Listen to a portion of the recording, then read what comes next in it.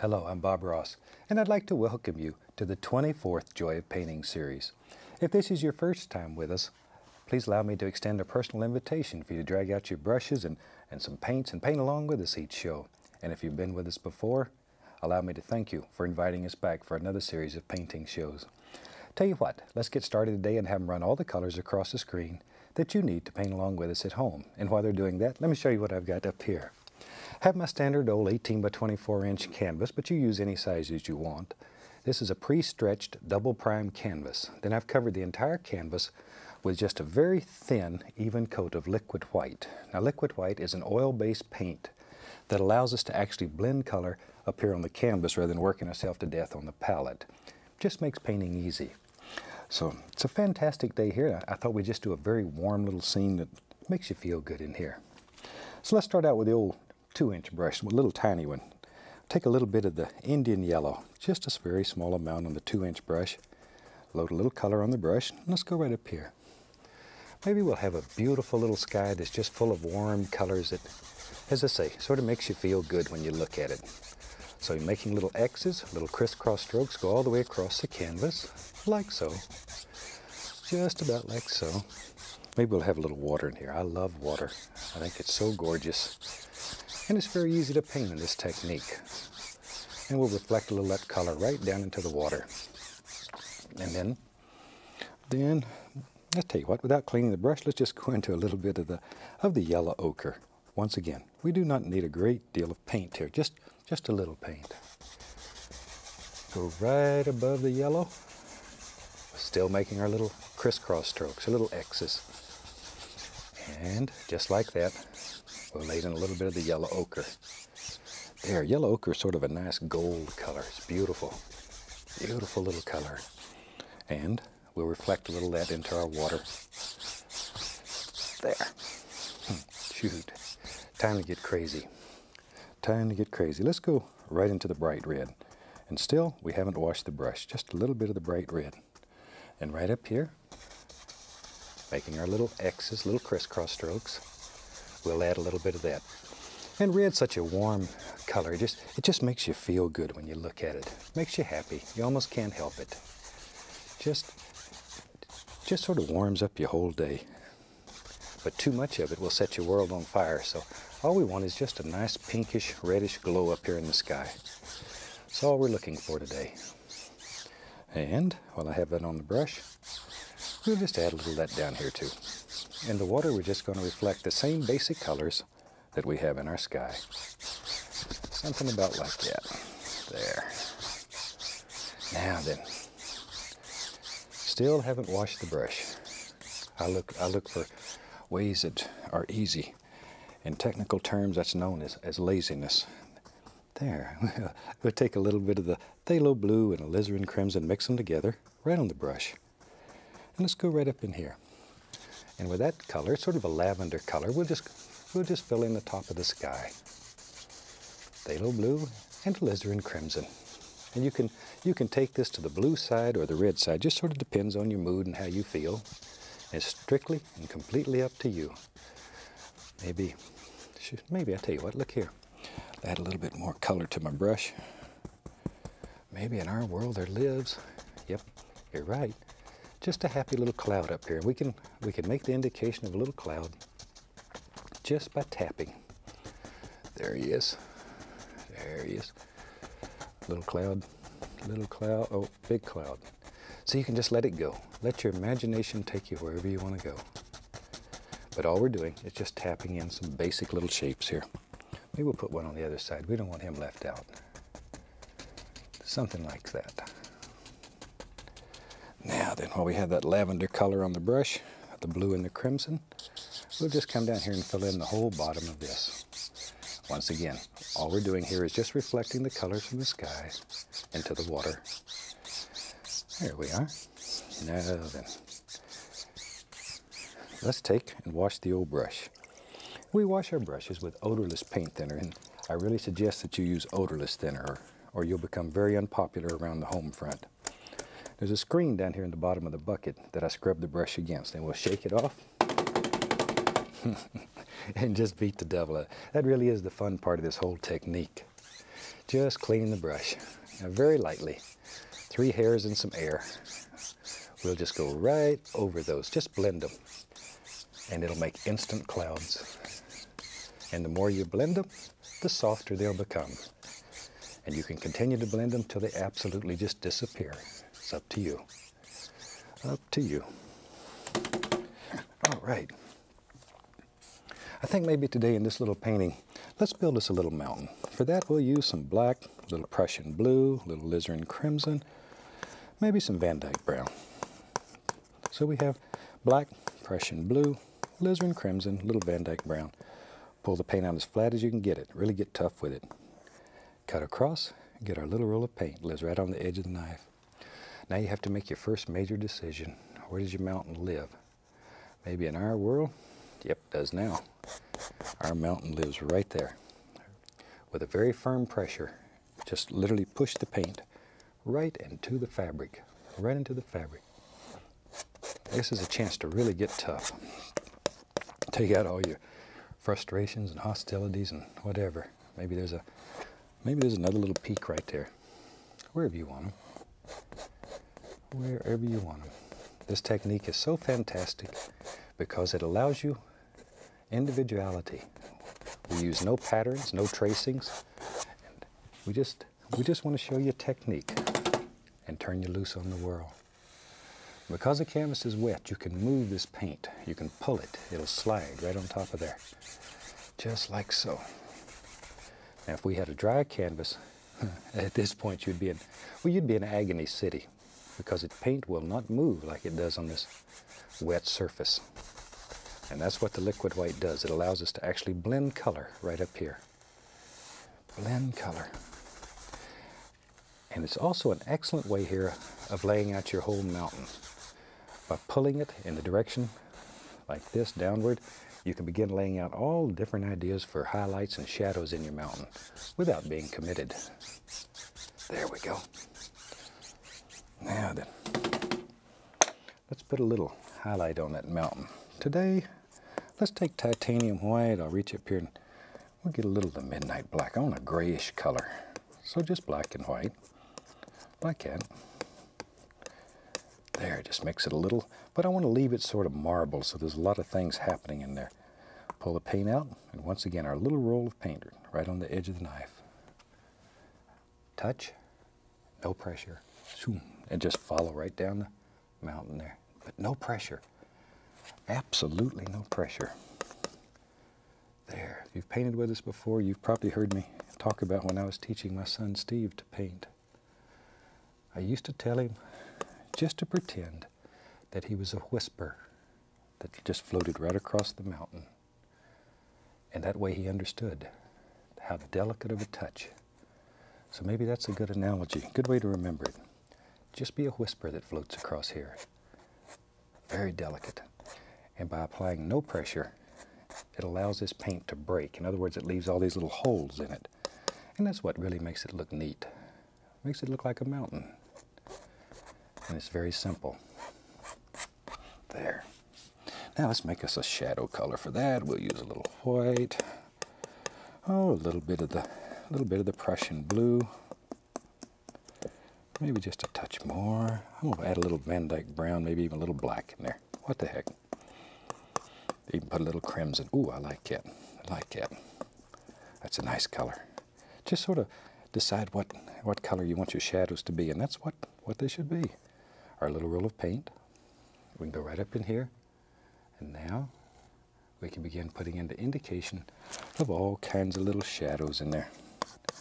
I'm going to add just a touch more blue to my color, just so it shows up a little better and you can see it there. There A little touch in here. Every highlight needs its own individual shadow.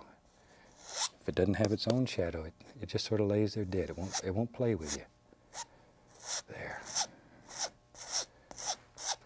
Something like that.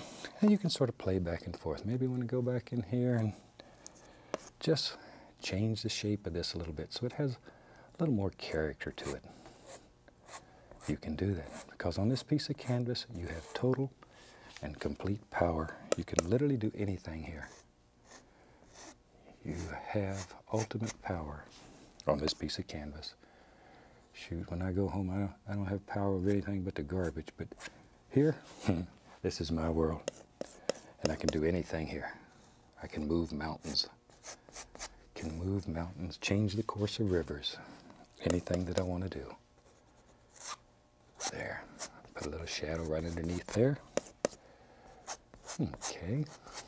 Maybe here and there a little something like that. Now we'll take a clean dry brush and just tap. I want to diffuse the base of this mountain so it looks like it's sort of laying in the mist down here. But always follow the angles. Follow those angles. There, and then lift upward. Just enough to take out the tap marks and to blend everything together. Like so. There. See there? That's all we need. Tell you what, sometimes it's a lot of fun. Let, us do this. You begin seeing things here. I like to have a lot of depth in my paintings. So we'll just put another little range of mountains right here. Just drop them in, same way. And watch how it pushes that first range back. That's simple. Just put them in, same exact way as we did the others. Scrape off the excess paint, blend them out. There we go. Something about like that.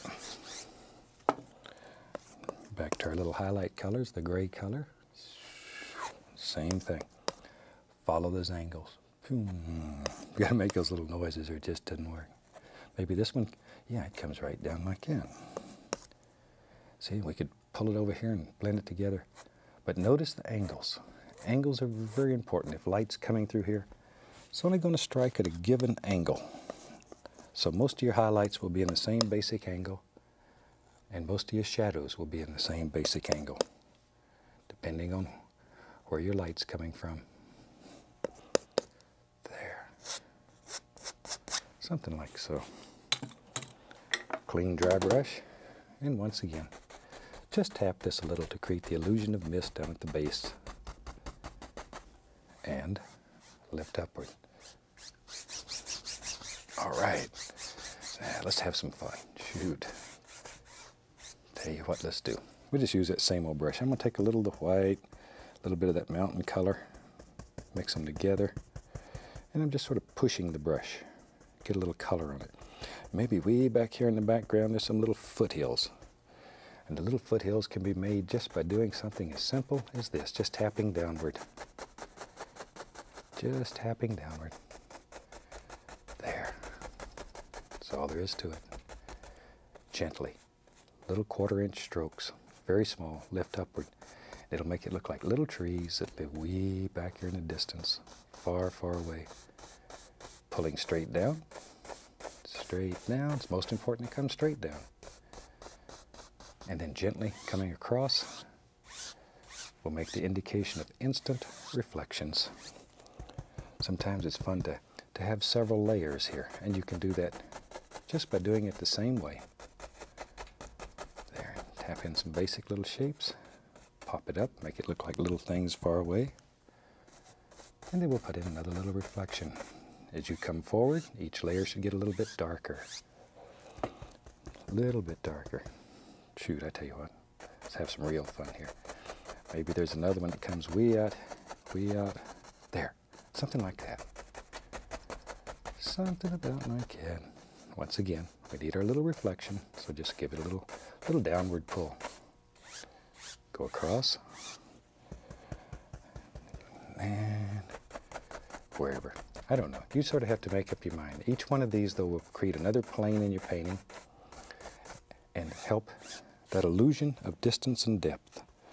I'm going to take a little sap green, a little yellow, just tap the brush the same way. And as things get closer to us, we begin seeing a little color.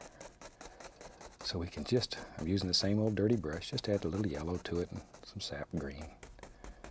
And we can just begin tapping in the indication of little colors that you can see. When things are far away from you, it's difficult to see color. Maybe just a hint of green back here. There we go. Now, Take a little touch of the liquid white, put it on here, pull it out very flat, And I'm going to add a small amount of the bright red, very, very small amount, cut across. Then we can go right up in here and just act like you're trying to cut a hole right in the canvas. There, take out really all your hostilities here. Just really get tough with it. Just back and forth like you're trying to saw a hole through there. This will create the illusion of a little water line. It also is a nice light area between the darks. It separates, makes everything really stand out and look good. Okay, maybe, hmm, let's have some fun. Clean off a spot to work here. Let's take some black. We'll use some Prussian blue, phthalo green, alizarin crimson. There we go. We just mix up a pile of color. All right, let me grab a old brush here. Maybe we'll maybe we'll just use a little fan brush. You could do this with a one inch brush, fan brush, whatever. Just use a little fan brush today. Load a lot of color into the bristles. And let's have in our world some happy little evergreen trees. Just use the corner of the brush and as you work down the tree, push harder and harder, bending the bristles. Down here, ooh, we're really getting tough. We're just bending it all the way down to the ferrule. Get tough. Show it who's boss. These little evergreens live right in your fan brush.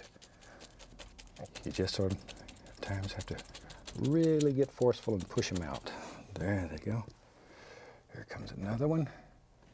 And you decide how many trees you want. You decide. Really, all we're trying to do here is show you a technique. We use no patterns or no tracings. It's strictly up to you because you can learn to compose as you paint if you'll just practice. If you'll just practice a little. But if you like to use patterns, there's certainly nothing wrong with that. And you can trace your pattern on here, put liquid white over it, and the liquid white is still transparent enough that you can see the tracing through it, if you like to do that. Personally, I enjoy the, the freedom that comes with not having a pattern because you can literally, as I mentioned earlier, you can learn to compose and create your paintings as you go. And you look at them, things, you, you'll begin to see things. And with practice, you'll be able to see more and more.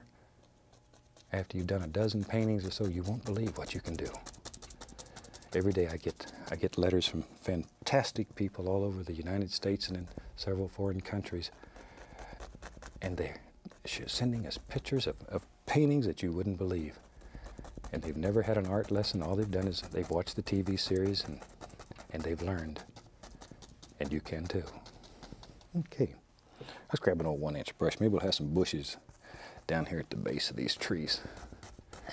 Just sort of push upward with the brush and make the indication of some happy little bushes that live right down here. Watch here. Turn the brush over.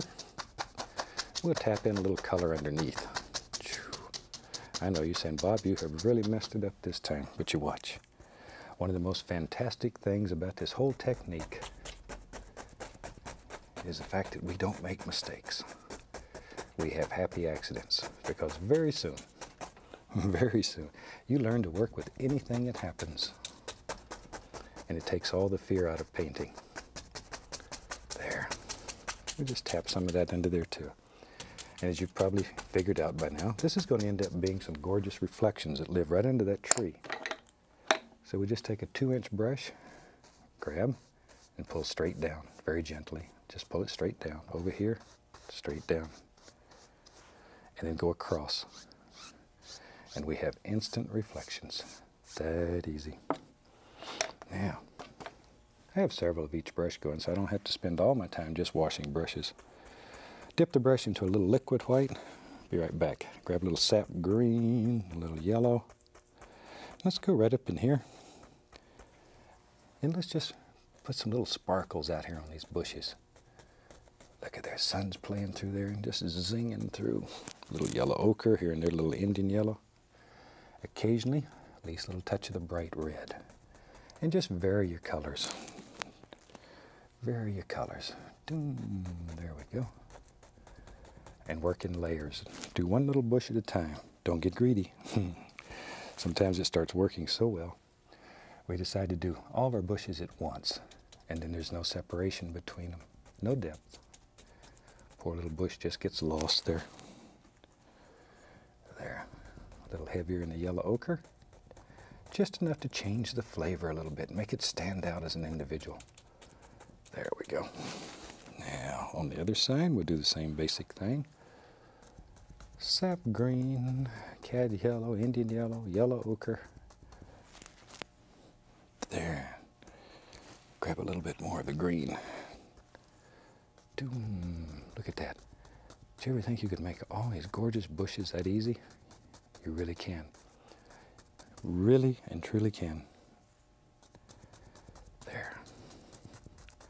Okay, and maybe, tell you what, let's have some fun. Let's just reflect a little of that down into the water. I don't want a, lot of reflection, but just a little. Just tap a little that color right down into the water. On the other side, same thing.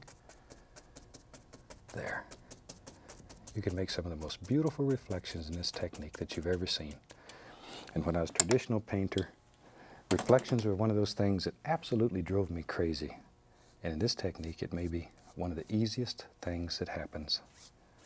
Just come across. But when you pull this down, oh, so gentle. One hair and some air. That gentle, easy. Caress it very lightly, very, very gently. Now then, let's put a few little trunks in our trees. We'll take some white, little dark sienna, mix them together. Tiny little roll of paint on the knife. We can go up in here, decide where you where your trunk lives in the tree. Just touch. Now we're not going to see the entire trunk because we're going to have some limbs that protrude out in the front of the of the trunk. So just here and there. And you can scratch in the indication. Makes it look like there's a lot of trees there instead of just a few. Hmm. There we go. See? And you could just take and scrape right through the paint and make it look like little sticks and twigs and all kinds of little things that live back in the woods there. That's where all my little friends live. The little rabbits and the squirrels and all those little characters. If you've painted with me before, you know I have a lot of little animal friends. A lot of times we show them on the program. I'll show you some before the series is over. I get a lot of letters in one of the earlier series. I showed a little squirrel that lived with me named Peapod the Pocket Squirrel. Hmm. he's, he's something else. And now he's an old squirrel. He's just about, just about ready to turn loose. And we turn all of our animals back to the wild. We don't, we don't keep them. We don't try to make pets out of them. Okay, let's take a little, little sap green and a little yellow, make a dark green here. And let's just begin putting some highlights on some of these trees. As you work down the tree, allow it to get darker and darker and darker until it just fades right off into the very dark color. Remember that your light's coming predominantly from the right in this painting. Your mountain tells you so right there. So a little more color on the right than on the left We'll give that indication in your trees. There. But see down in here, keep it very dark because you need a nice shadow area in there. It makes them look deep, very deep. There we go. A few over here. Something about like that. This old tree needs some. There we go. Just drop them right on. There. Darker, darker, darker down here toward the base. Shoot, we got some nice highlights in the evergreens. Now then, all this needs something to stand on so it doesn't fall over in the lake area. And well, that might be a river. Whatever you want to be. Take some Van Dyke Brown and let's put some land under all this. Pull sort of the angle that you think the land would flow. Remember that water always, always sets in a recessed area. So chances are that there's sort of an angle coming down like this. There we go. Chances are. That's not 100% true, but most of the time. A little brown and white. Come right back in here. No pressure. It's just like putting snow on the mountain. Just like putting snow on the mountain. There. The angles are very important here. Very important. You wouldn't want to bring these straight down. It'll look like cliffs hanging there. There we go. A little bit of our liquid white. That'll give us a little water line clean the bottom up, sort of bring it all together. There we go. There. A little back in here. Maybe a little ripple here and there and there and here. Wherever.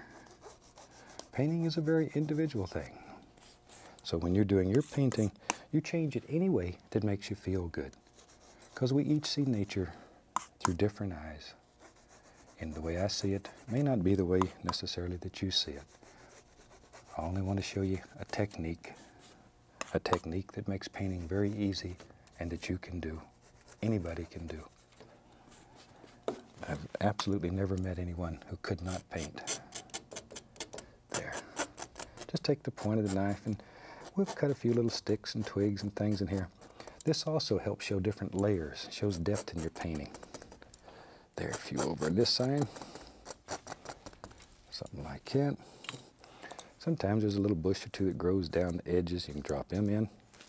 Just sort of helps fill everything in. Shoot, I think we're about to the point where we can sign this one. Take a little paint thinner, a little bit of the bright red. Make the paint very thin, almost like ink. And let's go right up in here and we'll sign this one.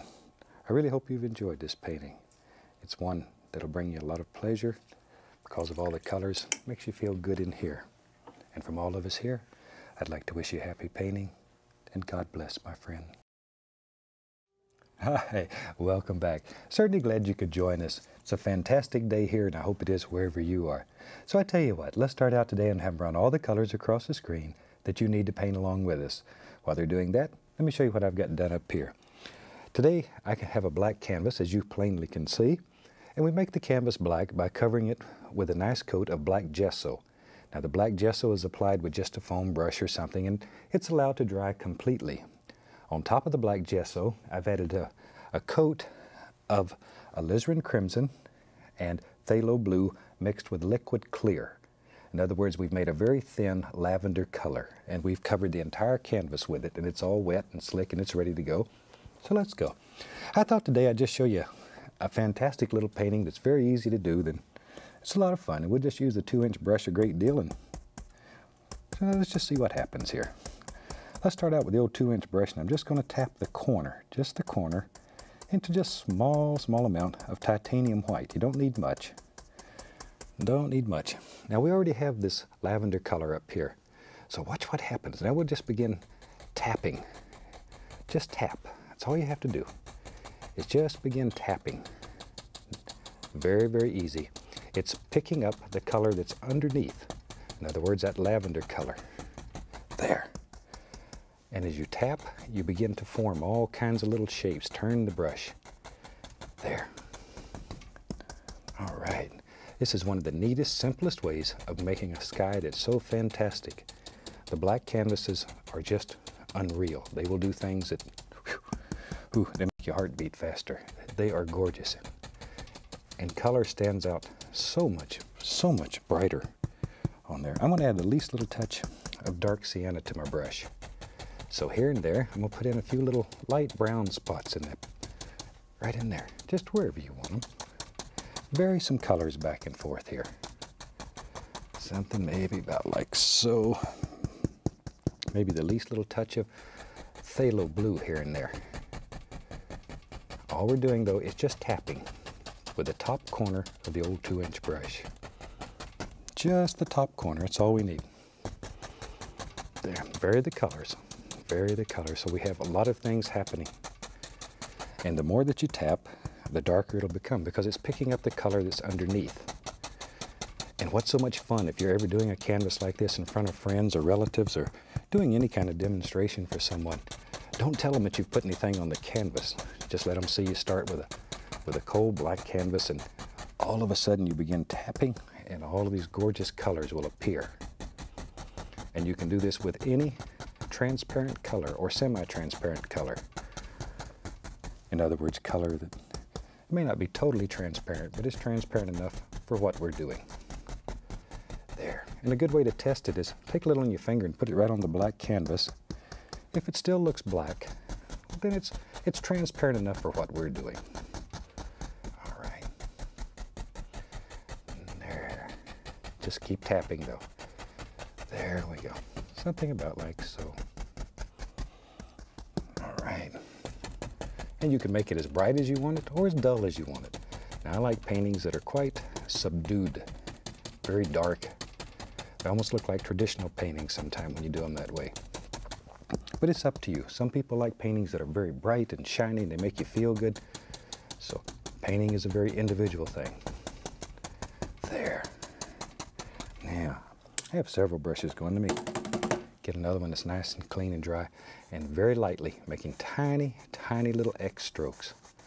I'm just going to begin blending this very gently, barely touching the canvas, just, just, just caressing it a little bit. Now you can blend this to any degree of softness that you want it to be. Or you can leave it quite bright, quite sparkly there. It's up to you. Up to you. All right. Okay, now maybe in our world, tell you what, let me go back to that brush. I'm gonna pick up a little touch of the phthalo blue again. And I'm add a little white to it. So we have phthalo blue and white basically. And I'm just still tapping that corner. I'm to turn the brush sidewards and just maybe tap in the shape. Maybe there's a little cloud lives right there or a little cloud shape, something like that. Really, I just want a little bluish color in here to sort of change the flavor of the sky. Make it a little more interesting. Put a little cool color right in the middle of all these gorgeous warmer colors. And back to our brush that's clean. And once again, very lightly just barely, barely touch the canvas. And then we go over the entire sky area, something like that. And that's a very nice little way of making a, a little sky that's just, it's just different and it's quite pretty. Maybe we'll put a little brighter spot right down in here. Now you can work on this for as long as you want and you can, you won't believe what you can do if you'll just try it. You will not believe the effects that you can come up with You can make some of the most gorgeous things that you've ever seen. Work in layers, just keep building and building and building, and you can go back over and over and over till you get it exactly the way that you want it. And everybody will see it differently. So do it the way that you like it, not necessarily the way that I do it. Because you'll do it much better when you do it. There. Okay. And maybe in our world, maybe, maybe, maybe Shoot, let's get crazy. Let's take, uh, we'll use a little sap green, a little Van Dyke brown, some black, a little black, maybe just a little bit of the Prussian blue. I'm looking for a nice dark greenish color here, something about like so. I'm still just going to tap the top corner in here. Now then, maybe there's some happy little bushes that live back here. Using just the top corner of the old two inch brush, all we're doing is tapping in some very basic little shapes. Very basic, they're quite dark. Way back here. There, add a little bit more color. Come right in here. I want to add a little dark sienna to that too. Oh yeah, that's nice, that's nice. That changes the flavor just enough that it stands out there. Just enough. It's very dark, I hope you can see it. There. sometimes it's fun to begin playing in here. So watch. So say I have several several brushes going, so I don't have to spend all my time washing brushes. I'm gonna take some white, least little touch of the yellow ochre. Once again, I'm just gonna tap that corner. Just want to use that corner. Okay, and maybe a little light is zinging through here, and just striking the tops of some little bushes that live right in here. Just by using that corner, we can create that illusion. Something like that. Wherever you think they should live. Now you could do this with a, either one of the round brushes or the one inch brush, whatever. There's really no limit to it. Just about any old brush would work. It's basically the shapes you're most interested in. A little bit more of the yellow ochre and white hmm. but it really stands out against that against that other color there. Yeah, back to my brush, it had the darker colors. I like to make big trees with these two inch brushes. They're a lot of fun. And so often we avoided the old two inch brush because it's so big. But it'll do fantastic things if you just give it a chance. Watch here. Maybe there's a big tree that, uh, uh, okay, right here. There it is. Right up here lives, does now, a big tree that sort of hangs over here and he watches everything. The little squirrels live and play up in here and they have a good time. All you're looking for here are basic shapes. Very basic little shapes. There. Now the black is back here, so you don't have to put a lot of color. It takes very little color. Same colors once again. What, maybe there's another one over here. Just sort of let your imagination go. Because in, when you're looking deep into the forest or the woods like this, trees just sort of grow however make them happy. they have a good time.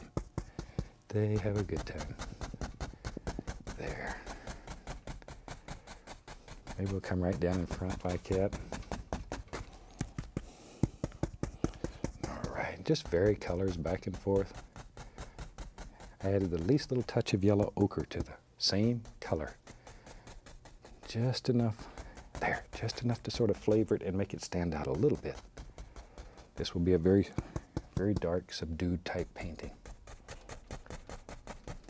Now, but look at all the different layers that you've created and just using basically nothing other than the old two inch brush.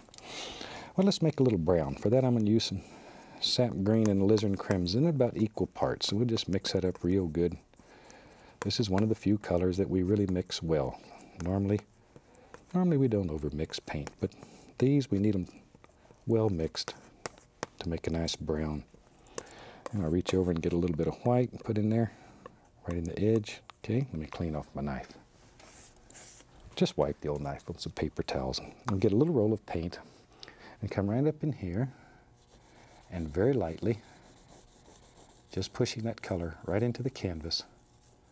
Maybe there's just a little touch, a little hint of land back in here that you can see. Not much, just a little. Let it go. See there? Something Maybe about like that. I don't want a whole bunch. Now then, I'm going to use the one inch brush now because I'm going to do something a little smaller. Take some of that same brown color I made, a little bit of black. There. Okay. I'm going to tap using the top edge and just tap in indication of another layer of bushes. Each layer, once again, will create more depth in your painting. Now, look right here. See what happens? you can see behind that. And each one of these layers, once again, I know you get tired of hearing that, but it creates that illusion of depth and distance in your painting. And I bet you've seen paintings that look very flat, and they sort of disturb you. There we go. Something about like that. Once again, that creates another layer in there. And you can put several in there. Shoot, if you wanted to so you could put another little layer just by adding the indication of a little soil that you can see, a little dirt right in there. Right in there. About like that. We go back to our little one inch brush with a dark color on it and you can push that back and make it recessed. Each one of those though is another layer, more depth. Yeah, we can just tap the top corner of that brush right into a little bit of the yellow ochre. And I'm going to touch the least little bit of bright red every once in a while. There. See? And just tap on the indication of just a few little things. Let's get a little sap green, a little bit of yellow ochre. Mix them together. And I'm just mixing these on the brush. Oh, that's nice. Nice color. We still haven't cleaned the brush. Same old dirty brush. We're just adding color and allowing it to blend together. Just the top corner though. Like that. There.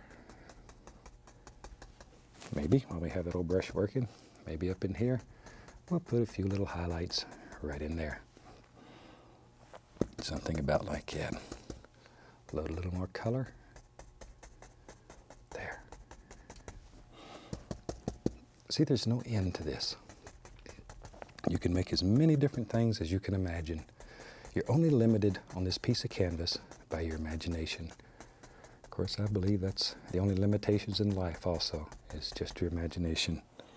Because anything that you can conceive in your mind and you believe, I think you can do it. I'm going back to the big brush. Shoot, that one's too slow. Let's take a little bit of yellow ochre, get a little sap green. I'll be right back. There.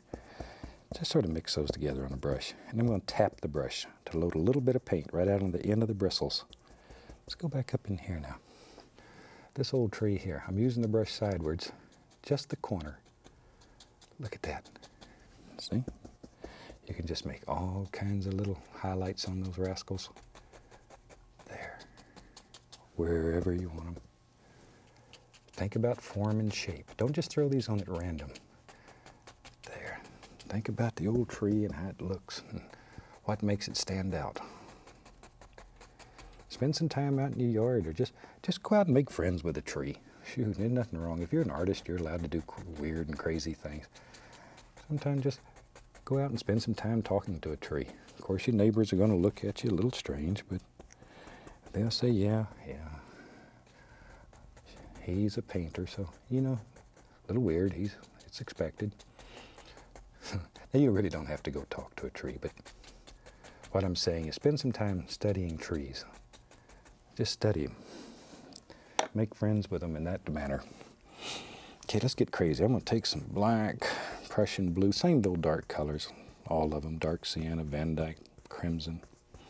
It doesn't matter as long as it's good and dark. Maybe, maybe there's an old rickety tree that lives out here, an old, some kind of old evergreen tree, and he lives right here in front of this one.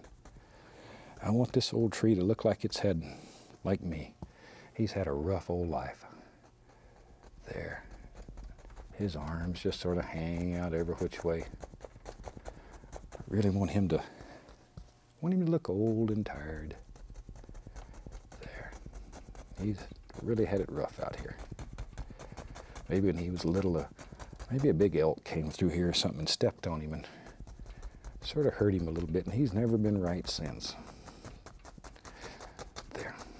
So you just make up little stories, and you know, people people look at you like you're a little strange, but once again, if you're an artist, people sort of expect that, so it's all right. And we know, because artists have more fun than anybody. A few little indications of some sticks in there. We take a little, little sap green, a little yellow, a little, little bit on the two-inch brush. Okay, go back up in here, and just very lightly tap in a few highlights on that old tree. There. Okay, a little more paint on the brush. There we go. See, it's unbelievable what you can do. Basically, we've used nothing on this but the one and two inch brush and the knife. You can do some of the most gorgeous paintings if you'll just practice with very little equipment. All right, shoot In my mind, I think we ought to have another little tree that lives right in here. We need to fill this corner up. That's the reason I think there ought to be a tree here. So wherever you want it. When you do your painting like this, this corner may have more in it or less in it.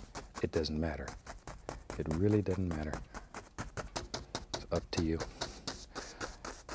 Me just put some of that color right down in here. I want the water to reflect these colors. So even though you can't see that, there's a little that color down in there.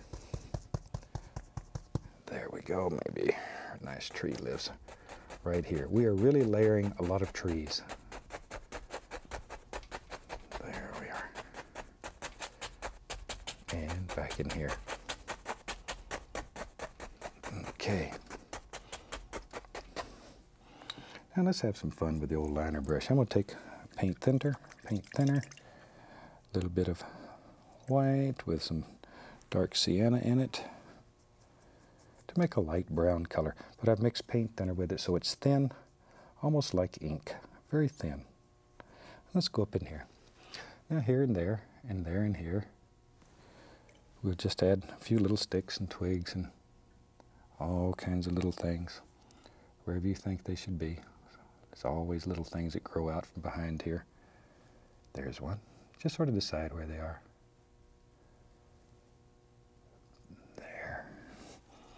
The liner brush, though, if, it, if you have any trouble making this paint stick, chances are you just need to add more paint thinner to it. Don't be afraid to add quite a bit of paint thinner. There we are. Or you can even put the liquid clear in it. I just use paint thinner because it's convenient. But whatever. Okay.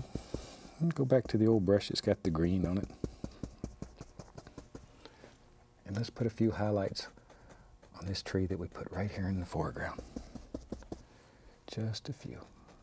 Just using the corner of the brush. That's all we're using. There. Darker, darker down toward the base here because there's going to be some big shadow areas in here. A little bit more of the yellow ochre, a little bright red here and there. Maybe. Yep, you're right. There's another one right in there. Just make up your mind where you think they should live and drop them in. There we go. And everybody's painting will be different. And that really is the beauty of it. That's the beauty of it. If everybody's were the same, it would be very dull. There. That's one of the reasons that I really don't like to trace paintings onto a canvas before I start. It puts boundaries on you. Boundaries on your on your creative ability. Let's go on the other side. Maybe over in here. Use those same colors. Maybe this little tree here. We'll put some nice little things on it too. There we are. All right. Work in layers. Work in layers. Do one layer at a time. Trees are nothing but big clumps of bushes that got together and grew tall. So each limb, maybe you can look at it just as a bush and then put them together. It'll make your tree have shape and form and be interesting. There we go. See how you can just vary those colors back a little bit here and there and there and here. Just enough to change the flavor a little bit. All right, back to my little script liner brush. Maybe in our world, who knows, who knows, right here. Maybe there's just an old tree trunk that's sticking right out. Uh, put some wiggledy limbs on it. Hmm. Just some more wiggly limbs on it. Wherever you think they should be. That's the fun part though, is adding these little details. These are the things that make your painting special. Of course, none of us are interested in the old happy buck, but if you are, and you're out selling your paintings, these little things are what will make your painting sell while somebody else's painting just lays there. We can put a few little things here and there on this side. Don't want them all on just one side. Maybe up in here. Tell you what, sometimes it's fun. I'll take a little, take a little of that brown color we made with the crimson and the and the sap green. Maybe, maybe there's a big tree. Choom, lives right there. Got to make those old noises. And he's got a friend named Charlie. Charlie lives right here. There he is. There, and this old trees. Maybe these are, maybe these trees died in the last storm or something. Just their old stalks out here. Put a few little limbs on it, but basically, there's not much going on here. Just a few old limbs and gnarly things. Something about like him.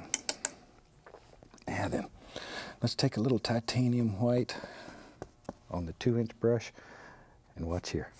Watch here. Pull straight down, straight down. Now we put that tree color on the water here. So we'll get all of these beautiful tones and hues automatically. Just like that. straight down though, and then very lightly go across. It just gives it a watery appearance, that easy. That easy. This black gesso is one of the neatest things that we've ever invented. Absolutely is fantastic. Now then, let's take a little bit of our brown we made, Put some white with it, pull it out very flat, little roll of paint. And let's go up in here and just begin laying in the indication of some little land masses that live back in here. And I'm just pushing quite hard with a knife. Just like so. There we go. See there? Just wherever. Wherever. Okay. Now then, maybe find it. Find our old brush. Oh, there it is. When you get my age, sometimes the mind goes. Maybe there's a little bush that lives right out here. We'll put a little island out here. So we need some dark here. Maybe it comes all the way over. Maybe it's a peninsula. We don't know.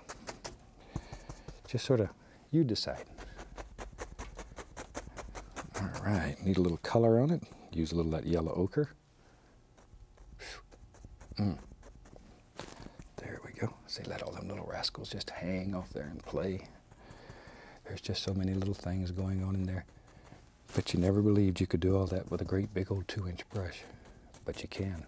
You really can. Now then, underneath that, indication maybe of a little reflection. Come across. And take a little bit of that same color we used for the land and just sort of work it around here. See there? There we go. Something about like that. Just enough to give the indication of little things that are happening Back to our little liner brush and some light color. And here and there and there and here we can put the indication of some little sticks and twigs that live out here. Like that. Wherever you want them. A few little things on the other side over here. There we go. Okay, don't want this one left out. Some things that are growing out here right on the edge. Okay. Let's go back to our little one inch brush. I'm to put a little liquid white on it because, as you know, one of our golden rules is a thin paint will stick to a thick paint. And we have several layers now of paint up here. So right along the edge here, we'll just put a few little bushes that live there. Something about like that. Just so they stand out. And sometimes it's fun to tell you what, let's do. Got a second left here, we'll just do something like this. Now then, a little bit of the Van Dyke brown, a little dark sienna mixed together. Maybe there's what remains of an old tree laying right here. In the basic shape, a little light color to highlight him. You can just use the old knife, put in a limb here and there on it. A little touch of the liquid white, And you can come right around his edge here, just make him look like he's sitting right down in the water. Hope you try this one. You'll be amazed at what you can do using the black gesso. It's one of the neatest things you've ever seen.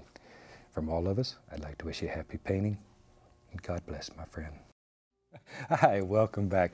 You know, in each series there has to be a crazy painting, and I thought today this would be our crazy painting. So let's start out and have them run all the colors across the screen that you'll need to paint along with us. While they're doing that, let me show you what's happened up here. I have my standard old pre-stretched 18 by 24 inch canvas, but you use whatever size is convenient. And today I've taken a little bit of uh, acrylic paint, black and, and blue, and just taking a paper towel and I went all over it and let that dry completely. After that's dried completely, then I've taken, covered the entire canvas with a very, very thin coat of the liquid clear. Then I've taken a paper towel and wiped off every bit that I can get off. You can never wipe it all off. It is still very slick and quite wet. But if you put too much clear on here, this is very hard to do. So put it on the least amount that you can, then take a paper towel or a soft rag, wipe every bit of it off that you can get, and then we'll do this. And I think you'll be tickled at what, can, what you can do with, with something that starts out looking this bad. So let's take an old two inch brush today and we'll go right into a little bit of the titanium white. Just a small amount, small amount, something like so. I'm just tapping a little into the corner here. And you sort of have to start deciding. I want to make some big clouds up here and I think today we'll have a, tell you what, let's do, let's do a winter scene today. That's a lot of fun. Just gonna start any old where, making little tiny circles with a corner of the brush. Now some of these colors will show through. And here and there, and there and here, I'm going to take a little phthalo blue, very little, and just add it to the brush. So we begin getting little white spots and little blue places going here. There, but just mix it, stir it up. Just stir it up. Stir it up. See, some of these dark colors, though, are going to show through. Maybe this is going to look like, maybe it's just before a big storm, big snowstorm. What the heck? It's up to you. You decide. But just sort of vary it back and forth here between the, the phthalo blue and white and just the pure white. Just tap a little color in. And you could begin making some very basic little cloud shapes. There, just the corner of the brush. Just the corner. And you can, you can put these splotches on here with any old color that you find. It doesn't matter. Whatever color you sort of want to show through. There we go.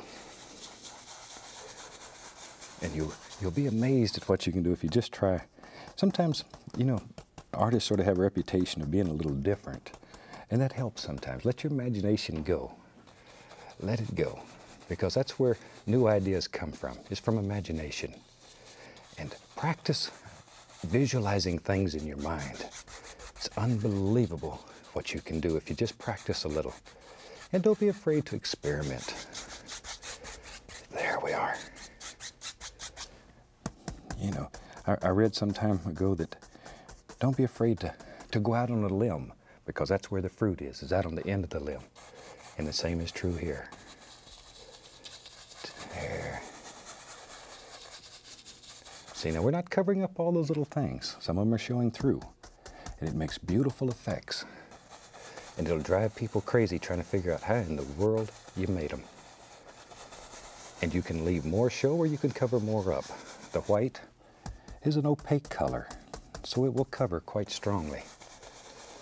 It's totally up to you. There we go. Hmm. All right.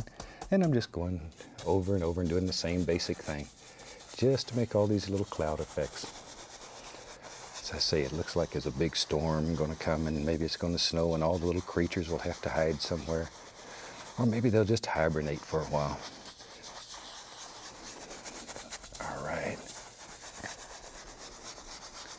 Now then, let me find a clean, dry brush. There. And very lightly, we're just going to sort of fluff this and blend it and bring it all together. I don't want to I don't want to blend it too much. I want to keep some nice variations going here and there. So it looks like it's a mean sky. All right. There.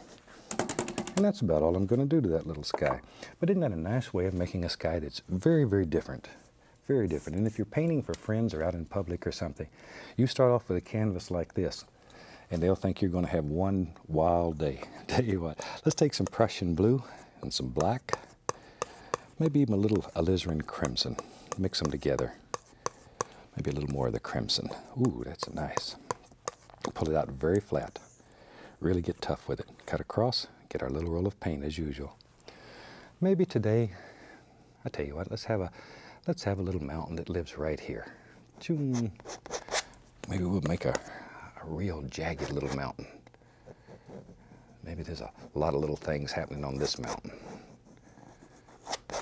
So you just decide what kind of mountain you would like to have in your painting and, and drop it in.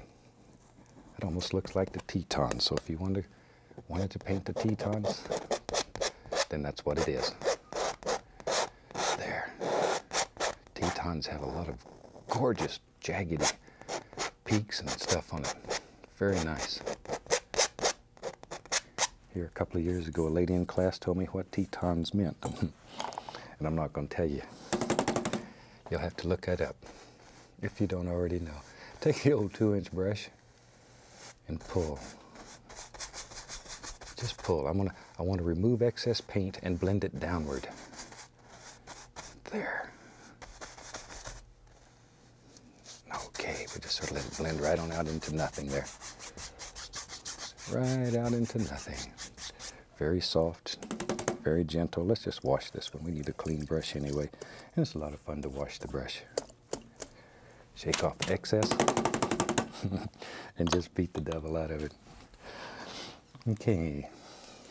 Let's have some snow on our mountain.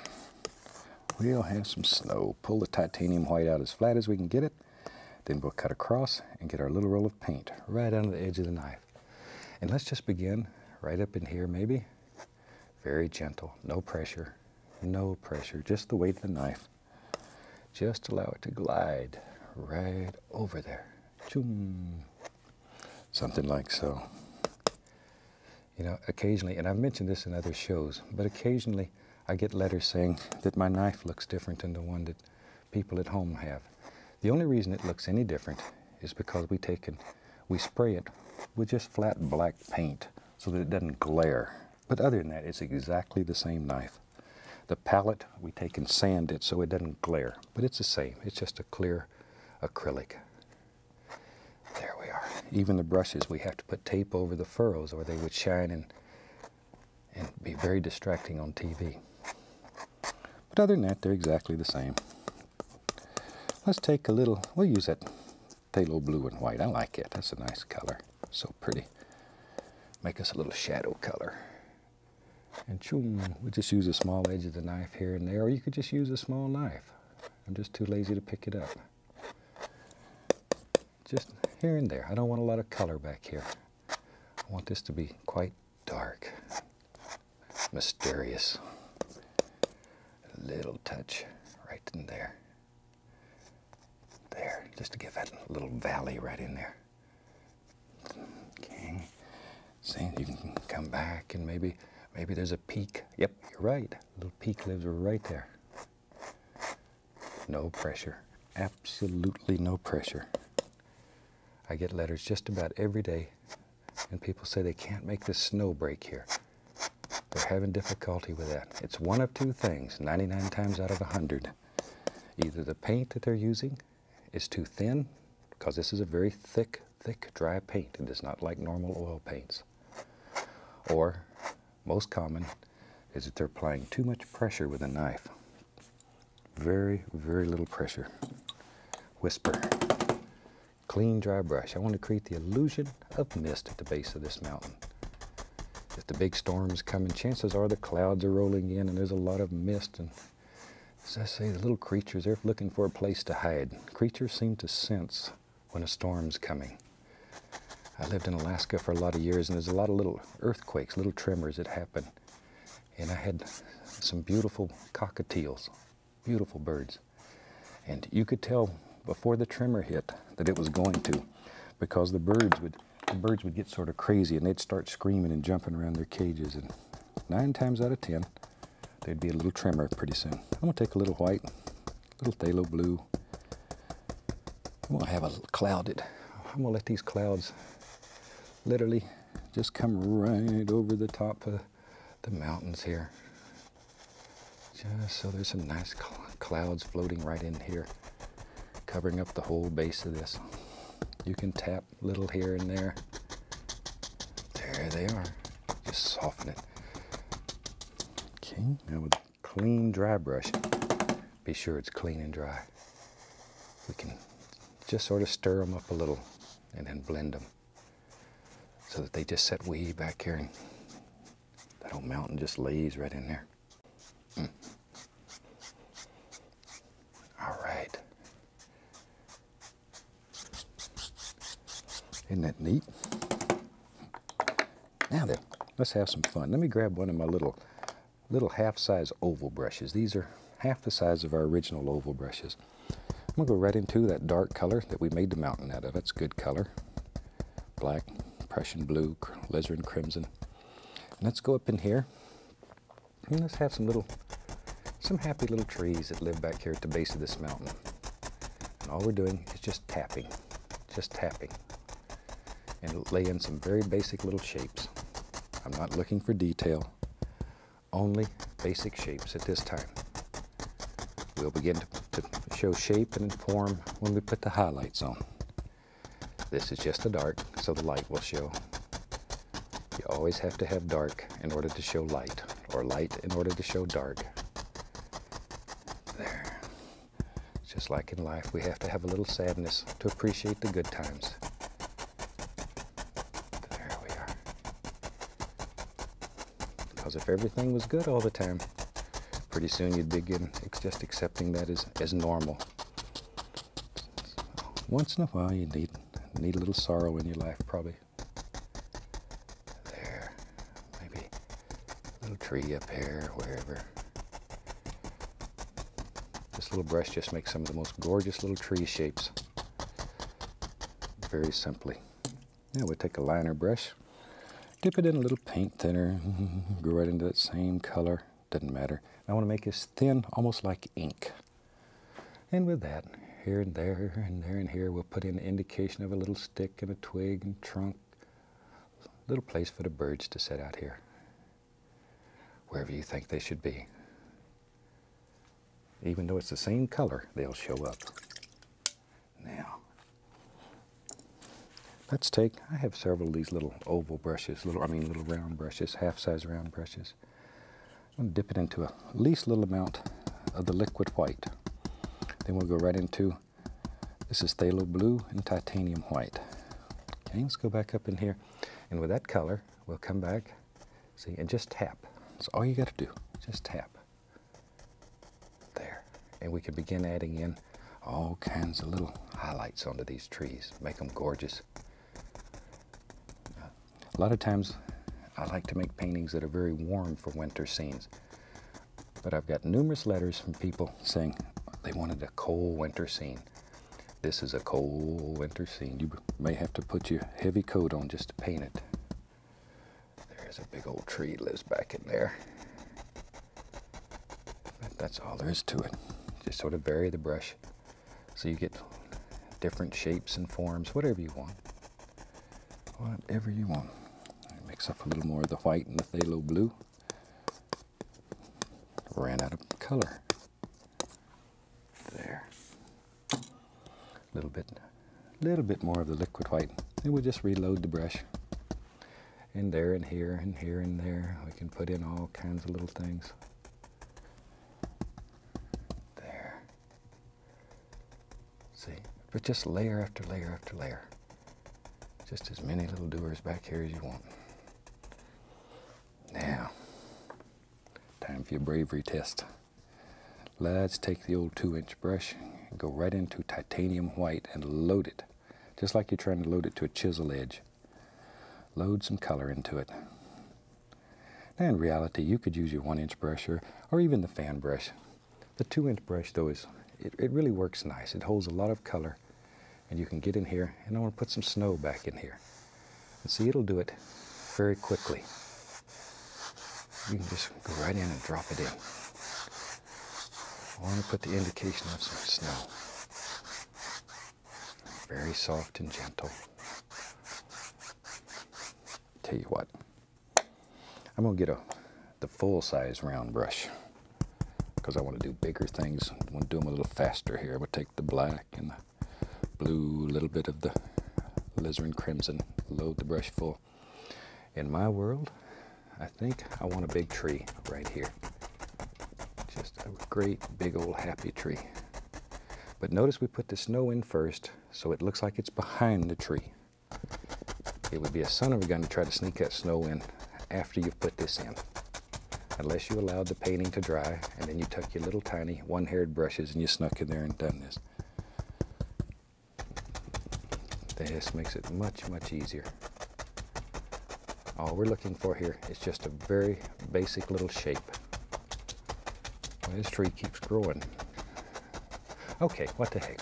What the heck? This tree is as it's bigger than the mountain. Just indicates it's closer to us. Closer to us. There.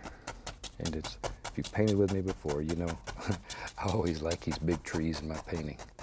I think it just helps push everything back and helps achieve that illusion of distance.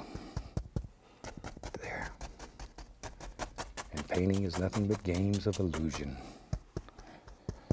Let's go over here on the other side. Maybe, maybe there's another tree over here. Whatever, whatever you think. There, maybe it just goes to here. I don't want to cover up my whole mountain. Okay, something like Something like that. Right along in there. Now then, we go back to our little liner brush. A little more of the paint thinner. And this is very thin. Once again, it's almost like ink. Very thin. Turn the brush. This liner brush has very long hair. Turn it so it comes to a nice point, loads a lot of paint into the bristles. Let's go up here. Now then, we can come up in here, and there, and here, and here, and there. Just put the indication of a few little tree trunks. Don't need much. I'm going to put a few highlights on here, so you're not going to see a lot of it. But we know they're there, even if we cover them all up. And it's good practice. And when you practice and learn, it's not wasted. It's never wasted. Let's go on the other side, and we want a few in this little tree right here.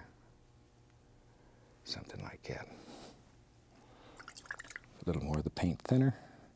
Maybe. Here. A lot of times there's limbs that protrude out of the top of old trees that doesn't have anything on them. Maybe part of the tree has died. There we go. Something like that. A little more of the paint thinner. Maybe here's a big old limb. It lives right out over here. You make the decision. You decide. You decide where all these things are. There. These are nice scenes here. I like these old cold winter scenes. I lived in Alaska for a long time, and, and this sort of looks like home to me. All right. Wash the old brush. Let's go back to our little half-size round brush here that has the phthalo blue and white on it. Go to that old big tree over there, and let's put a, let's put a few little highlights on it too. We don't want him left out here naked. There we are. Think about shape and form, and begin just putting all kinds of little doers in there. There we go. Put a little more of the liquid white on my brush. The paint's not sticking well. It's because it's not thin enough. And you put a little touch of the liquid white on there and go back and then see, it sticks very easily now. Very easy. That's what we're looking for. We want easy painting. There. We don't want to make this any harder than it is. It's too much fun. Painting, painting just makes you happy, so no use making it complicated. Shoot, enjoy it. Enjoy it. There's too many complicated things in our life already. There. Okay. All right. A little more of the liquid white. And you can sort of tell by the touch when you touch the brush. If you need a little more or a little less liquid white, it'll tell you. A little practice and you'll know immediately if the paint's too thick or it's too thin. Just when you touch the canvas, if it doesn't pull right. There. And the paint will always go to the thickest area. In other words, if the thickest paint is on the canvas, then it'll pull the paint off onto the canvas. If the thickest paint's on your brush, then it takes the paint off the canvas onto your brush. So if you're getting a tremendous amount of color on your brush off the canvas, that's all that's wrong. If you remember those little, little guidelines, little rules there, then anytime that happens, you know immediately why. It's easy to cure. Easy, easy to cure. A little more of the liquid white. There. See, and we'll just put some little things here in Alaska, they have ice fog when it gets very cold, and the water molecules in the air actually freeze. But it, the ice fog collects on every little branch, every twig. It looks like crystals. It is the most gorgeous thing you have ever seen. If you've never experienced it, it is beautiful. Cold, but it is gorgeous. Telephone wires get huge looks like trees are in full foliage. It's just, I was born and raised in Florida, and I had, I had never seen snow till I was about 20 years old, and the Air Force sent me up here, a little white on here. And I think they found out I had never seen snow. And, you know, Uncle Sam sometimes has a weird sense of humor. They sent me to Alaska in January. Anchorage, Alaska. And before that, I thought ice was something that just grew in the refrigerator. I, I didn't know it actually would grow on the ground. And I got off the airplane, the first thing I did was slide on the ice, and you know the rest of the story. And everybody thought it was funny. I'm gonna put a little cabin right there, I think. So I'm gonna make some brown. I'm gonna take some sap green and a little bit of the alizarin crimson, about equal parts, mix them together. Just have to, you have to mix this pretty good. Normally we don't mix color very well. This we have to mix pretty good. Okay. Easiest way I know to make a little cabin. Take your knife, scrape out a basic shape. Something like so. Very basic. You're doing two things here. You're laying the cabin out and you're removing excess paint. But you're not committed. See, that's all you have to do. And we can take a little bit of that brownish color little bit of the brownish color. Let's start back here with the back eave. I love this brown color that's made with the green and the crimson. There. See, all we're doing now is just, just laying in color, just blocking it in. There. And you could do this with any old thing.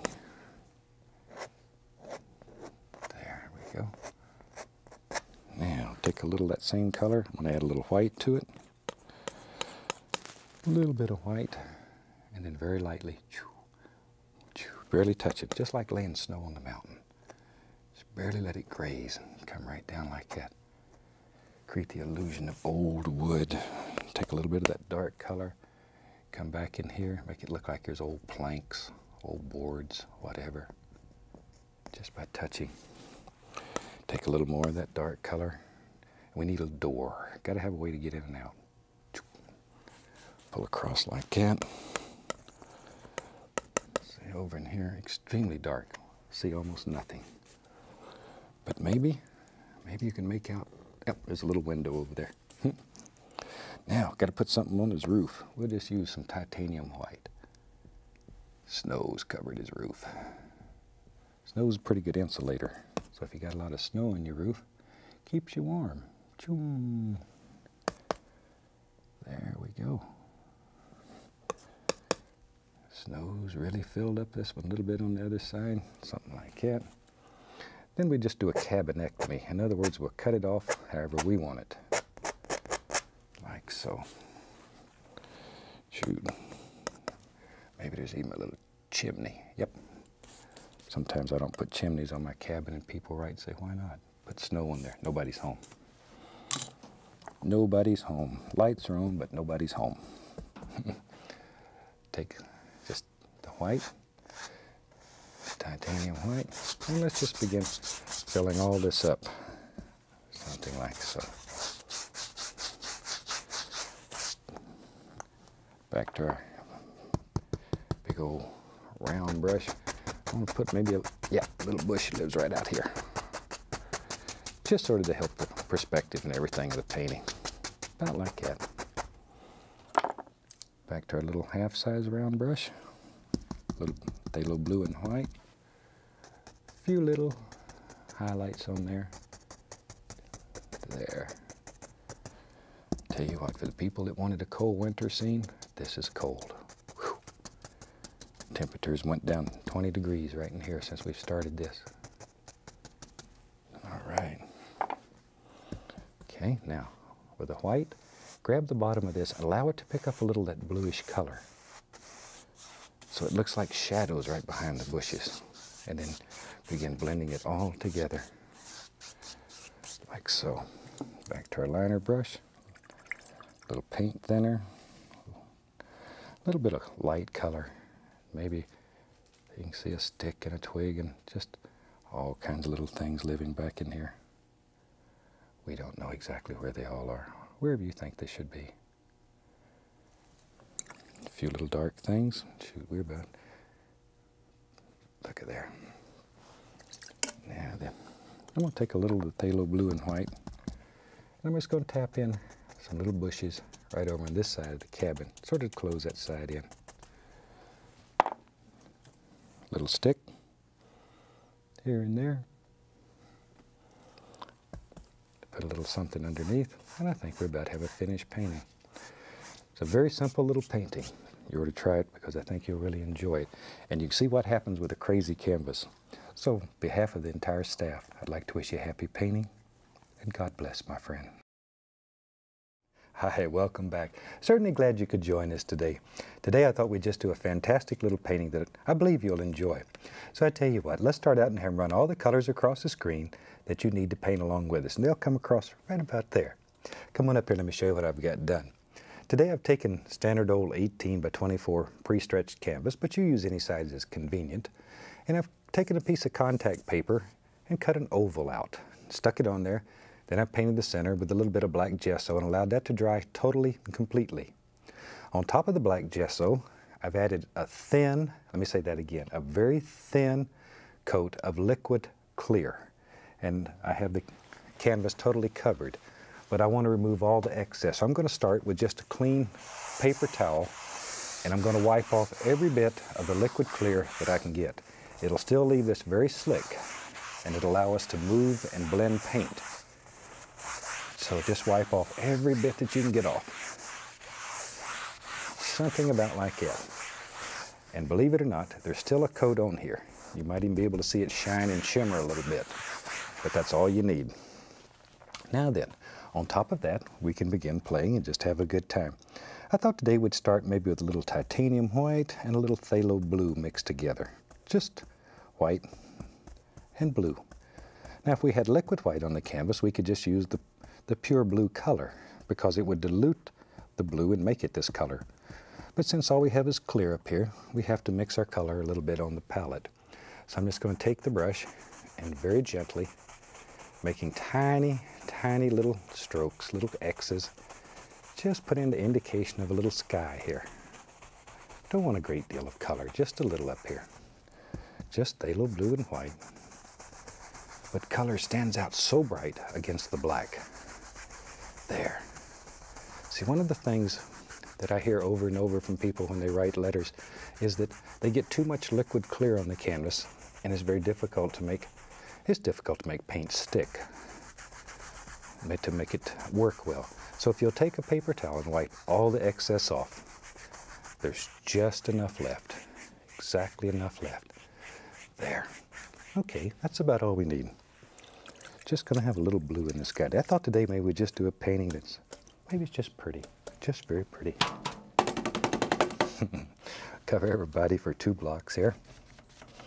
Now if you do that at home, I suggest you get a thing called a brush beater rack. It goes down to the bottom of a waste paper basket and it allows you to shake the, the thinner off into the waste paper basket. Then you beat the brush against that little rack and it'll save your happy home. There. I'm going to take a little bit of bright red and titanium white. Just a little of the bright red, very little. It's so strong. Just tap the corner of the brush right into a little of that. There. Now let's just put some, maybe we'll put some just beautiful little clouds that float around up here. I'm just going to use the corner of the brush and begin shaping little clouds. That easy. Just the corner of the brush, though. That's all I'm using. Maybe, yep, comes right down in here, something like so. And just sort of floats across the sky. Just let them go wherever you think they should be. There. We're just looking for some nice basic little shapes. It's really about all. There we are. And we'll work in layers here. Okay, a little bit more there. And I tap straight down when I'm loading the brush and then turn it sidewards to paint the clouds. Tap straight down because it opens the bristles. There. Maybe this little cloud just floats right up in here. I don't know. Wherever you want it. And then I have several of each brush going here. Make sure it's good and dry. And very lightly, just using the top corner of the brush, I'm just going to tickle it. Just barely, barely touch it. Trying to avoid touching the top edge right now. Just tickle it a little bit. Now, if you want a shadow at the base of your cloud here, all you got to do is blend it a little firmer and the black will show through. And we'll put another layer on and that will become the shadow for your first cloud. I hope all that makes sense. Sometimes I have a hard time explaining things. There we go. It's very gentle though, and just the top corner of the brush. tiny little strokes. Tiny, tiny, tiny little strokes. There. Something about like that. No. I beat the brush just to knock excess paint off so I don't have to go through the entire cleaning procedure. And then very lightly, we'll just blend that. But isn't that a neat way of making some pretty nice little clouds with very little work? Now then, go back and get a little more of the bright red, a little more of the titanium white. Once again, I'm just going to tap the corner of the brush into the pinkish color. Just tap. Just tap. Now then, maybe there's layers of clouds here. We can begin forming more and more clouds. Once again, tap straight down and then use the side of the brush. That opens the bristles so they're not stuck together in the chisel edge because I want them very fluffy. I want these clouds to be free looking. There we go. Nothing's worse than a stiff cloud. Clouds are very loose. They're free. They just float around have a good time all day. There we go. Something like so. And you can take these anywhere that you want them. Okay, back to my other brush.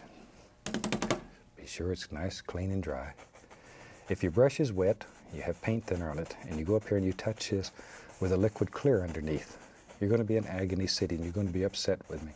Be very sure that your brush is dry as you can get it.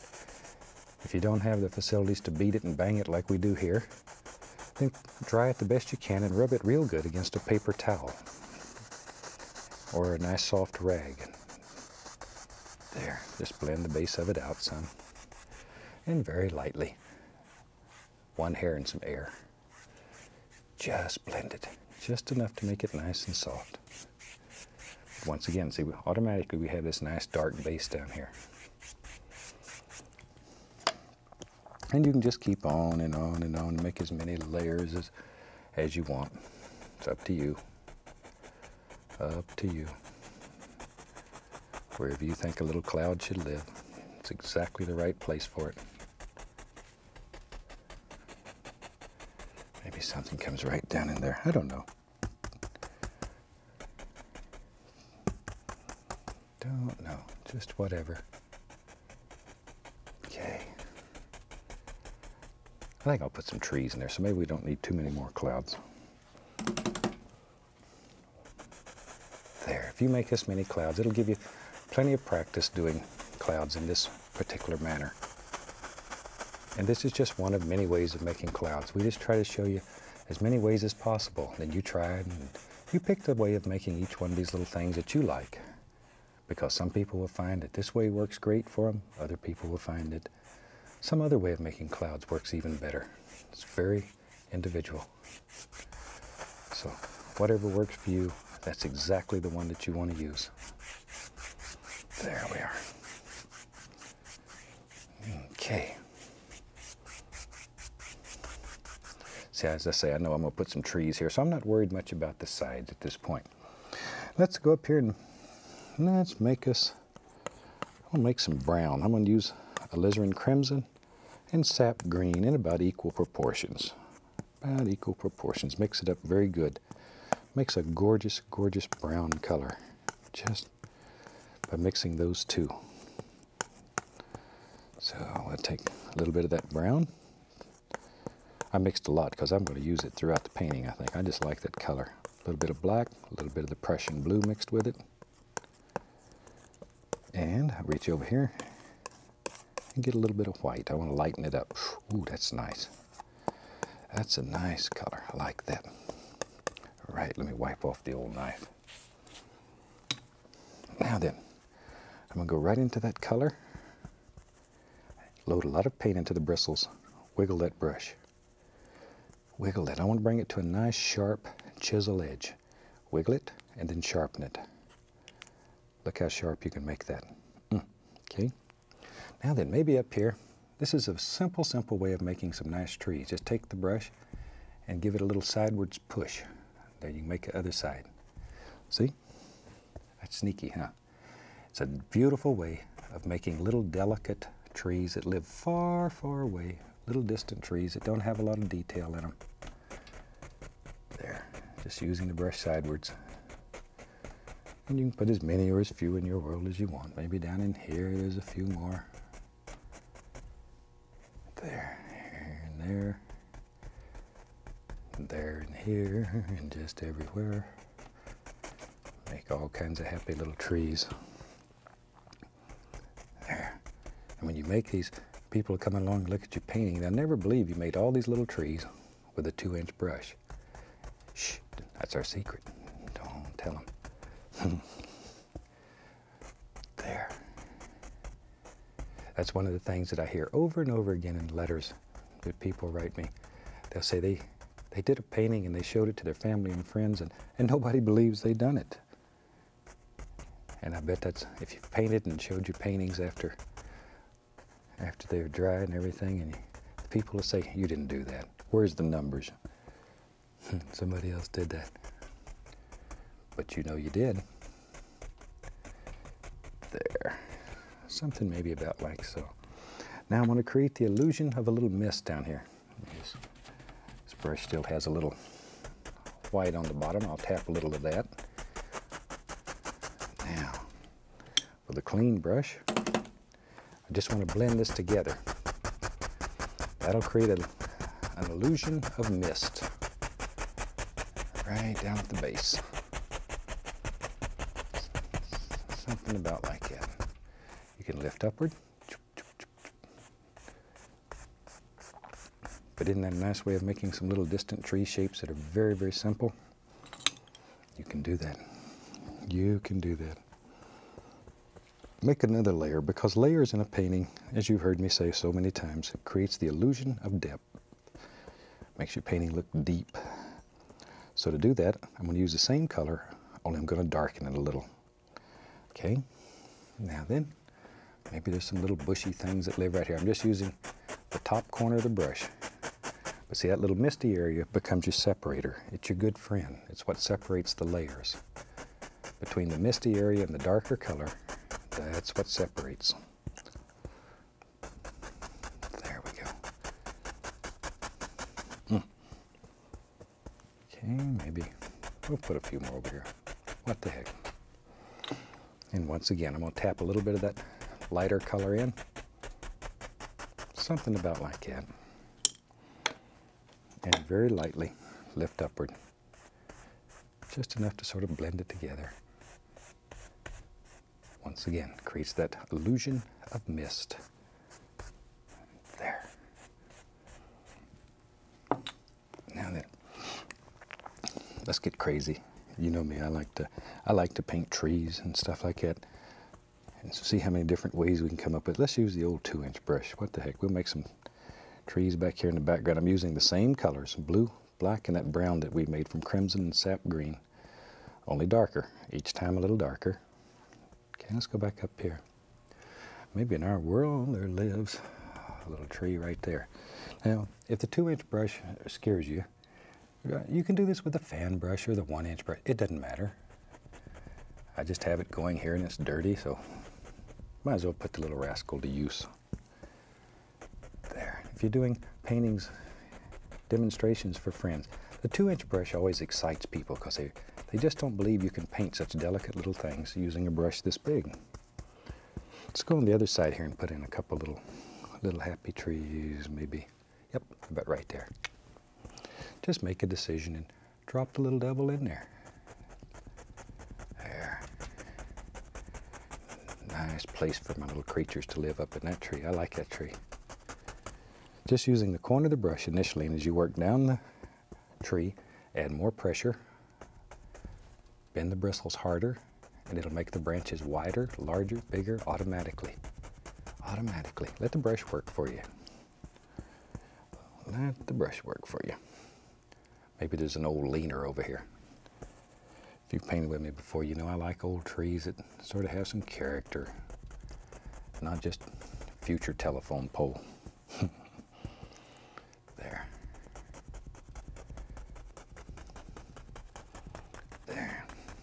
See, each layer now just creates that illusion of depth in your painting. Maybe, right there's one more. Just however many you want in your world. Drop them in. Drop them in. Don't be afraid of it. because you can do this. You can do anything that you believe you can do. Maybe there's a few more little bushy areas right in here. Something about like that. All right. Now, I'll take the brush with a little bit of white, a little bit of that brown color we made. I just want to put the indication here and there of a few little tree trunks that you can see. I don't want a great deal of detail. These are, they're sort of back away, so not too much detail. Just enough to give the indication that there's some trunks in there to hold old rascal up. Soup. There we go. Now then, and I just use that same old brush. I'm gonna go right into a little bit of the yellow ochre and the cad yellow. Reach over and get a little Indian yellow once in a while. Mix various colors on the brush though. I want a dark green. Maybe I'll reach up in here. Ooh, that's nice. I'll get a little black. That'll make it dark. Very dark. Yeah, that's nice. Okay. Now then, let's put just a touch of highlight on this tree. Still just using the corner of the two inch brush. Just the corner. There. As I say, sometimes people have a tendency to be afraid of this because it's so big.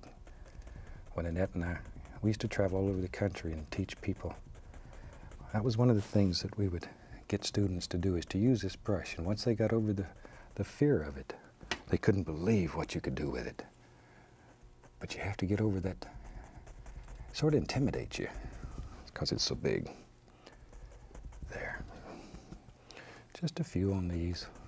Don't want them left out. That one in my mind's in the background. I'm not going to put any on it. I want it to stay way back here. Sometimes it's better to leave some of them just the way you paint them so they look like they're far, far away, way back in the background. Now then, while we have that old brush going, shoot, that's working pretty good there. Let's get crazy. Maybe, tell you what, maybe there's a nice little grassy area right there. There it is. All we're doing is tapping. Still just using that same old green color just tapping yellow ochre, Indian yellow, cad yellow, and here and there, the least little touch of the bright red. And the bright red acts as a duller. It makes the color dull because grid, red and green make brown. There. Something about like that. Now it's fun sometimes to, to make a, a bright spot in your painting, I'm going to take a little titanium white right on that same brush and just sparkle like there's a little light zinging right through there. Just sparkle a little bit. Mm. Now don't overdo this or you'll kill the effectiveness of it. Just a little. Just a little. It gets, it gets feeling good and you want to do it all, but, but it'll absolutely kill the effect. So be conservative with it. Let's wash that old brush. Start with some new dark color here.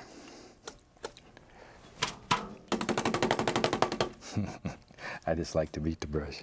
That's really the fun part. Let's get let's go back into black and the Prussian blue and very dark colors. I want more of the black and blue, just a very little bit of brown here. I want to change the flavor a little bit, but I'm loading it back to a nice chisel edge. Nice chisel edge. Okay, let's go back up in here. In our world, maybe there's a darker tree that's a little closer to us. There he is, a little more into the blue hue.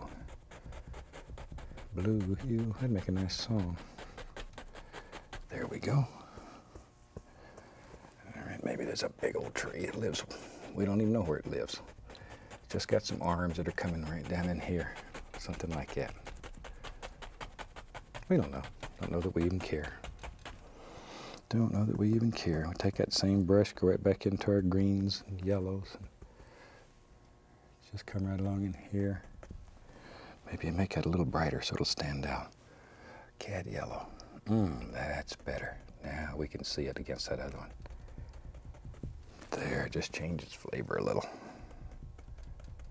Something like so. Okay, let's do the other one over here. Mm-hmm. There. Don't be afraid of this old two inch brush. Use that rascal. You can do entire paintings with it very easily. Very easily. You know what? I just had a brainstorm. we got a minute or two left here. Maybe in my mind, I see, yep. What if we had a little cabin lived right out here in the woods? This would be such a fantastic place to live and watch all the little creatures. let's just do that. What the heck? Take some of that brown color that we made. Start with the back eave. Choop, choop. Now we can do the front. Choom. Where all we're doing is just blocking it in here. We're just basically laying color down. We're still not committed at this point. We'll take a little yellow ochre, a little bit of that brown color, a little white. Just sort of mix them together. Come right along and say, Chew. to make this look like old wood. Something like so. Maybe we'll make a log cabin. Doesn't much matter. Take a little dart. Put some doo doo doo doo doo doo doo doo doo right across there. And then maybe the logs come here. A little bit of brown. See there?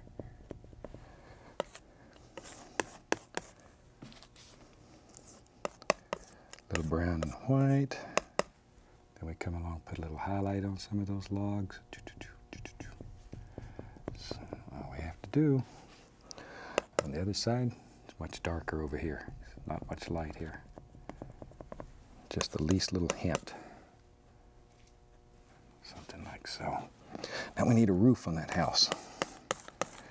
Otherwise, that fellow that lives there, well, he's in for it. And let's take some black and some white and make a nice grayish color and I'll use the little edge of the knife. It will just come right in here. We'll make it look like there's a few old shingles still hanging on this roof. It's an old cabin. There. Working layers, starting at the bottom and working up, just like you put real shingles on a house. There. Years ago, I used to be a carpenter, and I guarantee you, it's not this easy to shingle a roof my friend Dana Jester, who's one of our instructors that you've probably seen before. He was a carpenter also before he became an instructor. Shoot, that rascal travels all over the country now. Teaches literally thousands of people the joy of painting. Let's have a door in our cabin, right there. And let's have a window, something like so. Maybe just a little indication we can see the end of some logs little touch of highlight right around the edge. Some around the window. Nobody's home. no lights on. No lights on. All right, let's just, we'll find a two inch brush. It's halfway clean. Tap a little more of our grassy color in there. And let's just start putting all kinds of little layers of grass right up around like that. Maybe this is a nice little meadow he lives in out here. There. Sometimes it's fun to, to play some little games here. Watch here, watch here, watch. We got a second left. Maybe there's a hill right here that's sort of overlooking this whole thing. So we put some dark color in first. Then we come back with our lighter colors, the highlight colors. And we begin forming this. Just a little hill right here. See there? There we go. Just enough so it stands out. Maybe even, tell you what, take a little of that brown color we made. Maybe there's even a little path that comes up this hill. Take a little white on top of that brown, give it a little highlight.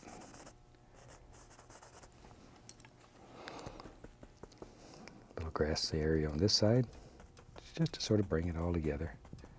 See, now he walks down and goes back into his little house here at Elimination. There. That's a nice place to live.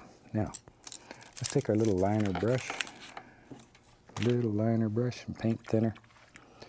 We'll go right into our good brown color we made. Want this paint to be thin like ink, very thin. Maybe we got a big tree that lives right here. Great, big, nice tree.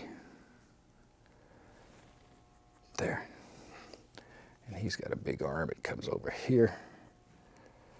Maybe an old crookedy one right there. A little highlight color is just a little, little brown and white. Come down and just make it so it stands out a little. Blend it in. Just want him to stand out a little. There. And we can put all kinds of little arms on here. Wherever you think they should live. It's exactly where they should be. There. I tell you what, let's take the old contact paper off and see what we got. That's the moment of truth. So we'll just grab it, pull it off, and take a little look-see there. And what's fun, Hmm, watch here, I like to let things extend out of the borders. Let this old tree just sort of grow right on up. His arms just come right on out of this oval. Something like that. There they go. Wherever you think they should be. I like these paintings where part of the part of the painting breaks the borders. It really gives a very nice effect. Hope you try these. I think you'll find them just fantastic. And with that, I think we'll call that one finished. Hope you've enjoyed it. From all of us here, I'd like to wish you happy painting, and God bless, my friend. Hi, welcome back. Certainly glad you could join us today because today I think we'll really do a fantastic painting. So let's start out and have run all the colors across the screen that you need to paint along with us. While they're doing that, let me show you what I got up here. I have my standard old pre-stretched double prime canvas, but today I've covered the entire thing with black gesso as you can, as you can plainly see.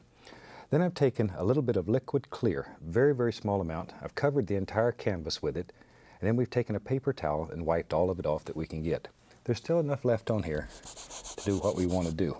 You can feel it with your fingers, but it's not so much that you can't paint on it, because it's, it's very easy to get too much. So let's just do a, let's just do a happy little painting day.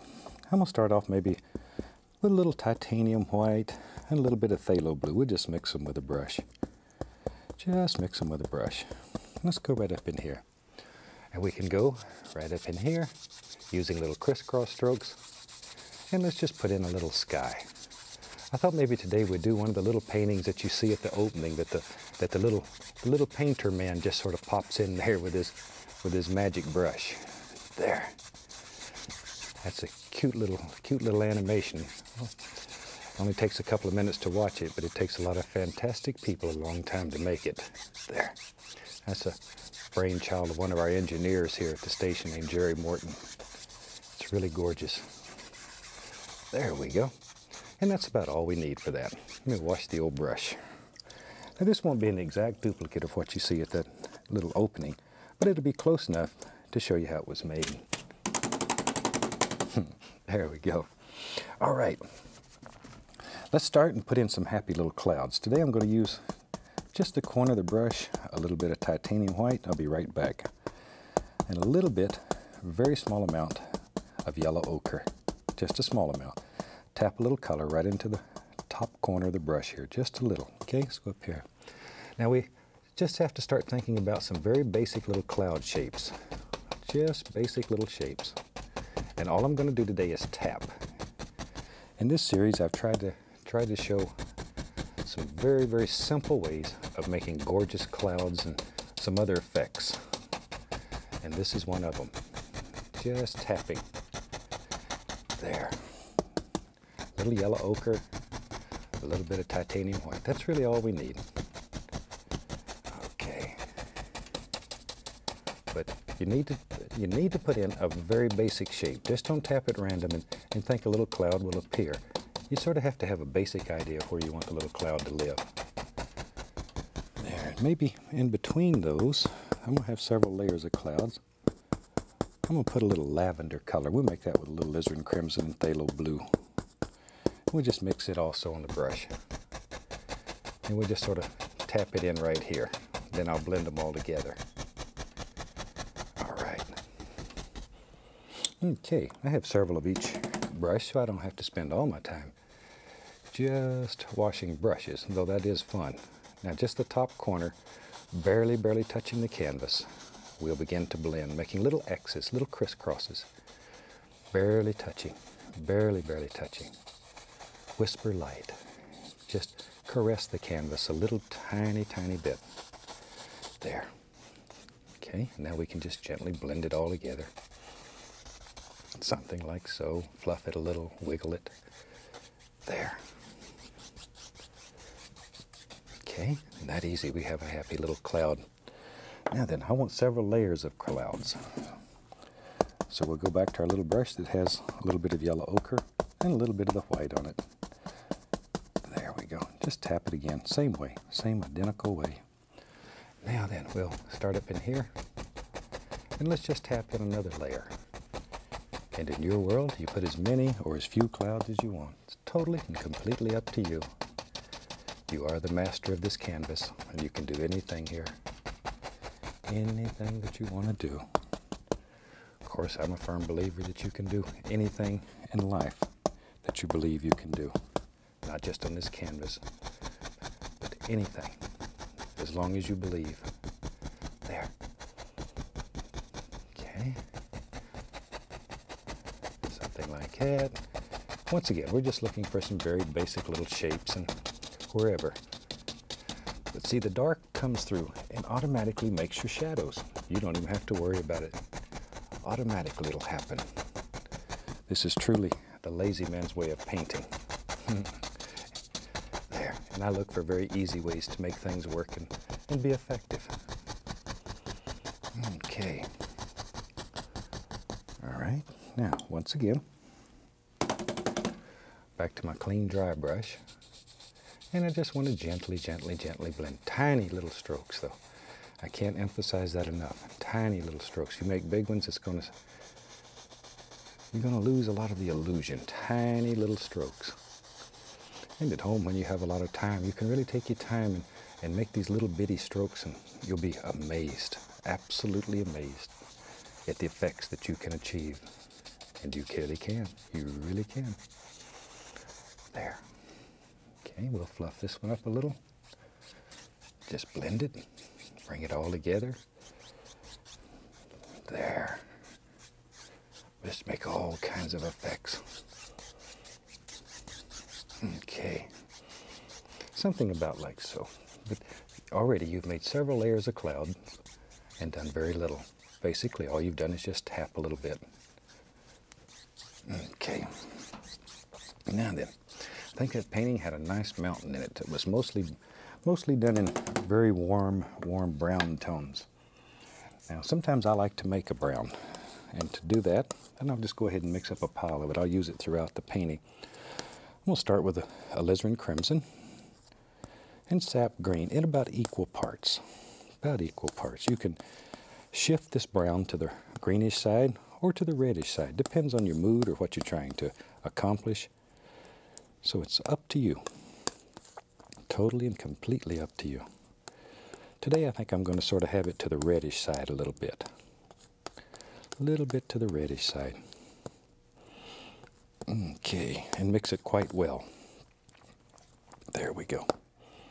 Okay, let me clean off the old knife just wipe the knife on a little paper towel. We'll cut off our little roll of paint and let's come right up in here. We want a big mountain that lives right here. So if we come in here and just start, maybe there's a peak there, just let your imagination take you there. Whatever you would like. You just put, there's all kinds of little lures in there. Wherever you want them. Maybe over in here. Okay, now we just we just literally lay in some color here. Put that little thing back in the background. There we go.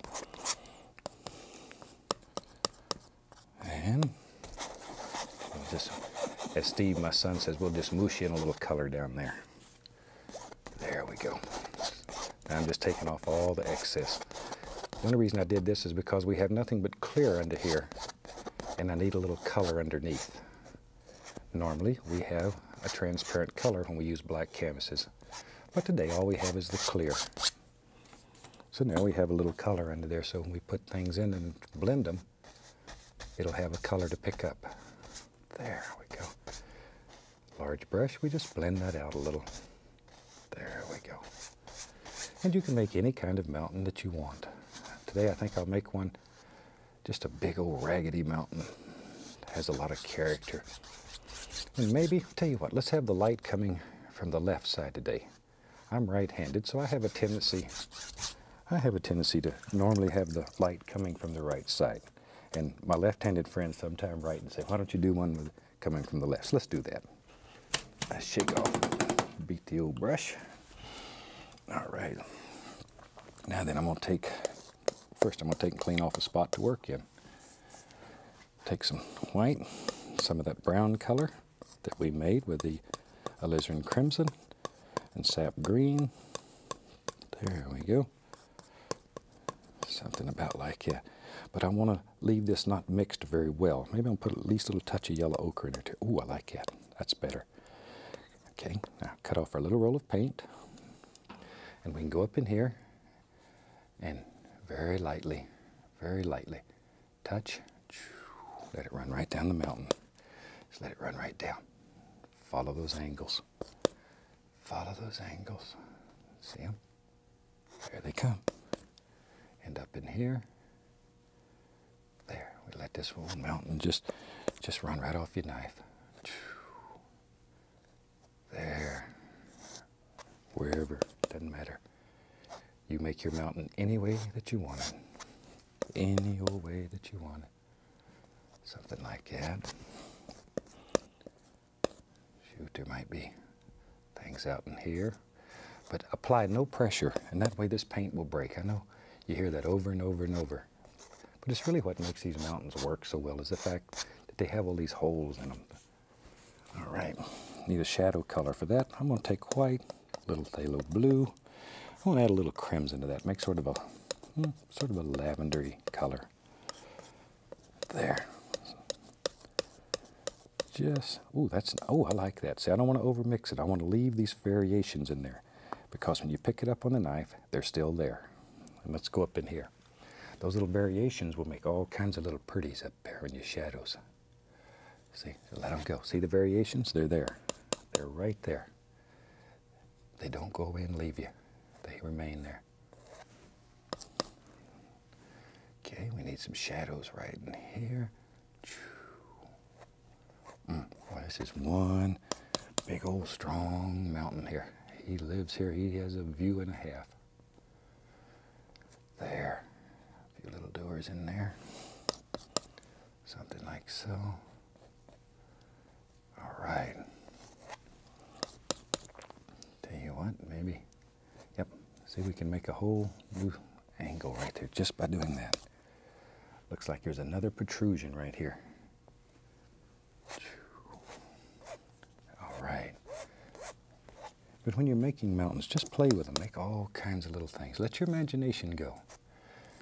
And just sort of let the knife and canvas work for you. There. All right. Now then, let me take a clean, very dry, two inch brush, and I want to mist the base of this just a little bit, just by tapping. Just tap. Follow the angles. Most, most important that you follow those angles. Most important. There we go. Left upward, upward, upward, upward. See how that creates that illusion though, of mist down at the base? Let me knock off any paint that I've picked up, and we'll do the same over here in the shadow area. There we go. All right. Once again, lift upward, There we go. over in here. Tap a little, lift up in this direction. This part back here I'm going to leave basically like it is, so it looks like it's far back in the distance, long way off. Long, long way off. We don't even know where it's at. Don't know that we even care. All right. I think that gives us a pretty nice little mountain. Tell you what, let me grab one of the little half-size oval brushes, and I'm going to make let me clean off another spot I can work here. I'm going to make a, I'm going to take some Prussian blue and alizarin crimson. Prussian blue and alizarin crimson. I want to make a, a lavender color. I use the Prussian blue because it's darker. It gives it a little, A little different than the phthalo blue. Stronger, darker. A little different flavor. Ooh, that's nice. Now then. Now then, let's take our little little half-size round brush.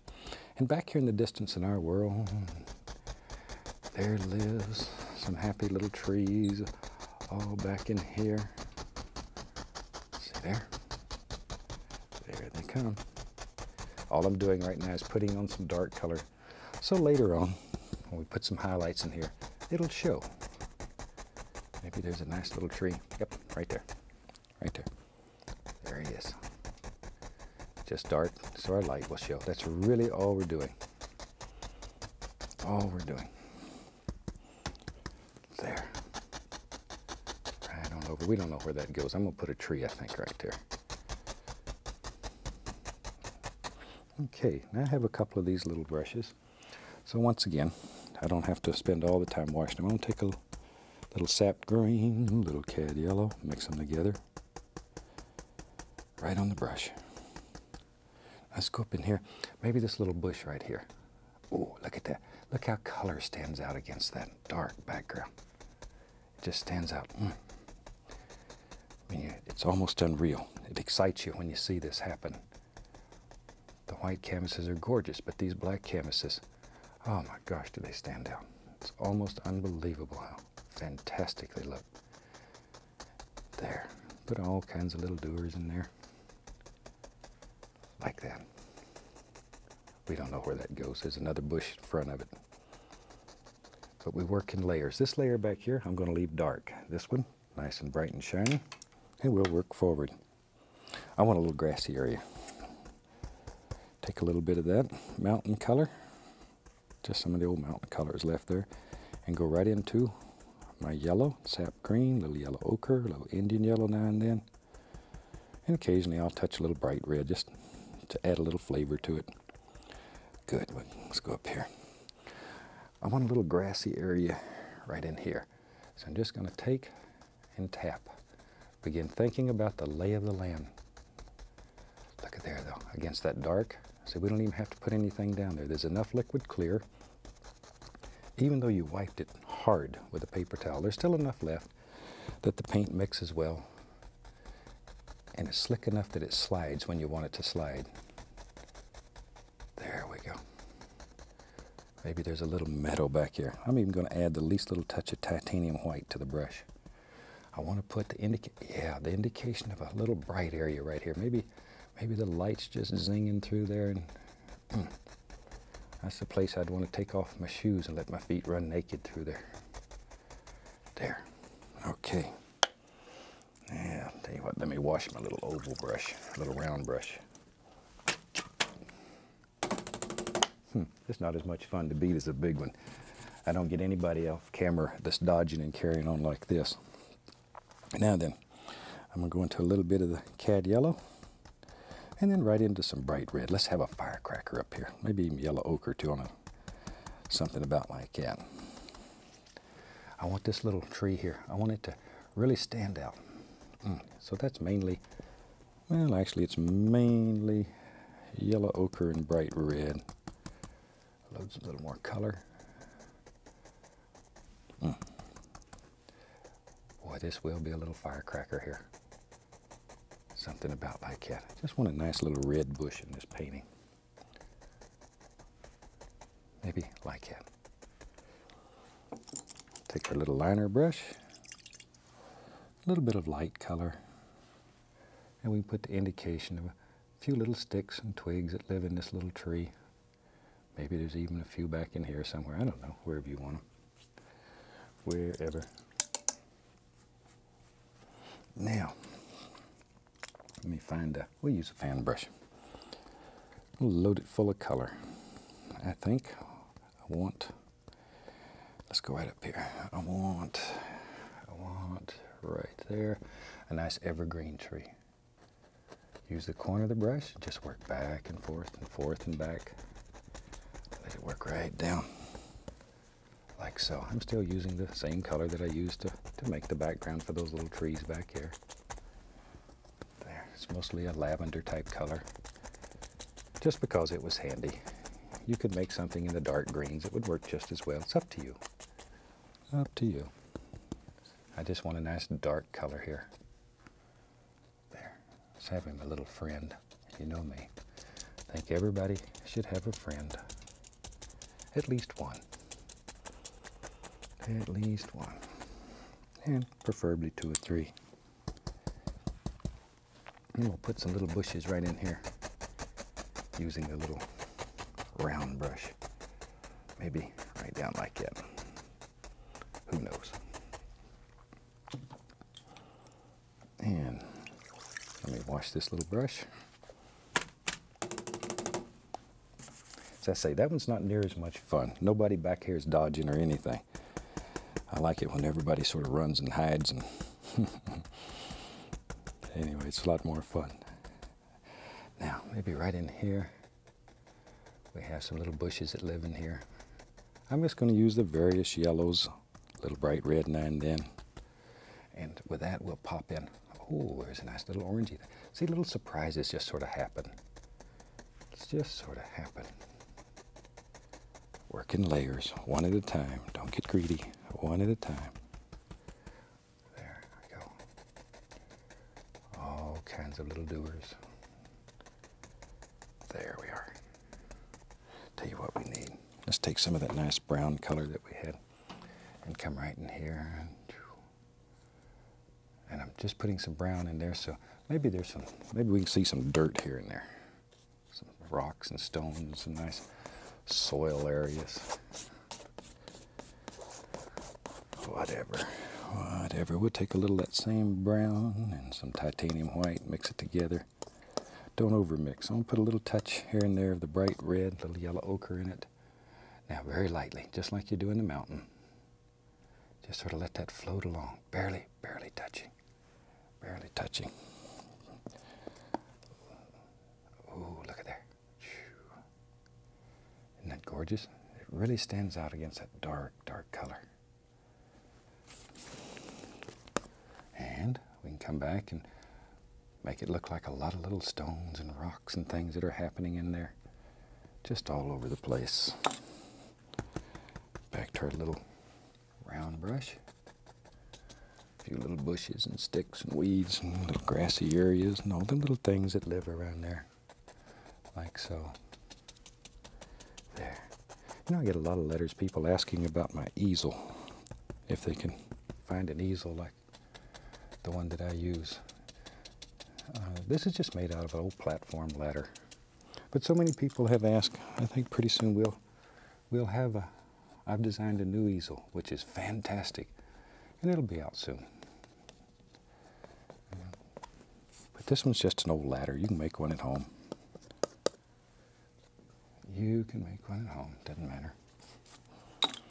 Now then, let's take a little blue and crimson, lavender color in other words, and just put a little color right here. Just a little color. There we go. A little bit of titanium white on the same brush. I want to make this look like a happy little stream right here. Pull straight down. Straight down. Something about like so. And then go across. And we have instant water with all the colors just reflected right into it. There. Need a little green and a little yellow. And let's go up in here and just throw some highlights right on this big evergreen tree. Something about like that. There. Okay, there goes another one. All right. Now on the other side, let me find a big round brush. Shoot. We had a big tree over here on the other side. I'm gonna add a little black to that color. I want it to get strong, a little black. So I have lavender with a little bit of black color in it. And let's just let this big old tree just grow right out of the brush. Just let it grow right out of the brush. There it comes. There it comes. Something about like that. And that helps push that whole mountain back into the distance. There. Bet you never knew a tree could push a mountain, but it can. It can. I tell you what, we'll just let it come right on out here. Something about like that. There we go. Come back, pick up a little brown. We'll turn that into a, a nice little bank just by putting some brown right there. Back to all of our little colors like we used on the other side. Just pop in a little color there. Maybe it comes right down. Okay, back to our little round brush with all the little colors on it, the greens and the yellows. Put in some happy little bushes right down here hanging over. See, see them? They there. They're there. They live right there. Right there. The old two inch brush. Put in some little grassy areas all down here at his foots. There. See, it just runs right down the edge, right on off the canvas. That easy. Tell you what, when we have that brush, I'm going to take some of that brown color and mix it with yellow ochre. Just, well, I know, I know what I want to do. Hmm. Got ahead of myself. Want put a trunk in that old tree. Let's go right here. Take a little of that brown, run on the fan brush. There it is. Take my knife, a little brown and white, come back. Let me just add a little touch of highlight here and there. There. There. Just a little highlight here and there. There. See there? That easy. We have the indication of a nice little trunk. Now we'll use that brown color we made mixed with yellow ochre. I'm to put a little touch of the liquid white just to thin it. Let's come back here and drop in some nice little highlights all over this tree. Some nice little leaves that are living up in here. There they come. There. Just all kinds of little doers. But isn't that opening cute? Had Jerry made all those all those little things just popping right out of nowhere. I enjoy doing those. I really enjoy doing those. They're a lot of fun. There we go. Okay. See, there they come. Just all kinds of little things on this tree. We covered up most of our trunk, but we know it's there, so that's all that matters. We know it's there dip the brush into a little bit of paint thinner. And right in here, yeah, I want to put a little, some little bushes right around his little foots there to hold him in. And we'll about, we'll about have a finished painting. Shoot, we could take our little liner brush, put in a little stick and a twig here and there, and we'd be all done. Just a few of those. Something like that. I think we'll call that a finished painting. I really hope you've enjoyed this one. It'll give you a challenge. And from all of us here, happy painting and God bless my friend. Hi, welcome back. Certainly glad you could join us today. I thought today we'd just do a fantastic little painting that I think you'll enjoy. So let's start out and have run all the colors across the screen that you need to paint along with us. While they're doing that, let me show you what I got going up here today. Today I have my standard old pre-stretched double prime canvas and I've just covered it with a thin, even coat of the liquid white. And as you know, the liquid white is there just to make the canvas slick, so we can literally blend the color right up here on the canvas. So let's start out today with a little two-inch brush and just see what we can do. I'm going to take a little bit of the phthalo blue. Just take, pull a little bit of it out, very small amount, and just tap the bristles into it. This assures a nice even distribution of color all the way through the bristles, and that's what we're looking for. So let's go right up in here. Maybe we'll just start up here and just make little crisscross strokes. There. And the blue is continually mixing with the liquid white so you get all the different variations. And it's very slick and it just, it slides right onto the canvas. There, let me get a little more of the color. We'll go over here on the other side. We put some over here. We don't want it left out. All right. Just making little X's though, little crisscross strokes. Something about like that. Tell you what, maybe maybe today we'll put a little cloud in there. I'm just going to leave a little areas sort of open, and that'll end up being a little little cloud maybe. There we go. Now then, while I have that old color on the brush, let's have a little water in this painting. If you've painted with me before, you know that Water is one of my favorite subjects, and I hope it is yours. So let's let's take that same blue and come from the outside inward toward the center, like so. We'll have mm, somewhere down here. We don't really care. Anything that we don't like, we'll just cover it up. Let's go on the other side. Pull from the outside in. There. Now if we leave a, a little area unpainted right in here, it'll look like a sheen of light coming across the water. There we go. Now then, one thing that I'd like to do in this painting is darken the edges a little bit so it brings your eye into the center of the painting. For that I'm going to use a little phthalo blue, or I'm sorry, a little Prussian blue. Prussian blue is a darker blue. There. Put a little bit right over in the corners here. I'm going to put a little bit in, basically in all four corners, just to darken the corners up. Once again, that, that will help bring everything, when you're looking at it, in toward the center. All right, a little bit in the water also. we don't want him left out.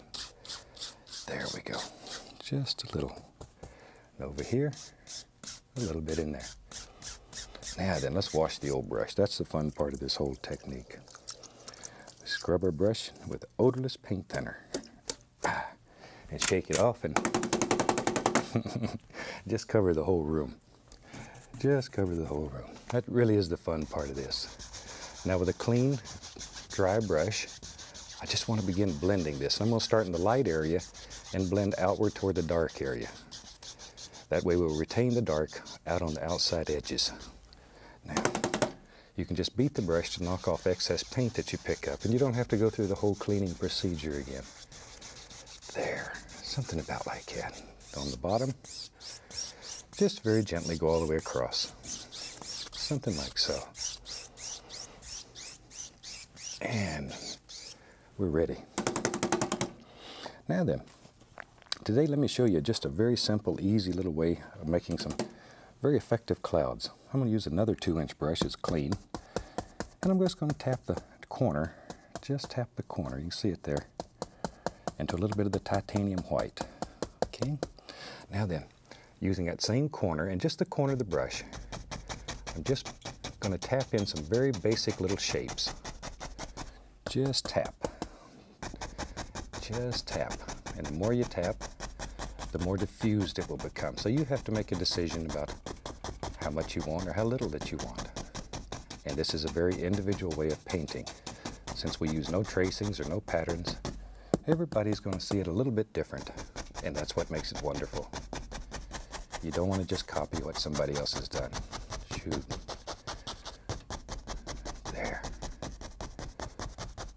But see how easy that is? All you have to do is just tap. a little bit right in here. Maybe we'll have a huge cloud. This is a nice way of making clouds for big seascapes where you want where you want the big fluffy clouds out over the water. Okay, and you can put all kinds of little colors in there. Shoot, let's take a little tiny, tiny amount of Indian yellow. Just a very small amount just to give a little sparkle, maybe a little sunlight right in there. There, get a least little touch of alizarin crimson, least little touch. But you can put all kinds of little flavors in your clouds, all kinds of little colors. We just sort of let that disappear right on off into there somewhere.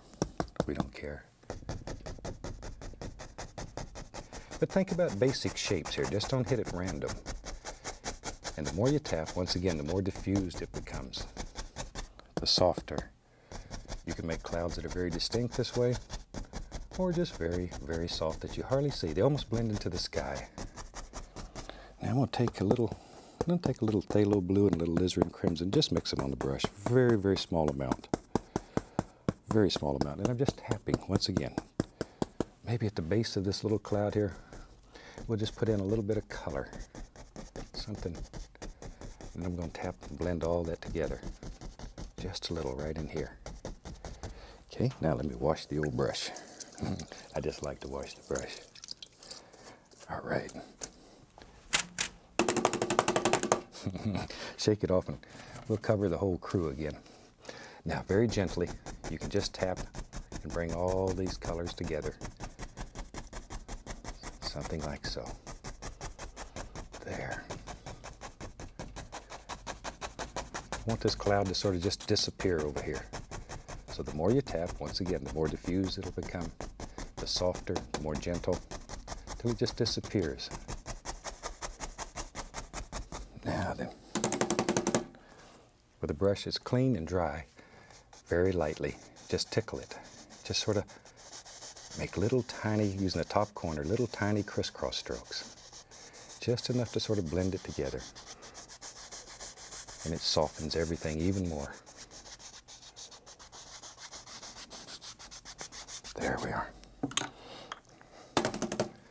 Now then, very, very, very gently, we're just going to fluff it, lift it, blend it. There, we got a little hair on there. We'll just take the corner of the brush and lift him off. But isn't that a fantastic way of making a gorgeous little cloud? And it's very easy. Even if you've never painted before, this one you can do. All right. I thought today we'd make some some little ranges of mountains. I've had quite a few requests for little mountains that are soft and far, far away. And I want to show you an extremely easy way to do it here. I'm going to mix some phthalo blue and a little bit of alizarin crimson. Not much. I want this to stay mostly blue. A little white with it. I want to make a, basically I'm making a light blue with just a, just a hint of lavender in it. Something about like that. Cut off a little roll of paint. Let's go right up in here. And maybe back over in here we have a little mountain that lives way back, something like that. There. Very little paint. And then scrape the canvas just as firmly as you can. Take off all the excess. Then we'll use a two inch brush. It's clean and dry. And you grab it and you pull. Because the liquid white's on the canvas, the paint will move. It will literally slide on there. And then we can just blend the base of it out until it looks like it's just sort of floating around in the sky. And that's what really makes it pretty. You always have mist at the base of the mountain. And that's exactly what we're looking for. Just knocking off the excess paint. And then you can blend the entire thing very easy. And you can blend this to any degree of softness that you want. There, that old mountain just sits up there in the clouds and it really has a view and a half. Okay, and that's about all I'm going to do to that one. Because if you put a lot of detail, then it's not going to look like it's far away. It's going to come closer and closer. Same color, just be a crimson, phthalo blue, and white. But now I'm going into a little more of the crimson. This has a little more purplish hue. Little roll of paint right on the edge of the knife. Come right up in here. Let's come right here and do another one right in there. We have a little mountain now that lives right about there. This one's a little darker and a little more into the lavender hue. And you put as many bumps and ridges as you want on there. It's up to you. This piece of canvas truly is your world. And in your world, you have total power. See? Once again, scrape off all the excess paint.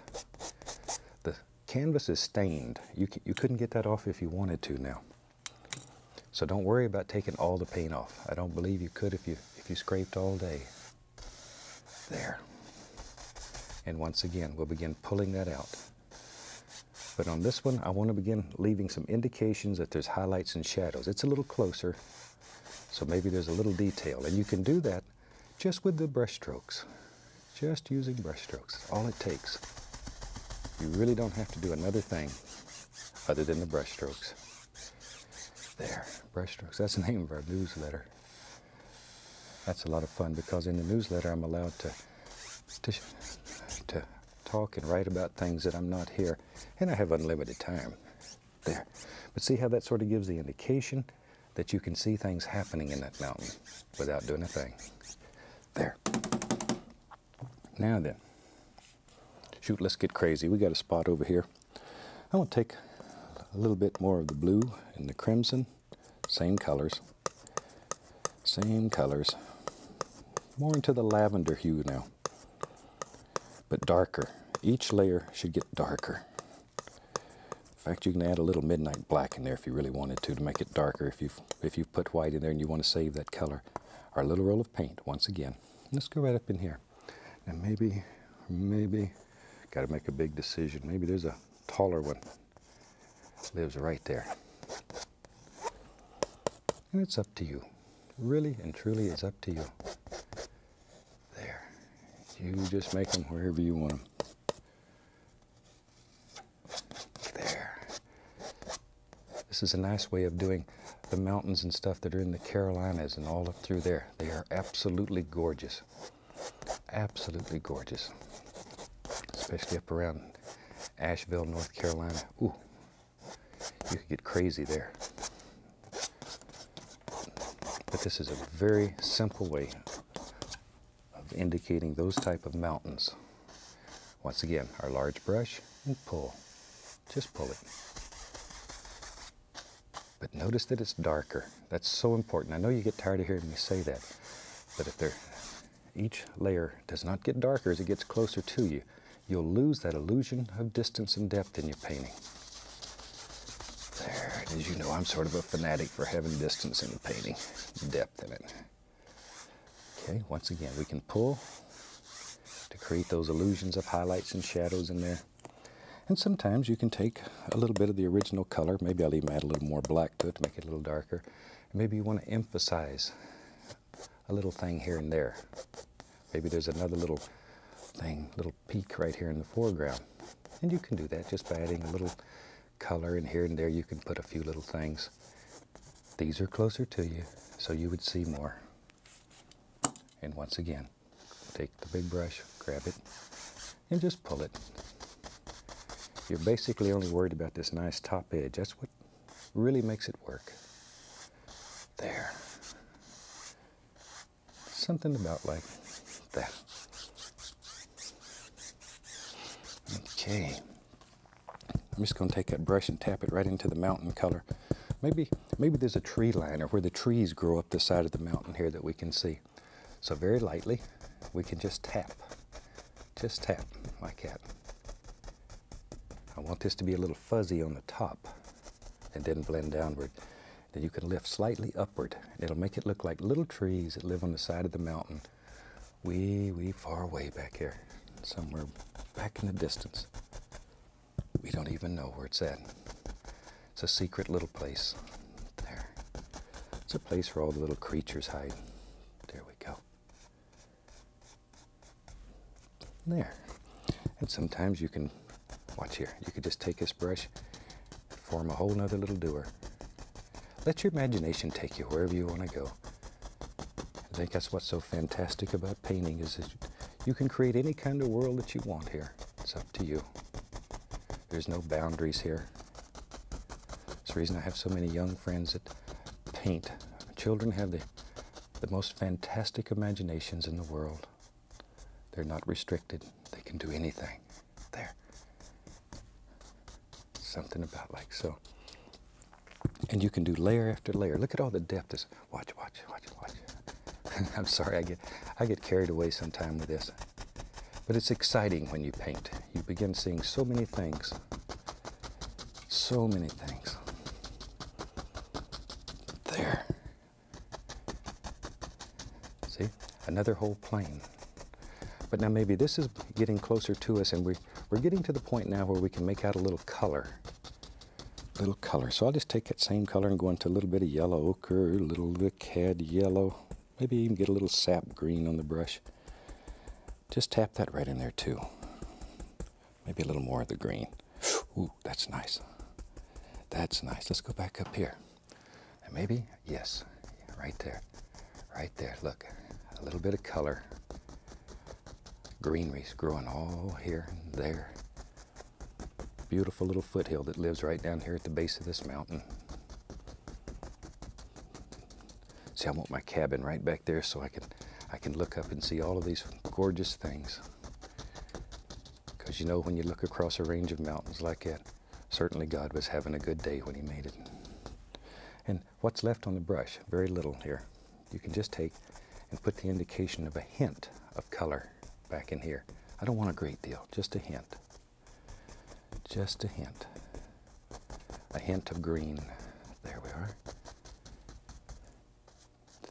Okay. But there's a tremendous amount of depth in there now. You can see back, all the way back to, to forever, right there. Now let's reflect some of those back into our water. And I'll just use a little fan brush for that. I just want to show you quickly how to, how to reflect some of those little things. Let's start with the fan brush. It has mostly phthalo blue on it. And let's go back to this first one here. And we're just going to put in a, a little basic shape idea here. Put a little color in. It's very little. Okay. Now the next one, we went into a little more of the a little more of the lavender hue. So I'll do the same thing with a fan brush. Get a basic idea of where this reflects. There, something about like so.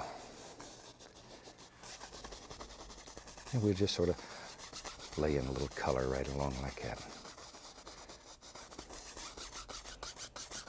Okay, and then the last one was quite dark.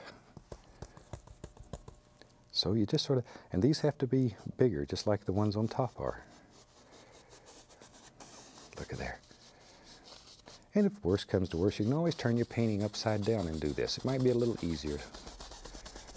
But we're not looking for an exact representation because I'm going to blend most of it out. I just want to reflect a little bit into the water here. Not much, just a little. But there's very little paint here. Very little paint here. Now then, let me see, we'll take this. I want to pull a little of that color down into the water too. For that, I'm just going to pull straight down. Straight down. Doop, doop, doop, doop, doop, doop, doop. Like that. Okay, brush with a little bit of the green on it so it has a hint of color into the reflection also. Now, normally when we're doing reflections, we pull down. I'm to take a clean dry brush this time and pull upward because I don't want to pull all those lines down into the water. I want to keep these fairly pure on the edge. And beat your brush off occasionally just to get rid of any excess paint. And you can begin forming and shaping and it'll look like reflections. The whole range is reflected in there. And I'm using quite a bit of pressure and sort of experiment a little bit. Try a little pressure first. If that didn't work, try a little more. It's easy to add more. But if you start off real firm and that's too much, it's hard to go back and, and reverse that. So start with a little and build up. Now very lightly, go across, very lightly. Something about like that. Just enough to ripple it a little bit. Give it a, a watery feel. Okay. And that's one of the simplest, easiest ways of reflecting things into the water.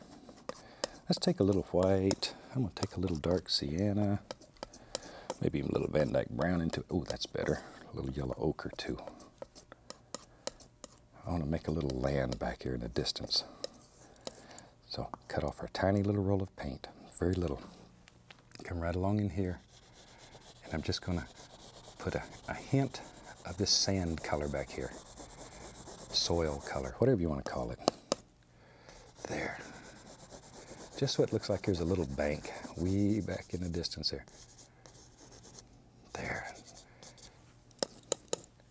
And a little touch of the liquid white. I'll pull it out very flat, cut across. And here and there and there and here, we'll just put the indication of a little water line. And maybe even a few little things that are sort of floating across, right across the reflections. It helps look like there's something on top and the reflections are underneath. There we go. Keep these lines basically straight or it'll look like your water's going to run right out of the canvas. Now then, let's get crazy. Let's get crazy. We got to put something over here on this side. So let's take, let's take, clean off a spot to work. We're going to use some black, Prussian blue, Van Dyke, We'll even put some, we'll put some alizarin crimson in there and a little sap green. What the heck? Basically all your dark colors. Just throw them in there. Doesn't matter. But might as well mix up a pretty good pile of paint. Now then, let's use the old fan brush. We'll go right into that and just load it full of color. We need a lot of color on the bristles. Let's come right up here in the right corner. Maybe in our world there lives maybe there's some little distant trees way back in here. And all we're doing is tapping downward. I just want the indication of trees. I don't want a lot of detail. There. Just the indication of some nice trees back in here. You get too much detail, it'll ruin that illusion of distance. So too much detail can also be disturbing to the eye. I don't want to kill all the reflections, so I'll just go about like that. And we'll fill all that up. There. And maybe it comes right on out here. Something about like that. And then two inch brush. I'm just going to lift upward a little bit. Just sort of blends all that together. And, and while we have that color going, let's just pull straight down. Pull that color right into the water. It too will reflect. Straight down though, straight down. And then go across. And that easy. We have instant reflections. Tell you what, let's do. Shoot. Maybe here in the foreground, there's some nice evergreens we can see. We'll take the old fan brush, load a little, little sap green, little yellow, yellow ochre, Indian yellow, touch of bright red now and then. The bright red is a duller. It makes color duller. And let's just put an indication of some nice little evergreens that live right here in the foreground. And I'm making them a little lighter just so they'll stand out. Just so they'll stand out. And each one here I'll vary the, the tone of green a little so they separate. Here and there we'll add a little yellow ochre, stronger. There, something like so. See, maybe over in here. Hmm, isn't that neat? You can just put as many as you want in here. Just to give that feeling. A little of it down in here. There. Maybe right there. Something about like that. Reflect a little. And we'll just sort of pull those down a little. Go across. There. Take our knife and back to that color we used for the bank. And let's just gently, gently lay in the indication of a little little bank here too. We want something for those little trees to set on back in there. They're too pretty not to have something back here to hold them all up. Little touch of the liquid white. Clean up the edges a little. And here and there and there and here you can scratch in the indication of some sticks and twigs and little things that live back in there. Like so. Now then, I'm going to have some real fun. We got a minute or so left here. Take some Van Dyke Brown and paint thinner. We'll put the paint thinner in it to make it thin. Make it thin. Just Van Dyke Brown. Put some black in it too. I want it dark. But we're making this color quite thin. There we go. And then I'm going to take white and black to make a gray, sort of a light gray, and do the same thing. Put paint thinner in it to make it quite thin. Not real thin, but thinner than it normally is. There. Okay. Now then, show you what we're going to do with that in just a second. Maybe right out here, there's a little land area. Take that same brown color and just drop in a little bit of land here. Something like so. There. Okay. Now then, I'm going to take an oval brush, little oval brush here, and I'm going to pull it through that dark color, both sides, and then one side I'm going to take right through that light color. And up in here, we're going to have maybe some great big stones that live here. Great big stones. And we just put several of them in here. But isn't that a fantastic way of making a lot of beautiful big rocks? This is so you have a place to stand and, and look at this gorgeous scene. There.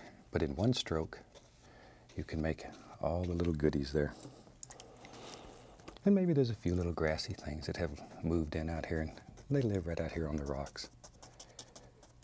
But isn't that a nice little painting? Shows you how you can do some super things. Hope you try this one. We're going to call that one finished. From all of us here, happy painting and God bless, my friend. Hi, welcome back. Certainly glad you could join us today. And I, I thought today maybe we'd do something just a little different. And I really believe you'll enjoy it.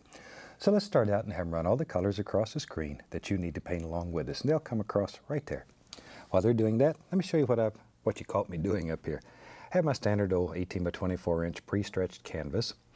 And I take a little black gesso and a paper towel and I just sort of daubed. I know I want a big tree here and here, and other than that, I really don't care. I've allowed the black gesso to dry completely. Now on top of that, I'm adding a, a mixture of liquid clear, midnight black, and a little bit of titanium white. In other words, I want a very thin gray color. And I'm going to cover most of this with just this very thin gray color. And I'll just finish doing that here real quick. And all we do is just sort of scrub it in like so. But this is an extremely thin paint. Liquid clear with gray, just black and, a little bit of titanium white. About like that. That's really all I'm looking for. Okay. And the whole canvas has been covered with that mixture. So it just gives us a little background color to play with. Sometimes we, we use liquid clear by itself. Sometimes we mix color with it. And today that's what we're going to do. So let me wash the old brush. That's the fun part of this whole technique.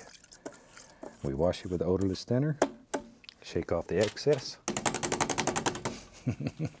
and just beat the devil out of it.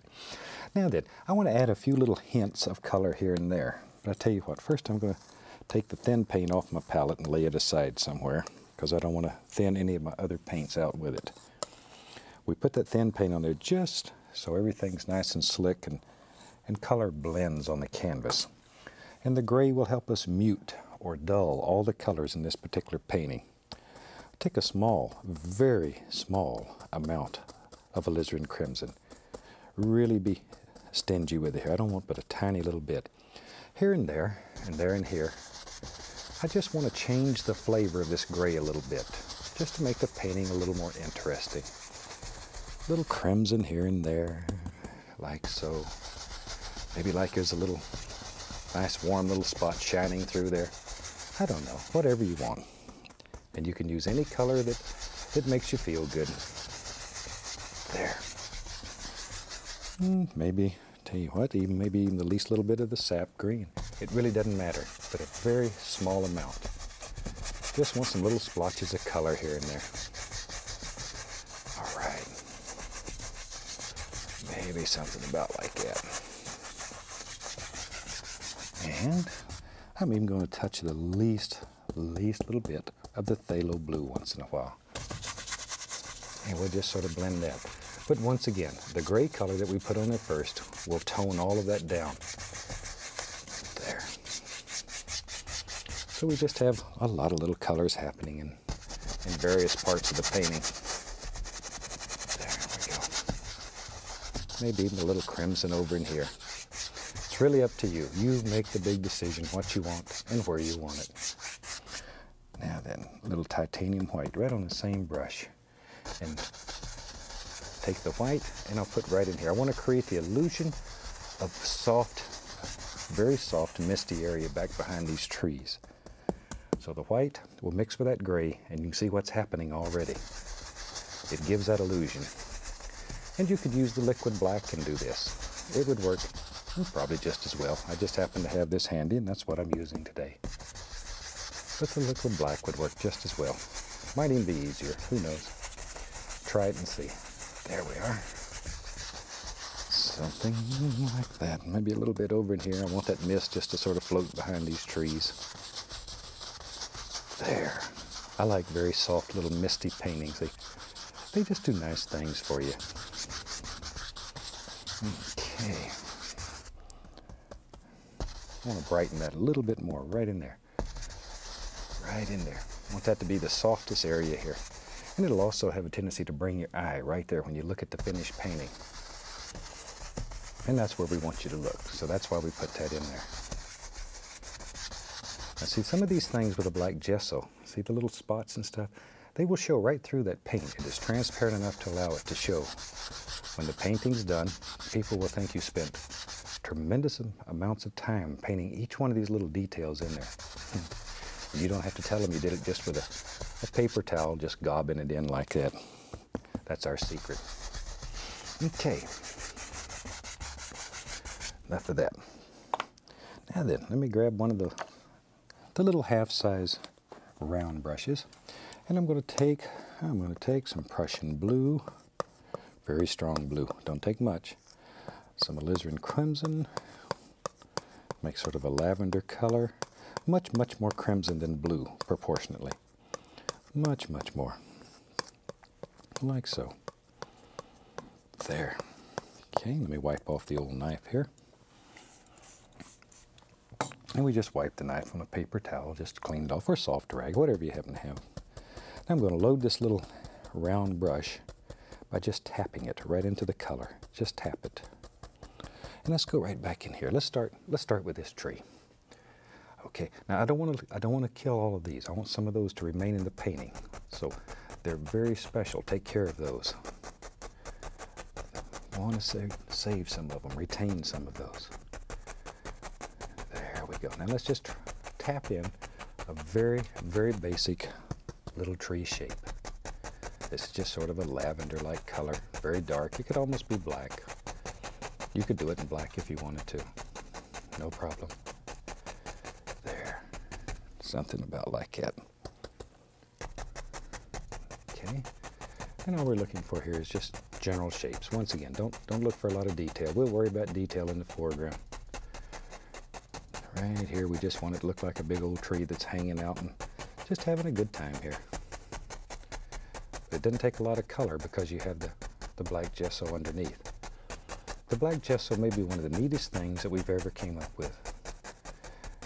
And we originally were going to develop all kinds of colored gessos, yellow and all that, but it's very easy to take a little acrylic paint and put with your white gesso and make any color gesso that you want.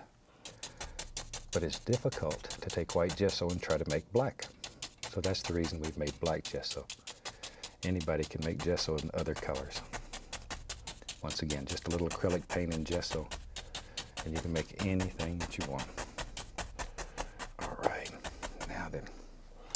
Take the little liner brush, a little paint thinner, and go right into that same color. And I want this to be thin, almost like ink. So you can see it's literally running on the palette. But it's the same identical color. Let's go up here. Here and there, and there and here, I just want to put a few, not many, few little indications of some little tree trunks, stems, stalks, whatever you want to call them. Some little things that live in the middle of the tree and, and they hold it up. Keep it from falling over. Don't want to fall over. Make a big noise. There. And some back in here that you can't hardly see. These should be very quiet. They shouldn't stand out real strong. I want them to be very subdued. There we go.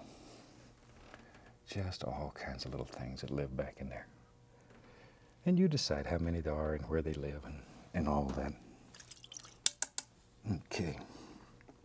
Shoot, maybe we'll just use that same old brush. I'll go right into a little, little caddy yellow. Be right back. I'm gonna get a little of the midnight black. I want it darker. Oh yeah, that's very nice. Black and yellow make a beautiful green color. And once again, all you do is tap and pick up a little yellow ochre little Indian yellow. Just mix all the yellows and the black together. Makes a beautiful green, okay?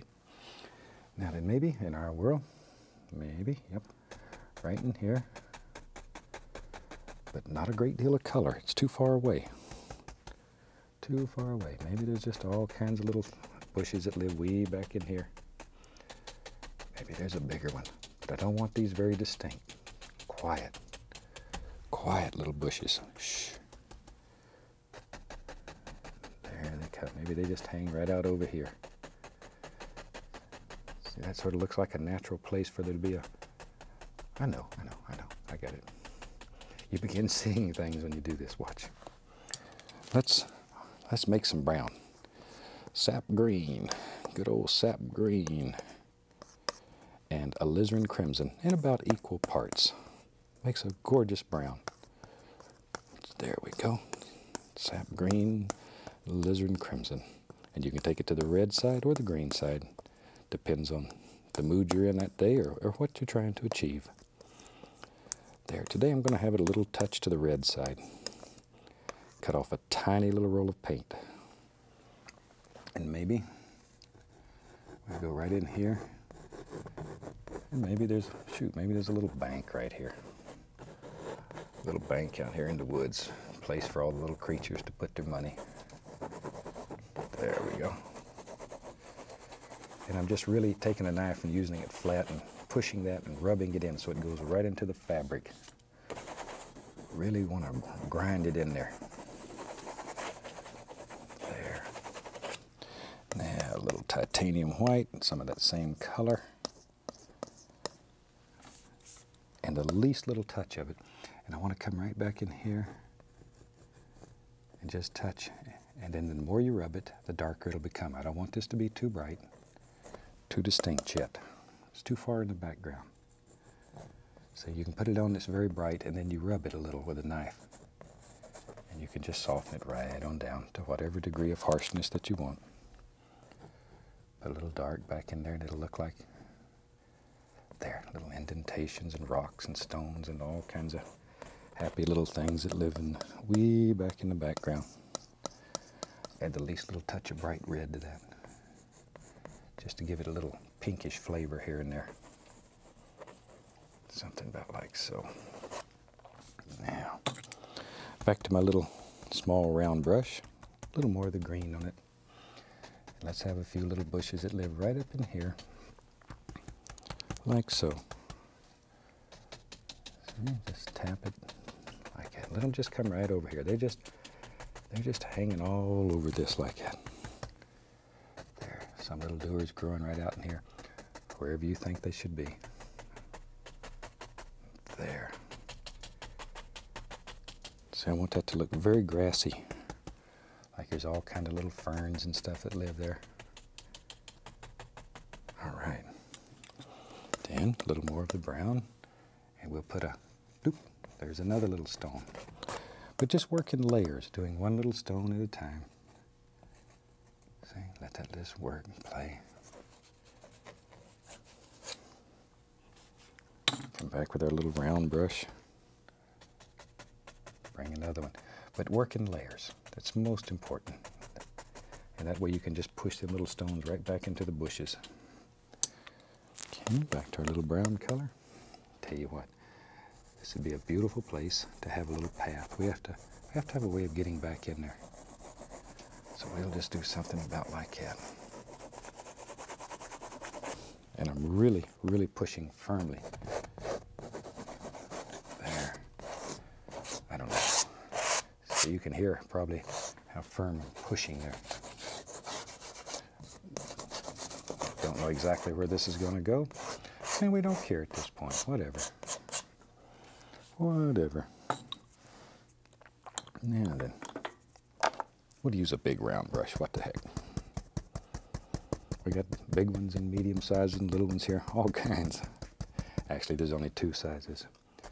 Okay, maybe in our world, we need to close that little path in. Maybe we'll have some happy little bushes that live right here. Now you can use this brush sidewards or up and down. Depends on the effect that you want. If you want to make it look like there's little things hanging over, use it sidewards. If you want to make it upstanding, use it like that just up to you. And if you don't like either one, you can change and use a different brush. There. All we're doing is putting it in a little dark so our light will show. Okay. Nice little dark area in there. Now then, let's take a little that color we had. I'm to add a little yellow ochre to it. So I got yellow ochre, brown, white, little touch of red. All those nice little colors and very lightly, barely, barely touching. Just begin.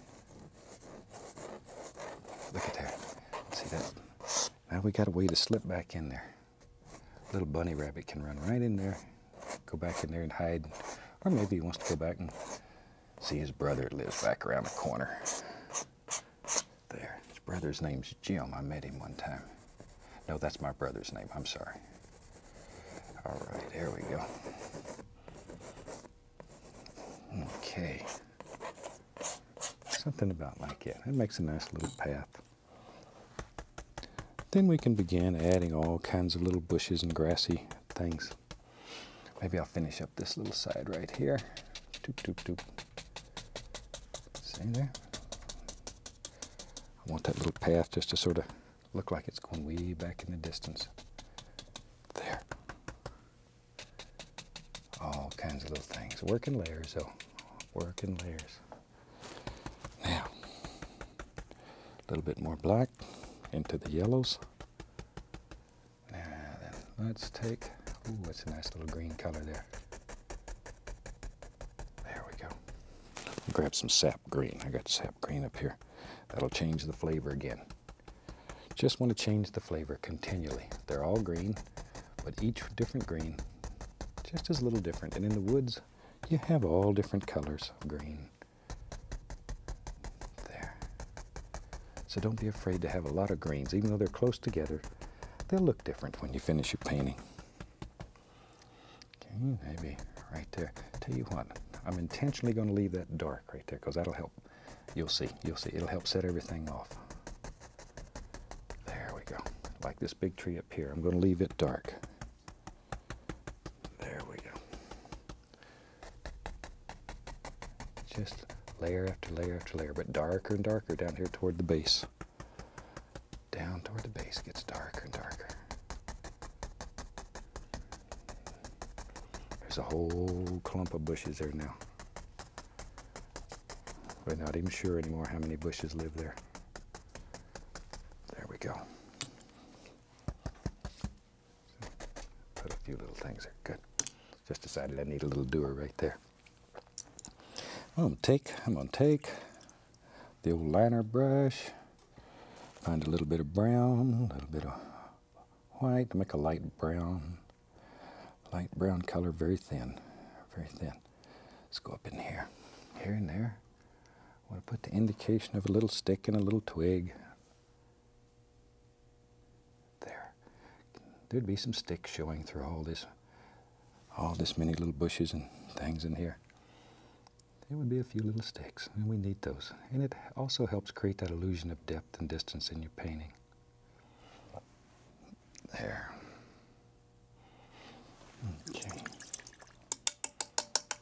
Now, where's our little path going here? I'll take some more of that brownish color. Let's keep it going on over here. Maybe I'll add even a little of that lavender that we had left over.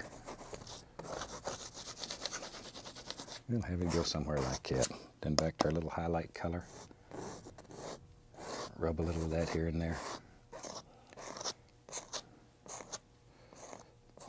There we go. We don't know where this path goes. It just goes on around the corner maybe. On around the corner. Tell you what, well, there's one that's a little dirty, but we'll use it anyway. Grab an old two inch brush. It doesn't matter if it has a little color on it. Be right back. Get a little of that black so I can make some green.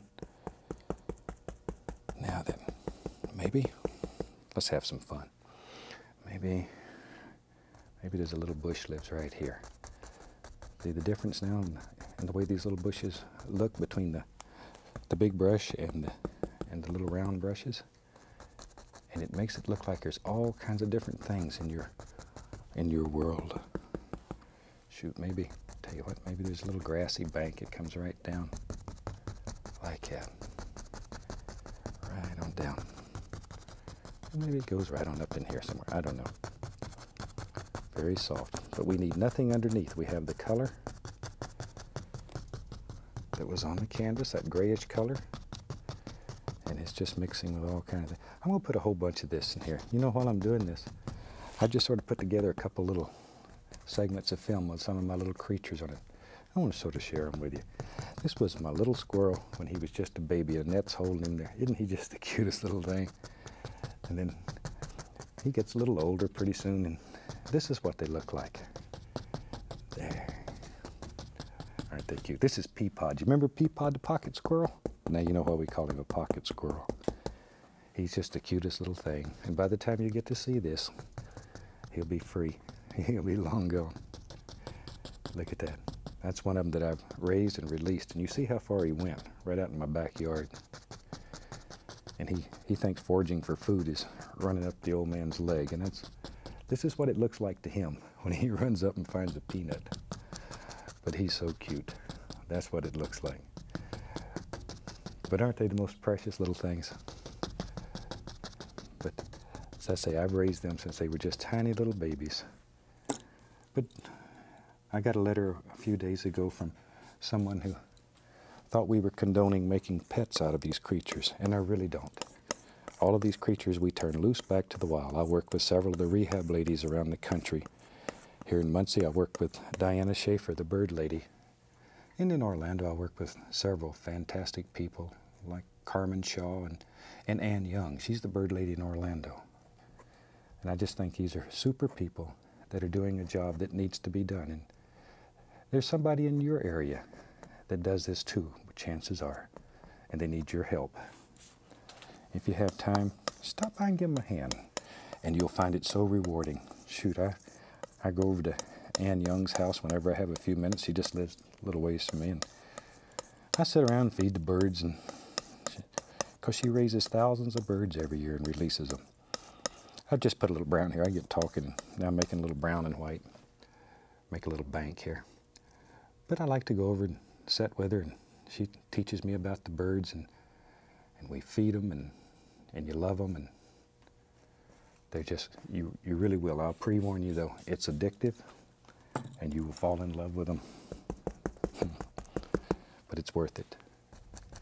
It's worth it. I'm just lay a little grassy area right along here. I talk too much sometimes.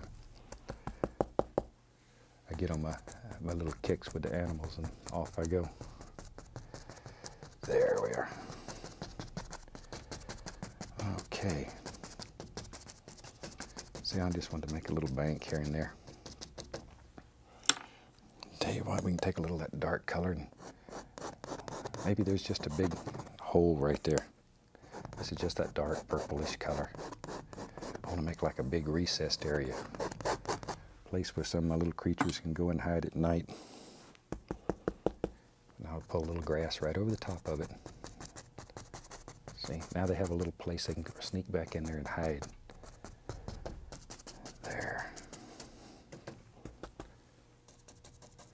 Something like so. Now then, up here. Let's take the big round brush and we'll just tap in a few basic shapes. Most of it's done in the black and and we don't need much up here, but just a few basic shapes. There we go. Once again, see areas like this, I want to leave in there. I want to leave in there. Just let the black gesso show through. There's our big old tree. Take a liner brush. Oh, we'll use a little brown and a little white, whatever, doesn't much matter. Gonna cover most of it up. And this is where if you got an old wiggly hand, it really, really pays off.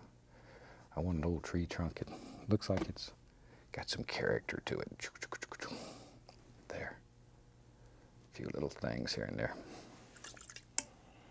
And we'll use our, we'll use a little half-size round brush. It's already got that color on it. A little bit of black, yellow, little sap green. Mix them together.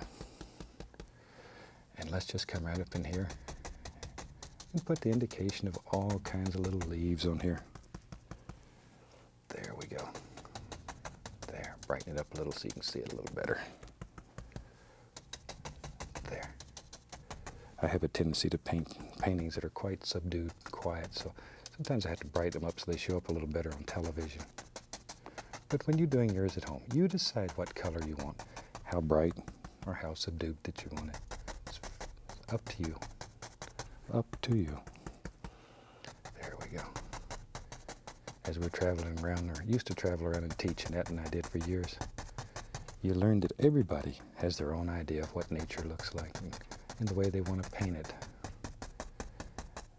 I don't do a great deal of teaching anymore. We have a lot of fantastic teachers now that, that travel around. And I'm getting too old, and we got some nice young fellas like Dana and Steve, they were, they go around and teach, and I, I take life easier. When you get old, you have to. There we go. A few little bushes and stuff right along in here. There. Just drop them in. Wherever. And let me take, let me take, take a little light color. I'm gonna put a little, little touch of paint thinner with it and a little bit of dark color and put some paint thinner with it. So it's quite thin. They're both quite thin. Then take my liner brush, go through the dark color first, then just pull one side of it through the light color. I'm sorry, slipped away on you. And I just want to make the indication maybe a, of a tree that lives right there. There he is. There he comes. Something about like that. And we'll put a few little limbs on him. This is maybe an old dead tree that lives out here. There we go. Maybe we'll even give him a friend right there. There. Hmm, okay, something like that. That gives you an idea. This is a fantastic little painting. I hope you'll try it because it'll it'll really pay you great dividends and you'll enjoy it.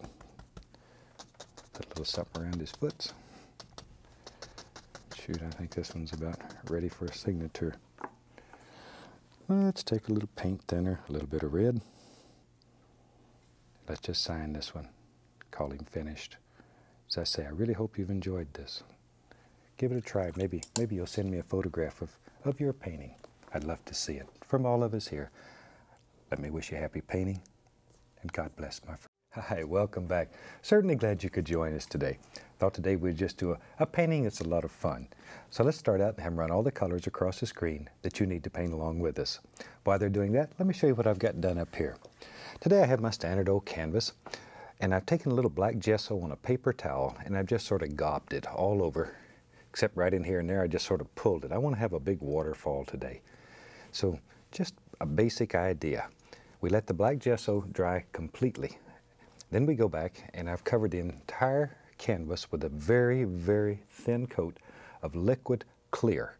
Then over the clear, I've taken a little phthalo blue and phthalo green mixed together and painted up to here. And then here I just use a little phthalo blue and, and black and very little paint on top of the liquid clear. I just want enough so it sort of stains the canvas a little. And that's really all we're looking for. So we have the black gesso, the clear, and then a little bit of color on top. So let's go and just have some fun. Show you how fantastic this can be. Let's start with our old two inch brush today and a small amount of the titanium white. Now right up here above the waterfall, I want to have a nice little soft light area coming out. So we take the white and we go right up in here and we just begin making little X's, little crisscross strokes right above the waterfall. Something about like so and just let it blend back into the what's going to end up being big trees and stuff back in here. I can see all the little black gesso things still show through and it looks like you've worked yourself to death and you've done very, very little.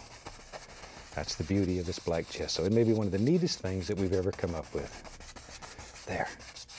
And you can make that as bright as you want it. Maybe you want it a little brighter right in there. You can take and several times it's up to you. You can add just a little more of the titanium white and work it out. Something like so. To whatever degree that you want. There. Now then. Tell you what. The fun part of this painting is the old waterfall. So why don't we why don't we jump right in and do that one? Let's do that right off. Okay, let me wash the old brush. That's the fun part of this. Also keeps our crew on his toes. There. Shake it off. In one of the earlier shows, I, I showed you the cameraman over here that he wears a raincoat behind the camera. But that way we, we're sure not to get him too wet. Okay, now let's do the waterfall. And for that today, I'm going to just use the old fan brush and I'm going to dip the fan brush into a little bit of the liquid clear. Don't need a great deal. And then with the clear on the brush, go right into a little titanium white. Don't go be right back. I'm going to get the least little touch of phthalo blue and put in there, just to flavor it a little. So we have a little liquid clear, white, and the least little touch of phthalo blue. Let's go up here. Now, I want to make a, a stroke comes across and then down. It'll give the impression that the water is sort of flowing and then somebody pulled the stopper out and down it went. So we go over and we go. Try to do it fast. If you do it slow, your hand's going to wiggle and you get a waterfall that do it fast. It really works better if you do it fast. And you decide how big you want that waterfall to be. Maybe like that. Now, we have a nice waterfall. Now we're going to push it way back into the background. You can also, let's do it with a two inch brush. Take the two inch brush and pull upward and blend it in. And it'll soften and bring all that together. Now see, you can look right through that waterfall and see stones and rocks that are behind it. There. That's sort of sneaky, isn't it? All right, let's mix up. Let's mix up some black, little bit of the Prussian blue, a little Van Dyke brown, alizarin crimson, maybe a little sap green too. What the heck? Whatever good dark color you can come up with. Okay, let me wipe off the old knife. Now, we'll just continue to use the old two inch brush. I'm going to load a little bit of this color into the two inch brush by just pushing. So you can see how the brush is sort of sliding. See, there's a little ridge of paint. There's one just like it on the brush, and that's what we paint with. Okay, now then maybe in our world, there's some big trees. Here they come. There they come. Just use the corner of the brush and begin forming some basic shapes for some nice big trees that are just, they just sort of hang out here. Just sort of hang out here. Like that. There. All right. And right along in here, I don't know. Maybe this side over here, here comes some big old doers hanging out. And all I'm looking for right now is some basic shapes to give me some ideas of where all these trees will end up being. We're not committed yet. All we're looking for are just basic shapes. Just little basic shapes. So don't be too concerned. There. You can even take the black gesso and, and mix it with white gesso and make all kinds of gorgeous effects before you ever paint the first stroke. There. And people, they'll go crazy trying to figure out how you made some of these effects. Shh, that's our secret. Now then, we need something to contain our waterfall. We got an idea where the trees are going to be, so let's take, we use old Van Dyke brown, little dark sienna mixed together. Pull it out flat, cut across, and we get our little roll of paint. It lives right on the edge of the knife. Now I'm going to put a, a big big old rock that lives right there. See, that gives, gives us some boundaries on that waterfall so it doesn't just hang there. There we go. And this rock is in front of that rock because I want that rock here to be behind, back behind the waterfall. There, something about like that. There we are. All right. All right. Now we'll take a little touch of white, a little bit of dark sienna, Van Dyke brown into it. Maybe even least a little touch of yellow ochre. Ooh, that's maybe a little more. I like that. Just enough to flavor it a little. Cut across our little roll of paint. Then we'll come right up here on the top of this big stone, rock, cliff, whatever you want to call it. And just barely touching. We want to make this look flat on top because this is where maybe there's a little fox that lives out here in these woods and he sits right here and he watches everything. So he needs a little flat spot. And it didn't hurt to make up little stories like it, to give reason for things being the way they are. There, now, no paint. Just grab the edges and pull down. Want this to remain quite dark. Maybe the least little, there we go, least little touch of paint. Almost no paint. I'm going to put a lot of grassy things in here that's going to cover that and push it back. So don't worry about it at this point. Don't even worry about it. Maybe a little show through here and there. So we'll just put some spots here and there that maybe, maybe some of the little grassy areas will show through. All right. See there?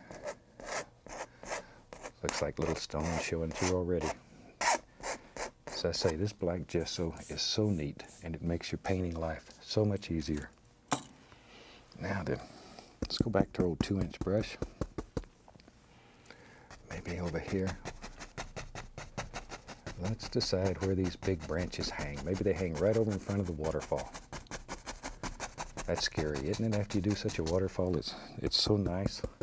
Then you start dragging all these big tree limbs right over the front of it. But that's all right. You know it's back here. And if you learn, your time is not wasted. There. And it also helps create that illusion of distance because it looks like the waterfall's way back behind these trees. And that's what we want to do. There. But it takes very little paint. Once again, the black gesso has done most of the work for you. Let it work for you. Shoot, be lazy. Something comes out over here even. Wherever you think it should be. Okay. I don't want to cover up all these little areas here. I want to, I want to leave some of them showing through. So when it's done, it'll look like you can look through there and once again see some of the little stones. Of course, if you cover them up, we can always go back and add them right back in. Very easy.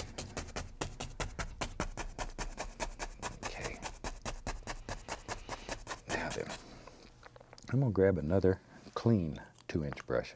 I have several of them going. I'm going to take the least, least little bit of titanium white tapped right on the, right on the corner.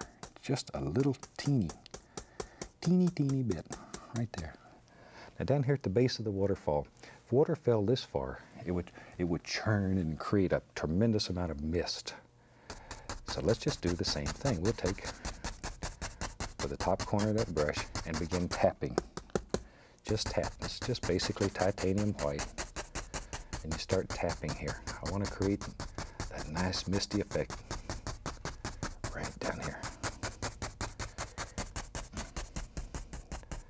There, something about like so. All right. Just by tapping, and you can fluff it a little bit. Very gently. Now the water hits, and you have that nice area down in there. All right, back to my brush with the old tree color of it, tree limb color, because I want some of these limbs to be in front of the mist. And think about what's in the foreground and what's behind. Try to paint the thing that's the farthest away first and work forward. And I know you say it sounds logical, and it is. It's really just common sense painting. Paint the thing that's farthest away first and work forward. There. Wherever. Now, let's take our little liner brush. Little liner brush, little liner brush, little liner brush. We'll use that same color. And I want to make this paint thin, like ink, very thin. Turn the bristles in the paint. That brings it to a nice sharp point. And we'll go up in here, and here and there, and there and here. We'll just put the indication of a few little sticks and twigs and all kinds of little things that we can see sticking out through there. There. See there? Already it gives the impression that there's all kinds of little limbs and things happening, and, and you've done very, very little. Very little. There. Wherever. Wherever. Wherever. Maybe on the other side we'll put a couple also. We don't want him left out. Shoot, they get mad at you. There. Maybe there's even some old wiggledy ones that hang right over here. There they are. If you have trouble making the paint flow, just add a little more paint thinner to it. Just means that it's not quite thin enough. There. Sometimes there's some, there he is, right out over the waterfall. There. But all these little things that are in front of the waterfall help give that illusion that it's behind. And that's what we're trying to do. We want to make it wee back in there today. I'll just use that same old brush. Go right into little cad yellow, Indian yellow, yellow ochre. Once in a while I'm going to bump a little that bright red. Let me grab a little black on the brush. There. Okay, just tap, push. See how that brush pushes that little ridge of paint up? That's what we're looking for. Let's go up in here. Now, let's begin putting in the sparkles, the icing on the cake right here. This is it. All the little highlights. Think about shape and form and how all these little limbs grow in clumps, little branches and it's just these are just a collection of bushes that got together and grew big to make a big tree. Think about little individual bushes that live in here. There we go. There, a little more color. There they come. So you can do fantastic things with a great big old two inch brush. If you just give it a little chance. That's all it needs. A little chance. Okay. Right on out, right on over a waterfall. Hmm. All right. There. Maybe here's another happy little tree. He lives right there. Well, he has some view, doesn't he? Wouldn't it be a nice place if you were a tree to live? It'd always be nice and damp. You'd have plenty of water. Mm. I'd like to have a little house here. I think a waterfall is one of the most beautiful sounds. There we go. My to love to listen to the waterfalls. That was one of her favorite things. As you might have noticed on the shows, I've dedicated this series to her. Since the last show, I, I lost my mother. And my brother Jim and I miss her very much. But this is the kind of scenes that she liked. There. All right. Mm. All kinds of gooders. Well, we have to decide what's going to be down here at the bottom. We can get crazy and just keep going. Let's put a little bit on the, just a few little things on the other side over here too. There we go. Mm-hmm. I really like these kind of paintings. Really like them. And they're so easy to do with the black gesso. Before we had the black gesso, this was this was something that I wanted to paint, but I couldn't figure out how to do it in the time frame that they give us for television. Because actual painting time is only uh, 26 and a half minutes or something like that. And I have a mean old director. Boy, if I don't if I don't stop right on the money, she gets mad, and comes out here and yells and screams. Treats me rough. Not really. Not really. I made that up. There we go. Let's see all those little things. You can just make layer after layer after layer. And each one of these will help push that waterfall further and further back into the background. There we are. Okay. There. Okay, a little bit right in there. We better make some decisions what's down at the bottom of this waterfall pretty soon. I'm going to fill a whole canvas up full of beautiful little trees because I like to do these little trees like this. But make them darker and darker down in here. It's a nice shadow area down here. You don't want a lot of light down in there. Okay, let's make some decisions. Let's go with Van Dyke Brown, a little dark sienna mixed together. Maybe in our world there lives, there lives, maybe there's a stone right there. I don't know. So you just sort of look. And everybody's painting will be different. Don't just try to copy what we've done here. Look at your painting. Painting should not just be copying. It should be doing your own thing. That's really what makes it fun. And that's the person you need to please, is yourself. If you're happy with what you've done, that's what's important. That's really what's important. It's not what somebody else tells you should be done. Not in painting, anyway. Maybe there's a big cliff over here. Okay. There, just fill all that up. Because it's dark here, we don't have to put much color. Now, we'll take some of our brown and white, little tiny roll of paint on the knife, and just sort of let it bounce along here and play there, wherever we want it. And clean your knife off and you can come back and just sort of bring all that together. There. Make a big old mean stone right there. All kinds of little things that live back in here.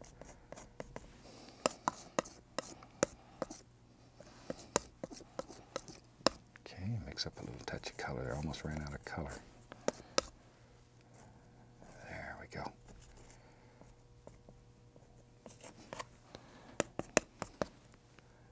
And then just take our other colors and bounce them around. Let the knife just touch, bounce, jump, move, carry on like that. And that's, it'll make all these beautiful rough, rough places. That's what my doggy says is rough. There. Bounce it across there. Just bounce it. Put a spring on the Indian knife. and Just let it play. Zing. Over here. There. Same, same old. See, maybe there's a big cliff that comes right out through here. We don't know where it goes. And comes down. Maybe this is sort of washed out underneath. There we go. See how you can see things though? Maybe it's sort of washed out. Light's just singing through there.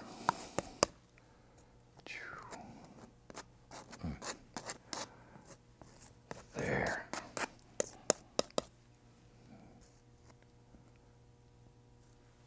Okay, good. Now, let's get crazy. I'm gonna take my fan brush. Uh, take my fan brush, a little bit of the liquid clear, go back into titanium white, get a little phthalo blue and phthalo green on there. Get them both. Not much, it's very strong. A little tiny bit of liquid clear. Just to soften it up and make it slide across here a little easier. Now back in here, maybe the water's coming along here and goes ploom. See there? Fell over. Look at there. Maybe there's a little stone back in there and a little splash. You don't have to make those noises, but it helps. it does help. Maybe, maybe there's another little thing. Maybe, maybe stones all over the place here. See there? We don't know. But the color underneath is con constantly coming through also. We've had phthalo green and phthalo blue underneath. And all that comes through. Maybe, I like all these little watery falls. There. Isn't that fantastic that you can make water just move like that any way that you want it to? It just pours right out of there and off it goes on a long journey. We don't know where it's going to go. Well, we do know where it's going to go. It's going to end up in the ocean. We just don't know which one. There we go. Now, tell you what. This would be a super, yeah. Mm-hmm. I think, I think maybe, I don't do this very often, but in nature, you always have old trees that have fell off into the water. And sometimes we avoid putting them in here, but why not have one? Here's an old tree. I'm just using Van Dyke Brown right now.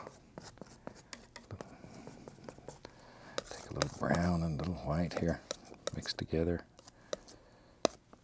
Come right back in here and just touch. Just touch. Put a little highlight on that rascal. This old tree just fell off into the water and it's laying here. Some of the bark still left on it. Let me take our little script liner brush, go right into our Van Dyke Brown. Maybe there's a big old limb here. Put it on with brown. Maybe there's some little ones out in here. Like cat, Wherever. A little brown and white, so we have a little highlight. I want that old limb to show up. Never even know, maybe. Maybe, maybe this is real low right here and the water is literally coming over that. But this paint, I thinned it with a little bit of liquid white. So it's very thin, almost the consistency of liquid white. And that way you can go right over the top of that thick brown without it all mixing together. So now we have a little place where the water just comes right over the old tree that's laying out there. There. Maybe. Shoot, we're having so much fun. Let's just, let's get a little crazier here. Maybe. Yep, maybe there's a big old tree here. Hmm, once again, got to make those little noises. I'm just using a liner brush, but you could do this with a fan brush or whatever. It doesn't much matter. Doesn't much matter. Whatever, whatever you're comfortable with. Put a few little arms on him. Just a few little arms. Somebody wrote a while back and said, "You've really, you've really lost it now, Bob. You've given the trees arms." In the next series, we're going to give them legs. What the heck? I think in your world, you can do anything. If you want your trees to have arms or toes, it doesn't matter. There. Now, right out here, maybe there's just a little little grass that grows right around his little foot. So use there. Grass right out coming on there like that. Maybe there's a few leaves on that little tree still. Use a little yellow ochre. And just put the indication here and there. Just a couple little highlights. I don't want a whole bunch on that tree. Don't want it to cover up all the fantastic things that are behind it. But just a few little things. There we go. See there? Now, dip the brush into the least little amount of the paint thinner. I just want to thin this. We're getting quite a few layers of paint now. So we need to keep the last layer the thinnest. A little green made by sap green, a little, little yellow. And down in here, we can put the indication of a few little bushes and stuff that live right along here at the water's edge. They set up here on these big rocks. There. Just like that. See there? You can sort of have them hang over. We can take a little brown and white and here and there. You know, if you have a something that hangs over like this, there's always little roots and stuff that hang over the edge. And you can make all kinds of little doers that hang off like that. And it helps give a little realism to your painting. There we are. All kinds of little things. All right, I think we're about to the point we have a painting that's about finished. I'm going to take a little paint thinner, a little bright red, and I think we'll sign this one. Once again, when you're signing your painting, make this paint, look at there, it's literally running, so you can see it dripping. It's that thin. Over and over, I have letters from people that say it's hard to sign. Keep it thin. Let's sign that rascal. Luckily, I have a very small name. Can do it very quickly. Hope you've enjoyed this one. And from all of us here, I'd like to wish you happy painting and God bless, my friend. Hi, welcome back. Certainly glad you could join us today. I thought today we'd just do a fantastic little painting that, that I believe you'll really enjoy. So let's start out and have them run all the colors across the screen that you need to paint along with us. While they're doing that, let me show you what I got up here. I have my standard old double prime pre-stretched canvas. And today I've, I've taken a little piece of contact paper and just cut an oval out of it. And then we've covered the whole inside of the oval with a thin, even coat of liquid white. So the canvas is all wet and it's ready to go. So tell you what, let's, let's just have some fun today. Today I think I'll start, oh, let's use a little one inch brush. I'm gonna take just the smallest amount of cad yellow. Very, very small amount of cadmium yellow. We don't need much today. I think today we'll do the little seascape that you see at the beginning of the show. And I'll show you how that was made. And this will not be an, an, exact duplicate of that, but it'll, it'll be very close. Okay, we'll just take a little one inch brush and just make sort of a little yellow circle right there, right there. Without cleaning the brush, I'll pick up a least little touch of the yellow ochre. And we're, we're really applying very little color here. There, there's not a great deal of color on the canvas. Something, oh, about like that, that's fine. It doesn't matter, doesn't matter. There we go. Now then, let me wash the old brush. Okay, and we just wash our brush with odorless paint thinner. since these are oil paints, it, that's what we use. There we go. Now then, let's take, mix up a little color here. I'm going to take some white and a little phthalo green mixed together. Now phthalo green is sort of a, well, it's sort of an emerald green. It's a gorgeous color. Very strong though. Okay, let me wipe off the old knife. Be very careful with it. You need that much. And we'll put a little of that right on the old one inch brush. And I'm going to go right out here, right around that, and just drop in a little bit of that, like so. I've got a lot of letters from people are asking for just a very simple little seascape that's quite effective. And this is the one that I've designed. I think you'll enjoy it. I think you'll enjoy it. Now then, same color, except I'm going to add a little bit of the midnight black. So I have phthalo green, a little white, and midnight black. Just want to dull it down a little bit. Okay? And we'll go right around here with that. What we're trying to achieve here is the illusion that it gets progressively darker as it goes out away from the sun. There. Now then, same color, same color. So we have phthalo green, white, black, and now I'm going to add a little bit of phthalo blue just to change the flavor and make it a little darker. A little darker. Okay. And we'll just fill up the rest of the sky with that. That easy. And we have a basic idea. Maybe our water line will be right along in here somewhere. At this point, we're not really concerned. We'll worry about that later. Right now, we're just applying some color to the canvas. There. See, we already have a, a masterpiece for the Museum of Modern Art right there. We could stop. All right, I just like to wash the brush. Okay. Now then, let's let's begin blending. But today I'm going to blend a little bit different. Normally I just do a little crisscross. Today I'm going to touch and push. Just touch it and push. I want to make this look like there's little rays of light coming out from here without actually having rays of light. I just want to give that impression. So just by doing this, this is the way that we'll blend it. There.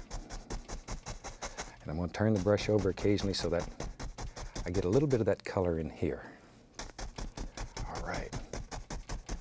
And the least little bit of titanium white right on that same brush and begin tapping.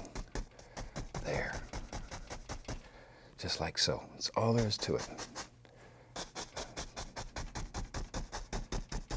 You can do this over and over and over, and you will not believe the effect that you can create. There we go. But all we're doing here is just tapping, pushing, and I'm doing it quite firmly, as you probably can hear. But you begin seeing that illusion that it's coming out from here. Always start in the light area and work outward. We don't want to take that dark, dirty color back into the center. We don't want to lose that nice, bright area.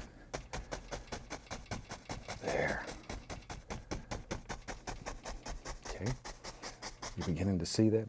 just it looks like there's a glow going all the way around. And as I say, I have some time restrictions here that you don't have at home, and you can do this for mm, a long time, and you get it to get it to any degree of softness that you want it. There we go. But it's it will make just one of the most gorgeous skies you've ever seen. And you don't have to limit it to seascapes. It's also very, very effective and very pretty for landscapes. Let me just beat the old brush. That just takes off the excess paint. There we go. Something about like that. Just keep it going. There.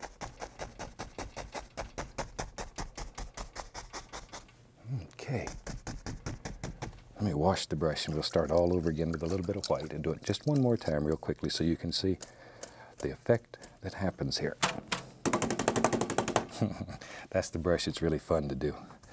Go back into a little more of the titanium white. And I'll wash the brush because I'm going to start right back here in the lightest area and work outward. There. Still doing that tapping and pushing at the same time. and outward, outward, outward, outward. Always blending outward. But isn't that fantastic? and you can do this. It's very, very simple, very simple.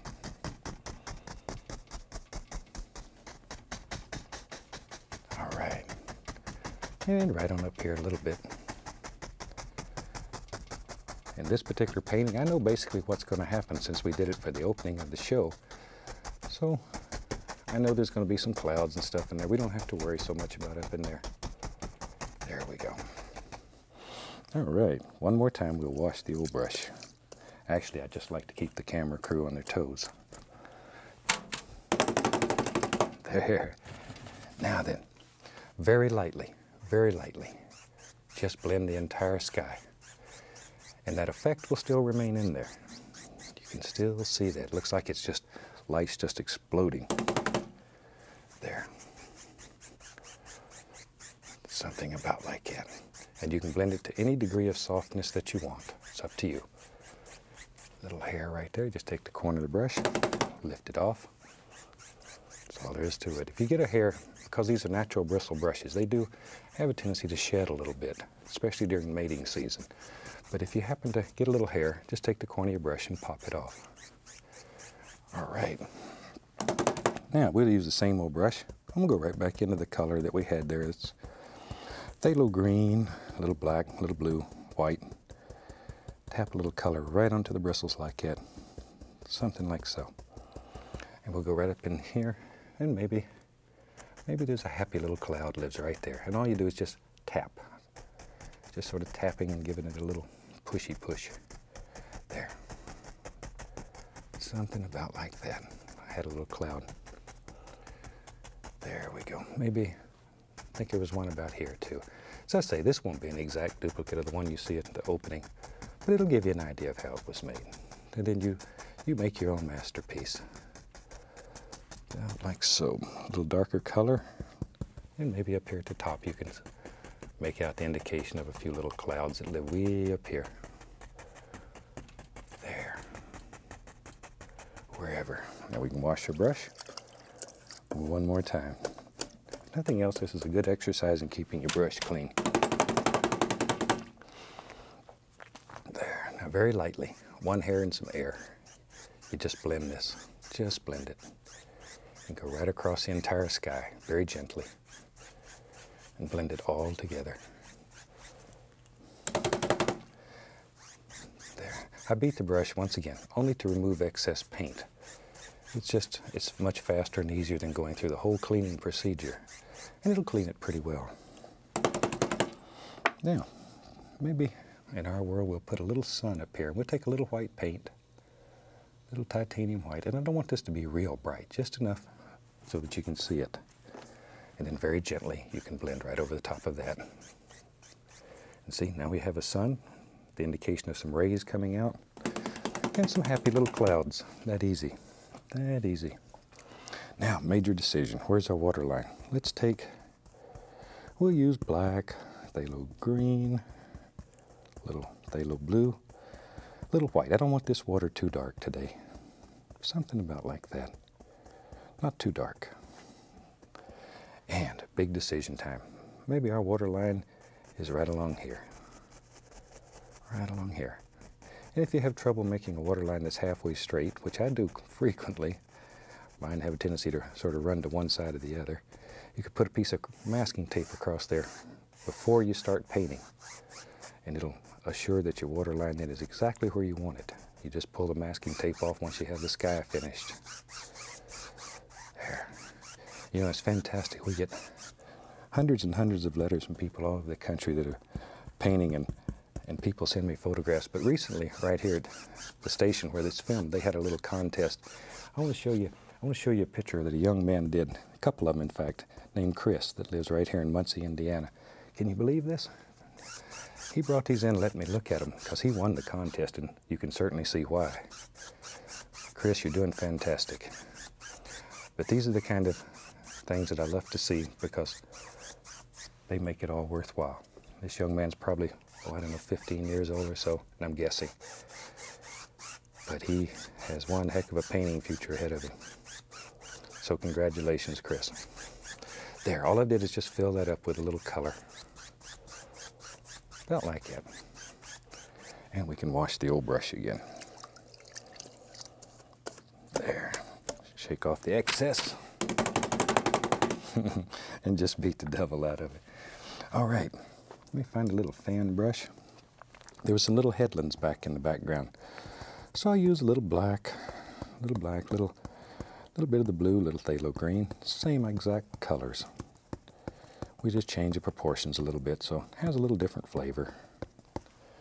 Maybe in our world there lives, maybe there's a little, yep, little headland lives right there, barely touching the canvas. The more color that you want, the harder you push. It'll get darker and darker that way. Maybe, yeah, oh, little bump right there. It's your world. So you really decide how you want these to look. It's up to you. It's really and truly up to you. Painting is such an individual thing. And that's the way it should be. That's the way it should be. Everybody sees nature th through different eyes. And the way you see it is the way it should be painted. Now, just take the big brush and sort of pull that out a little bit. Like so.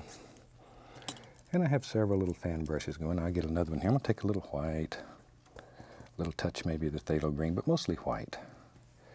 Here's our light source. All you have to do is just sort of tap.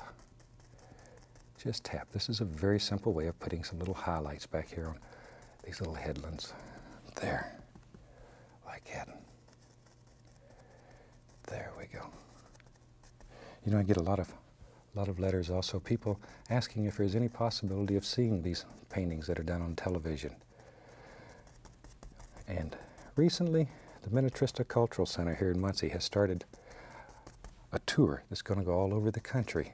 And they have well, in fact, they'll, they'll, have the, they'll have the entire television set. They're going to have my easel, everything. It'll travel all over the country. And I think there's about 30 paintings there that come out of the hardcover book, the original painting. So if you've ever wanted to see any of these actual paintings, uh, sort of check around and see if it's going to be in your town. Because I think you'll enjoy it. They've put a tremendous amount of work into this exhibit. And, and it's for good cause. I think you'll really love it there. But you can actually see the easel that we use here, and, and I'm even going to donate my dirty old shoes that over the years of, of beating the brush above them, the, paint sort of falls on them and the tops are green. You don't ever get to see that. So if it comes to your town, come out and see us. We'll have people there that are talking and showing you how to do it, and it's just going to be a good time. All right, let's start putting in some little waves and stuff in, back in here. And today I'm just going to do a, waves in an extremely simple way. I'm going to use a small knife, pull the paint out flat, got a little phthalo green and white here, very little phthalo green, a little roll of paint. And now, very firmly, and we want to literally bend the blade. Decide in here where all the little things live. And you can just begin very firmly pushing in the indication of little waves that are far, far away.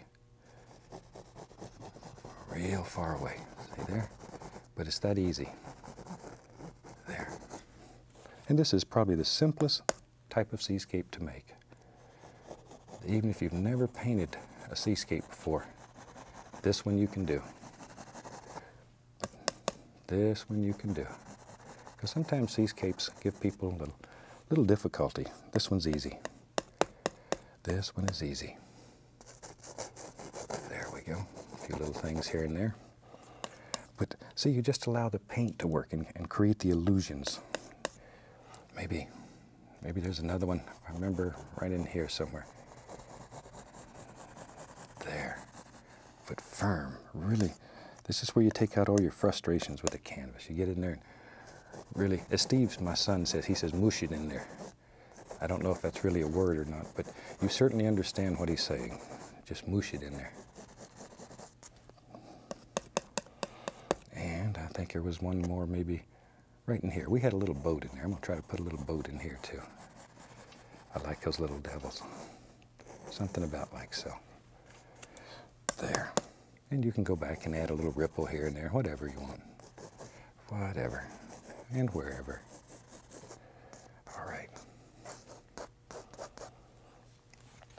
Now then, I want to create the illusion up here of maybe the sand's a little wet. So we can take a little white paint and just pull it downward like that. Just pull it downward. Grab it, then with a large brush, pull it, and go across. That easy, it'll make it look like that's wet. Now then, to do our little boat. Easiest way that I've found, take the knife and begin scraping out just a little basic idea. That'll sort of help you lay out your perspective and everything. Just lay it out. Here it comes right up in here. We have a front, we have the other side, down, we have a back, and then it'll come back in here. Something about like that. Then you can scrape out all this excess. There we go. Tell you what, let's use let's use a little filbert brush. I'm, I'm gonna make a little brown out of some sap green, some sap green, alizarin crimson, in about equal parts. We'll make us a little brown here.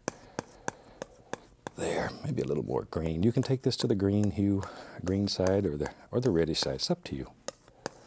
I usually like it a little to the reddish side, but it's it's an individual thing. Okay, let me wipe off the old knife. Now then, take our little filbert brush, and we can just begin filling this in. Just begin filling it in, something like so. There. And here it comes this way. And this is just a very simple little boat. Maybe, maybe the guy parked it here while he ran up on the beach somewhere. Who knows? There, and I'm going to take a little black and begin filling in some of the darker areas. There, back in there. I can. Okay, maybe a little black and white, make a little grayish color. Bring it right along here. Just so that stands out a little. Maybe even a little more. Oh, that's even better. There we go. And then underneath here, a little dark color. Could there be a little shadow under there? See there? Something like so. Oh, over here on the other side, we need some nice little dark colors too. There, now let me get the little liner brush. Dip it in a little of the paint thinner. Make me a thin brown color and a little front on the boat right here. Like that. Wash the little brush. And I'm going to highlight that with a little bit of titanium white thin, or you could just use liquid white. Something like so. And back here in the back of the boat, maybe there's some, see? There we go. Something like so. And you can put in a few little details here and there. There, it's parked up here on the beach. And just, as I say, maybe he was out paddling around and decided to take a little break and maybe he caught a little fish out there he brought up here to cook. Who knows? Just make up little stories. It really helps bring everything together. A little liquid white. I'm going to add some titanium white to it. I just want to thin the titanium a little bit, or a little roll of paint still. Now we'll put the indication here that maybe there's a, a little water sort of settled around it. Just a little, like so. Shoot, sometimes it's even nice, maybe, maybe a little brown down here in the sand so you can even see the indication that there's a touch of reflection of the color into the damp sand underneath. Just a little touch. Little touch. There we go. Push very firmly though. And that'll help give the impression that there's water all around this bottom. All right. There. Sometimes back here, I'm going to play a little, bit back in some of these ways. If you take just a little dark color and put it right underneath, it'll make it look like they're upstanding or standing up. Least little bit of dark color right underneath, and it gives depth underneath. As I say, I'm going to keep this one simple, I promised. But without getting too crazy. It's little things like that will just sort of help give the impression that there's depth under your water. In some of the other series, we've done some seascapes that are if you if you want some of the big crashing waves, we really we've really done some that have some nice waves in them. There. Now maybe, maybe, maybe there's some little sea oats that live right up in here. So for that, I'm going to take a little sap green, a little bit of that brownish color that we made, like so. And I'm just going to take a one inch brush and just sort of pop in a little indication here and there, of some little weeds, maybe some over here if I remember to, something like that. Doesn't much matter, however you want them. Yeah, we'll push that up like that. Okay. Then underneath there, we'll take a little brown, a little white, mix it together. Need some soil for all this to set on. Just like so. A little bit of, little bit of dirt under there. There. Something like that. As I say, if you get a chance to, to watch this little exhibit when it comes to your town, I really think you'll enjoy it. I really think you're I'm so proud of it. So many fantastic people have put so much work into it. It's, it's really beautiful. I'm just taking a little paint thinner, a little bit of the brown, and begin lifting up a little of this so it will make some little sea things out there. Go into a little bit of the greenish color here and there. There. And the wind's blowing up here on the beach. There, maybe there's some, ooh, right over our boat. That's okay, because that's the way it would be. There. Okay. Maybe. A little yellow ochre, a little white, and paint thinner. And we'll put in a few right in here. And some of them have little doers hanging on the end. You can just take the little liner brush and just put them hanging on there. It's real easy. No problem at all. All right.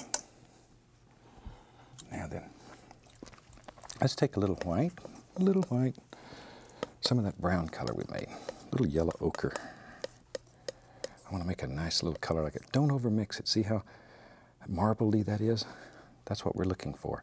Because when you cut off that little roll of paint, it'll be right there in the same way. And when we put it on the canvas, it'll still come out with all those variations that you wanted in there. So that's what we're looking for. I just want to put the indication of a little light zinging across here. That easy. Barely, barely touching. Just one hair and some air. Just like you're putting snow on the mountains. That's all we're looking for. That easy. Okay. And shoot. I want to take a little more of the greens and the browns. Put the indication that there's a few little weeds up here in the foreground too. Like that. Now then, we got a second left here. I'm going to take a little bit of, I'll just use a little midnight black on the liner brush. Thin the paint till it's almost, almost ink consistency. And maybe in our world back here, maybe there's some little birds flying. These are little M birds. You just make a little M tiny little things that are far, far off in the distance there. Now, the moment of truth. If we bring a camera right up here, let's pull the old contact paper off and, and take a look, see it, at how well we did today. Hmm.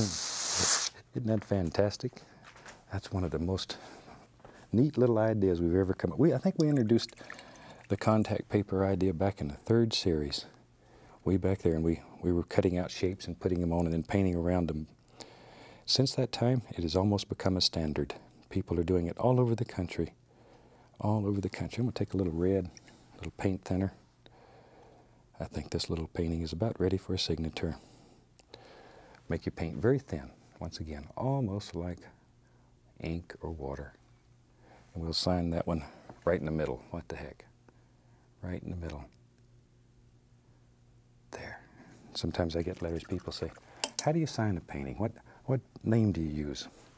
It's really an individual thing. Some people will use their whole name, especially if they got a short name. Some people will use initials, and I've even had people that just use symbols. So it's up to you. You might just want to design your own little logo that you put on every painting. But whatever you put on there, it should be special only for you. From all of us here, I'd like to wish you happy painting. God bless, my friend. Hi, welcome back. Certainly glad you could join us today. I thought today maybe we'd just do a beautiful little winter scene. So let's start out and have them run all the colors across the screen that you need to paint along with us. While they're doing that, let me tell you what I've got done up here. I have my standard old 18 by 24 inch pre-stretched double prime canvas, but you use whatever size is convenient. And I've covered the entire canvas with just a very thin, even coat of liquid white. So the canvas is wet, it allows us to blend color right up here.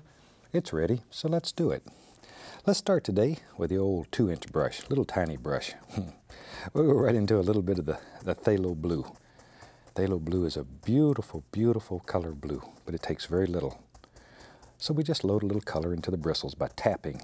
See, that assures a nice even distribution of color all the way through the bristles. Okay, let's go up here. Now then, let's start up in here and just make little X's, little crisscross strokes. And we'll go all the way across the top. The color is continually mixing with the liquid white that's on the canvas, and that's why it blends beautifully like this. If you had a dry canvas, hmm, as I like to say, you'd, you'd be in agony city about now because it just doesn't blend like this. There. That's the beauty of the liquid white. It just allows us to blend color on the canvas. All right. See, something like so. A little more color on the old brush, and we'll come right in here and do something like so. That's all. Just little little cross strokes, crisscross strokes, or cross criss, whichever. Now then, sometimes I like to make the, the edge of paintings a little darker so that it intentionally will bring the eye into the center of the canvas. So for that, I'm going to add a little bit of Prussian blue. The Prussian blue is much darker and much stronger. And that I'm going to apply just to the corners, just to the corners. And we'll go over on this side, put a little bit right there. There. Now, very lightly, we can just blend the entire sky. I left that blank intentionally because I think I'll have a big cloud that floats right around there. While we have that color on the old brush, let's add a little more of the phthalo blue. And, same way, just tapping. And I want a little water in this painting. Shoot, you know me. I would paint water in just about everything that I do. I love to paint water, and in this technique, it's one of the easiest things imaginable. There, pull from the outside in. And I want to leave a little area of light right in there. So just pull from the outside in and, leave that there. That's all you have to do. And then very lightly, just go across the entire canvas. And that little light area will remain in there. And if everything works just right, it'll look like light shimmering across the water when we're all done. And now comes the fun part. It's time to wash the old brush. Wash the old brush. Take off the excess. and just beat the devil out of it. All right. We can just stay with that same old brush and go right into a little bit of the little bit of the titanium white. I'm just going to bounce the corner right into a little bit of white there. Okay, let's go up here. Now then, I just want to make some little fluffy clouds. And today I'm just going to do that by just tapping. Just tapping. That's all you have to do. In this series, I've done a lot of clouds like this because they're the simplest, easiest kind of clouds that I've ever found. There. And in past series, we've showed many, many other ways of making clouds. So you find the one that works the best for you, and that's the one that you want. I want to add the least little touch of alizarin crimson. I want to put a little, little pinkish flavor down toward the base of this cloud. Not much, just a little There, just to give it a, a hint of pink. There, like a little sunshine's dancing through there. There we go. Now very lightly, just barely touching the canvas. I want to just barely blend that a little bit, just to bring everything together. But those tap marks up here makes very soft little tops to your clouds. Now with a clean brush, I'm just going to blend it a little, not much. Not much. You don't have to do a lot of blending with this because there's not a great deal of paint on the canvas. But isn't it a nice, easy way of making a big old strong cloud? Tell you what, let's give him a friend. You know me, I, I think everybody should have a friend. So we'll do the same thing. And maybe, yep, right there. We'll just tap in another happy little cloud. Or big cloud in this case. Maybe he lives right out through here. It's up to you. Up to you. Wherever you want it something like that. There. Once again, a little touch of the crimson, just to flavor it a little, right down here at the base. I'll get my clean, dry two inch brush and we can just blend it and fluff it. There, something as easy as that. And the more you blend it, of course, the more subdued it will become. And you can literally blend it away. And that's the way you correct it. If you ever make a cloud that you don't like, you just blend it away, paint you another one. We don't make mistakes. We just have happy accidents. And all I mean by that is that after a while you become so confident with the method that you don't worry. Anything that happens, you can use it in your painting to your advantage. And that happens very, very quickly. Now then, today I'm going to make a little mountain. In past series, we've made a lot of mountains, but I still get requests every day for mountains. That seems to be the favorite thing.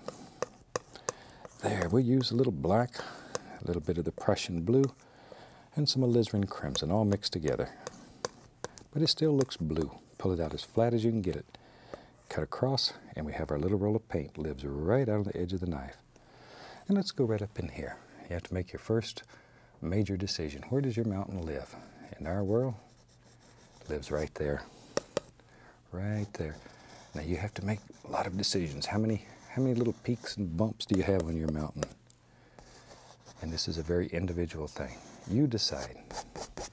You decide.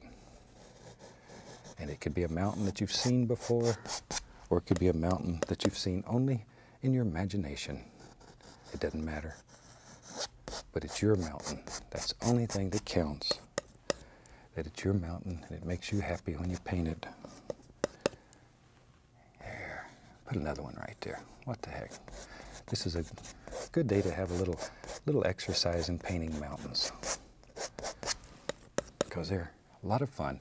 And of course we're not interested in that happy buck. But if you're out if you're out selling paintings, very few things sell better than mountains. Everybody likes to have a nice mountain painting hanging in their home. And guess what kind I have in my home? I have a house full of mountains. I love them. I love them. Probably comes from living in Alaska so long. There we go. Take the two inch brush and just pull that paint out. Just pull it like that. Very gently. And you can just move the paint on this wet canvas. Blend it. And if you can see the entire mountain, it's always more distinct at the top than it is at the bottom. And this is mixing with the liquid white, and automatically that'll happen. Automatically. You don't even have to worry about it. Don't even have to think about it. Just blend it. See, already I see like a nice valley right in there. When these things happen, treat them as little gifts, little painting gifts. Use them. I'm going to just, see, I'm blending upward now to bring a little of that liquid white up in here. I want to lighten this even more. So it looks just like a little valley. There we go. Okay, now we're going to have a little winter scene, so let's put some snow in there. We'll take titanium white, pull it out as flat as we can get it, really mash down. Cut across, get our little roll of paint. Okay, now then, no pressure, no pressure. Take the point of the knife, put it right at the point of the mountain. See, just put it right up here at the point, and then let it flow. But no pressure. I can't say that enough times. Can't say that enough times. Mountains are one of the most fantastic things to paint. Mm. Just love them, and it's so easy like this. There. My son Steve, if there's anything that he really excels at in painting, probably it's mountains. Everywhere I travel that he's been, people tell me, well, his mountain sure put yours to shame. But don't tell him that. He'll get the big head and want to raise. He, he works for us and just travels around and teaches. Or actually, I guess he's self-employed because I don't pay very well. There. Okay. Now then, these back here, I want to make them look like they're very far away. So I'm just going to grab the base of them and gently blend a little bit. And that's about all I'm going to do to them. I want them to be far away. Back here in that valley. There, since we have a little valley there. Now, I'm going to take some white, a little bit of titanium white, some of the phthalo blue, we'll mix it together like about so. There, pull it out very flat. Once again, our little roll of paint. Normally, every time I load the knife, I load it with that little roll of paint. There. And now, just let that sort of drip right down like that. There we go. And I want it to just gradually disappear back into this little valley here. Very quiet little thing. A little bit right in here. Don't want him left out. Something like so. Maybe even a little touch there. That little shadow, though, creates the illusion of a peak or something protruding out. I want to create a mist right here. So I'm just taking the brush and tapping, following those angles, most important. Then lift upward. Now, sometimes it's fun to play little games. Take a little more white and watch here. See there? Now then, we have another whole protrusion right out through here, another peak. That easy. But it needs a shadow. It needs its own little shadow or it won't play with you. Just go away and leave you. Just go away and leave you. All alone. Good clean dry brush. And we can tap that a little bit. There. And right here. There we go. Now, sometimes it's fun to play little games. Maybe you want to create even more depth and distance in your painting. So let's take a little more of that dark color. Same old mountain color will come right about here. Maybe. Maybe. Yep.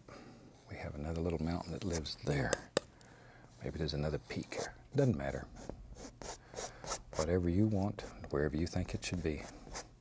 But you need that dark color in there just so it'll show, just so it'll stand out. It separates. It's your good friend. Take care of it. Our two inch brush, grab it. Once again, just give it a little pull. Something like that. There you go. And we're going to do exactly the same thing again. Just take our little little roll of paint right out here on the edge of the knife and put a little bit of snow right on this mountain. Touch right there on that little peak. But this painting will give you a lot of practice with a knife and, and making some beautiful mountains. And don't be afraid if, if one didn't come out just right, to evaluate it, to scrape it off, and do it again. Because that's the way we learn, is by doing things over and over, over and over. And it doesn't mean that you've done bad, it means you're normal. Because I'll tell you, there's not anybody who's painted that hadn't scraped it off and redone it many, many times. Not if they're, not if they're a good painter. You can bet they have scraped and repainted. It's part of the price that you pay to learn to paint. That's all. And even that is a tremendous amount of fun. There we go. Something like so. Sometimes, watch here, you can play little games. Maybe we'll just bring all that together. See, it all goes right together.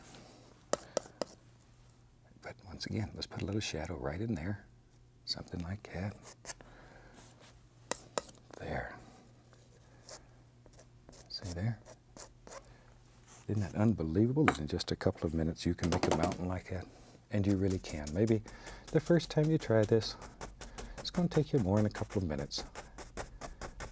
But the more you practice, the faster you'll become. Initially, don't worry about speed. Don't even think about speed. You want to learn. Don't worry about speed. It comes with just a little practice. And you won't even realize it's happening. One day you'll realize that it took you maybe four or five hours to do a painting, that you're doing that same painting in half the time. And then it's half again. And then pretty soon, pretty soon you could knock these little rascals out just like we do here. And there is no editing here. What you see is actually what happens, even the mistakes. there we go.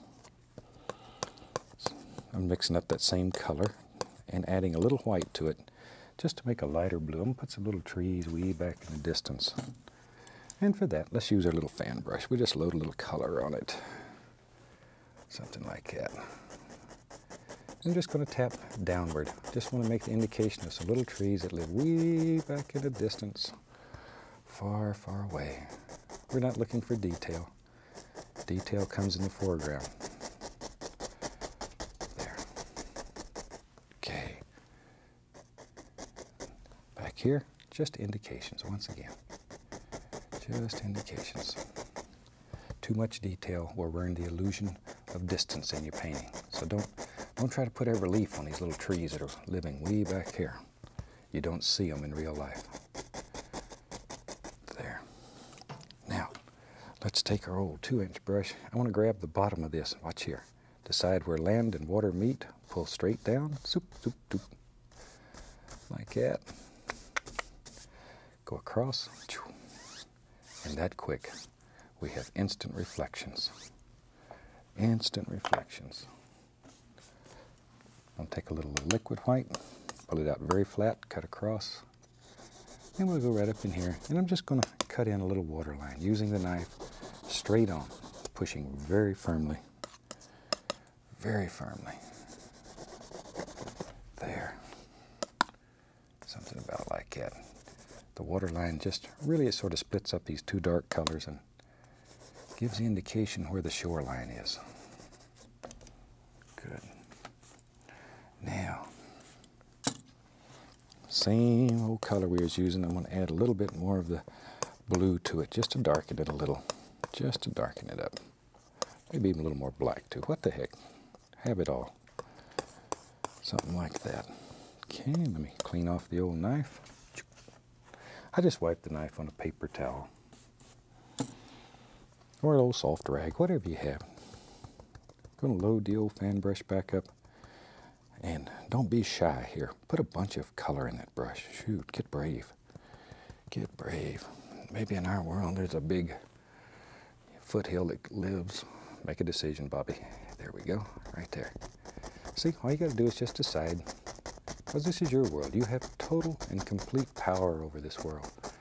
You can do anything. Anything that you believe you can do. All you have to do, visualize it in your mind, See it over and over. There. And what you can visualize and believe in, believe that you can do. You can do. I know you can. Because I see pictures every day from fantastic people all over the country, and they are creating some of the most beautiful paintings. And that, that truly is the joy of painting. It really and truly is. Put a little detail maybe on that one. Maybe he's a the big boss tree right there.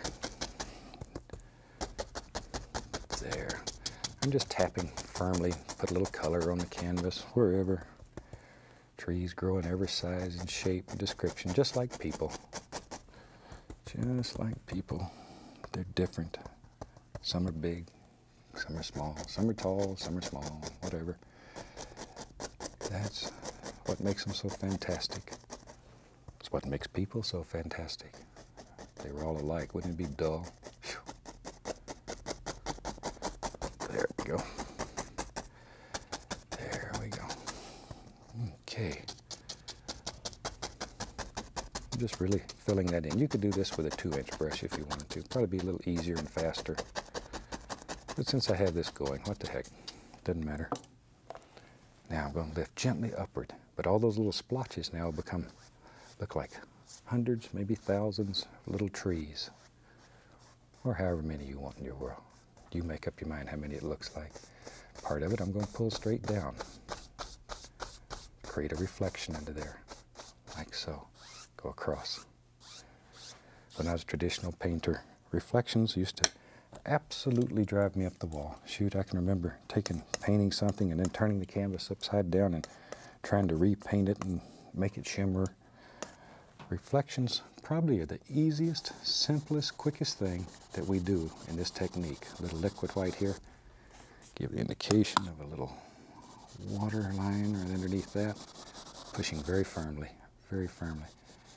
If you ever have one here you don't like, take your two inch brush, grab it, pull it right into the reflections, and it just goes away. Just goes away, that easy. That easy. All right, let's put some, let's put some evergreens in here. Usually when you have this kind of scenery, there's some beautiful little evergreens living around there. Clean me off a spot to work. I want them to be very dark. So we'll start with black, Prussian blue, some crimson. Well, we'll throw phthalo blue in there too. It doesn't matter. It, whoops, it really doesn't matter. Whew. Boy, there we go. The old knife caught on the palette there.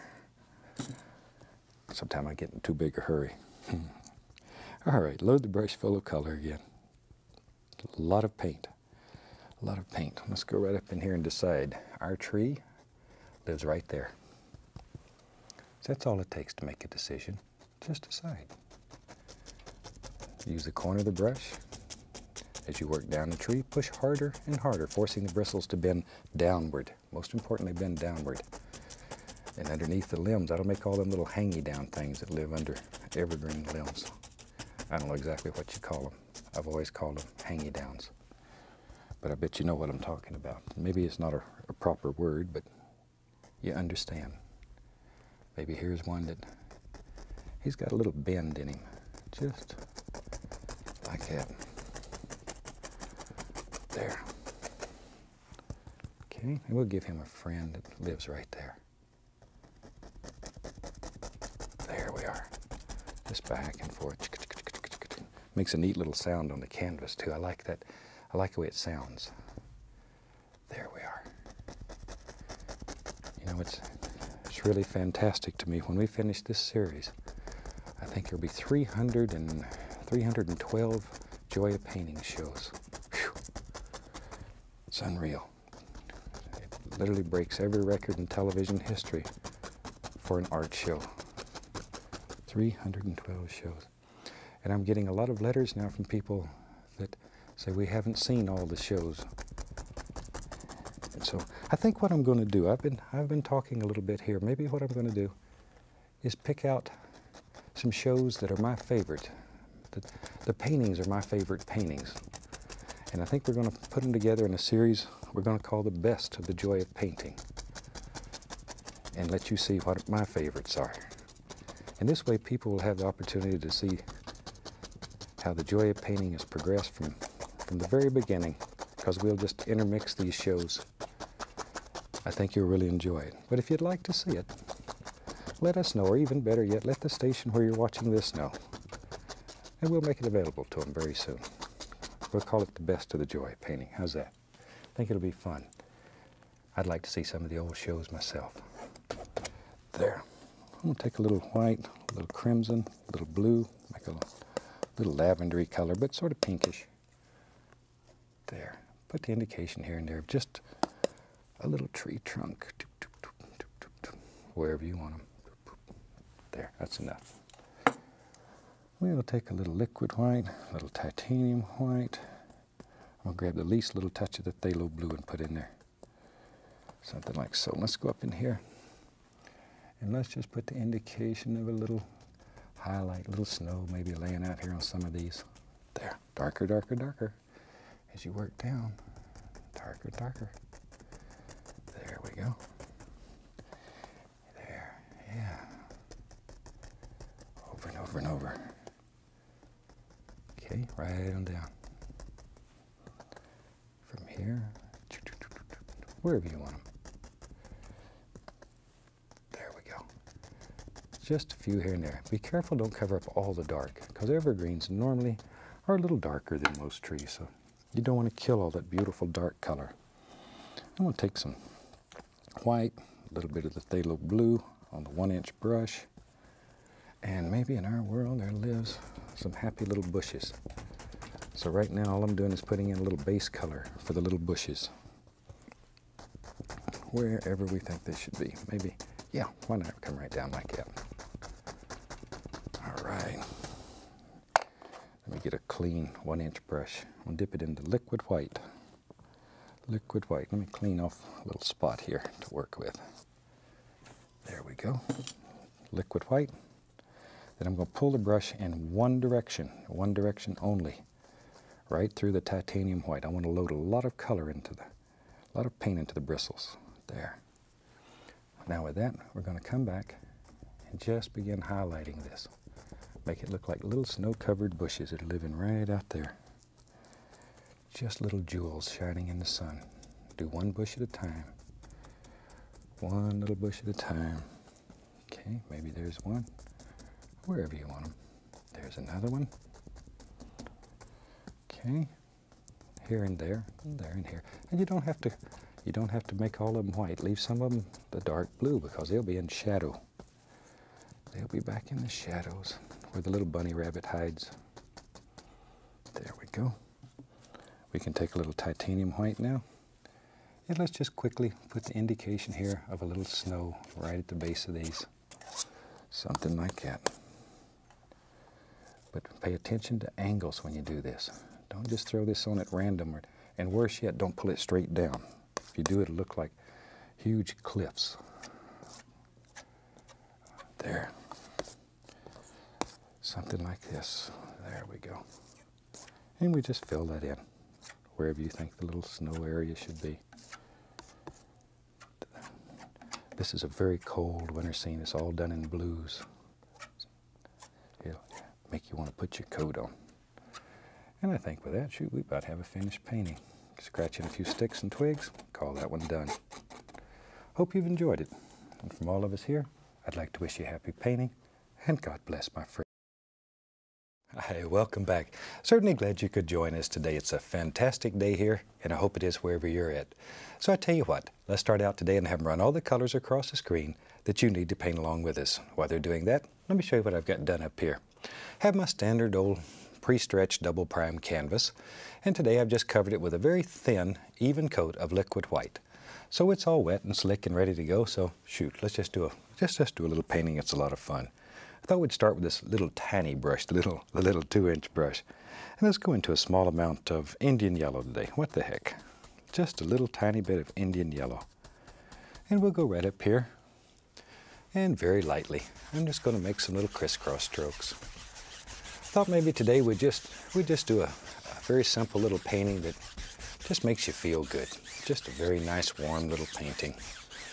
Maybe, maybe a little scene that's back in the woods and stuff. I'm such a fanatic for nature and the woods and all the trees and bushes and stuff. That's really what I like to paint. So let's do that today.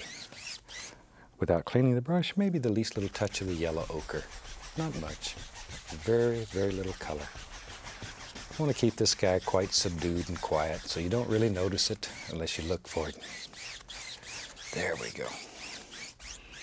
Shooting maybe, maybe the least little touch of the bright red too. It doesn't matter.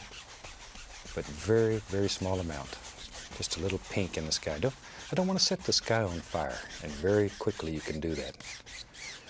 Just want to give it a, a nice little pinkish hue. Maybe a little touch more over in here. There. Something like that. All right, and just gently going across the entire canvas, just blend out all the little brush strokes. There we go. Okay, maybe, maybe we'll wash this brush. What the heck? I just really like to wash brushes. Keeps my, keeps my crew here on their toes. all right, now then, good clean dry brush. I'm gonna go right into a little bit of the little bit of the midnight black. Don't want a whole lot of paint, just a little. All right, let's go back up in here. And right on the top, I'm going to take a little bit of that black and begin making little, little crisscross strokes still. Something about like so. There we go. Maybe here and there there's a happy little, little floater in there, wherever you think they should be. That's exactly where they should be. There, a little bit more color on the brush. And we'll go right in like that. But this is just midnight black. Just knock off any excess color there because I want to keep it quite dark. And maybe, why not? Why not have another little cloud right about here? And all we're doing is just sort of tapping downward with this two inch brush. Maybe this little cloud, shoot, maybe it comes way on out here. I don't know. Wherever you want it. Wherever in your world you can do anything that you want to do. Any old thing that you want to do. We'll put another one there. Maybe over in here on this side. Maybe there's a couple more over here. Just whatever. Painting should be very individual. Everybody will see nature through different eyes. And that's what you should paint, the way you see it. I'll wash the old brush off again. Shake off the excess. and there we go again. Now then, with a clean, dry brush, and very gently here, I'm just going to blend all this together. Just blend it all together. Isn't that a fantastic way of making some little clouds that just jump right out at you? And, you can do this, even if you've never painted before. This you can do. This you can do. We try to make painting simple enough that everybody can do it and, and really achieve fantastic results, even with very limited amounts of practice. There, and of course, the more you practice, the easier it gets and the better you get. I'm going to take a little, let's use a little black. Maybe I'll put the least little touch of, least little touch of phthalo blue into it also. Mostly black though, but a little bit. I'm going to have a little water in this painting. So we'll, we'll have water maybe right here. I don't know. It really doesn't matter at this point. You just put in some color and whatever we don't want to be water, we'll just paint right over it because this is our world and we literally, literally can do anything that we want to do in this world. You have total and complete power here. There. Now then. I tell you what, we'll just keep using that same old brush. I'll just put a little bit more of the black on it. So it has black and a, at least a little touch of blue, but mostly black. And not a lot of color on the brush. Okay, maybe in our world back in here, let's just do something like that. In fact, I'm gonna wipe a little of that paint off, a little more. No, that's better. I want it very quiet. Just take the side of the brush and we'll put the indication of some little things that live way back in the distance. Little indications of trees. I don't want a lot of detail. It's too far away. Too far away. Just want some little indications here and there. There. Wherever. Sometimes you can just tap downward. And if you want to make them look like little, maybe little evergreens far away, you can just do the brush like that. There we go. Softer and softer and softer till they just basically disappear out here. Very quiet, very subdued. There we are.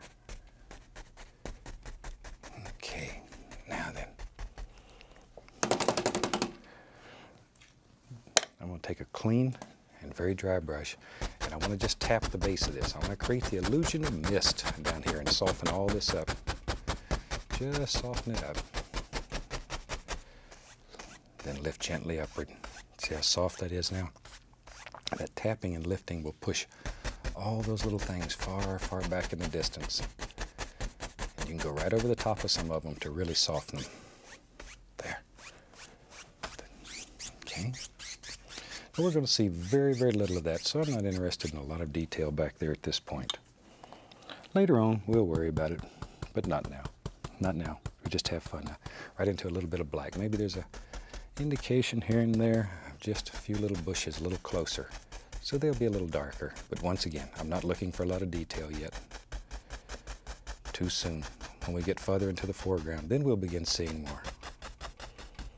Right now, I'm just interested in getting a few little things up here.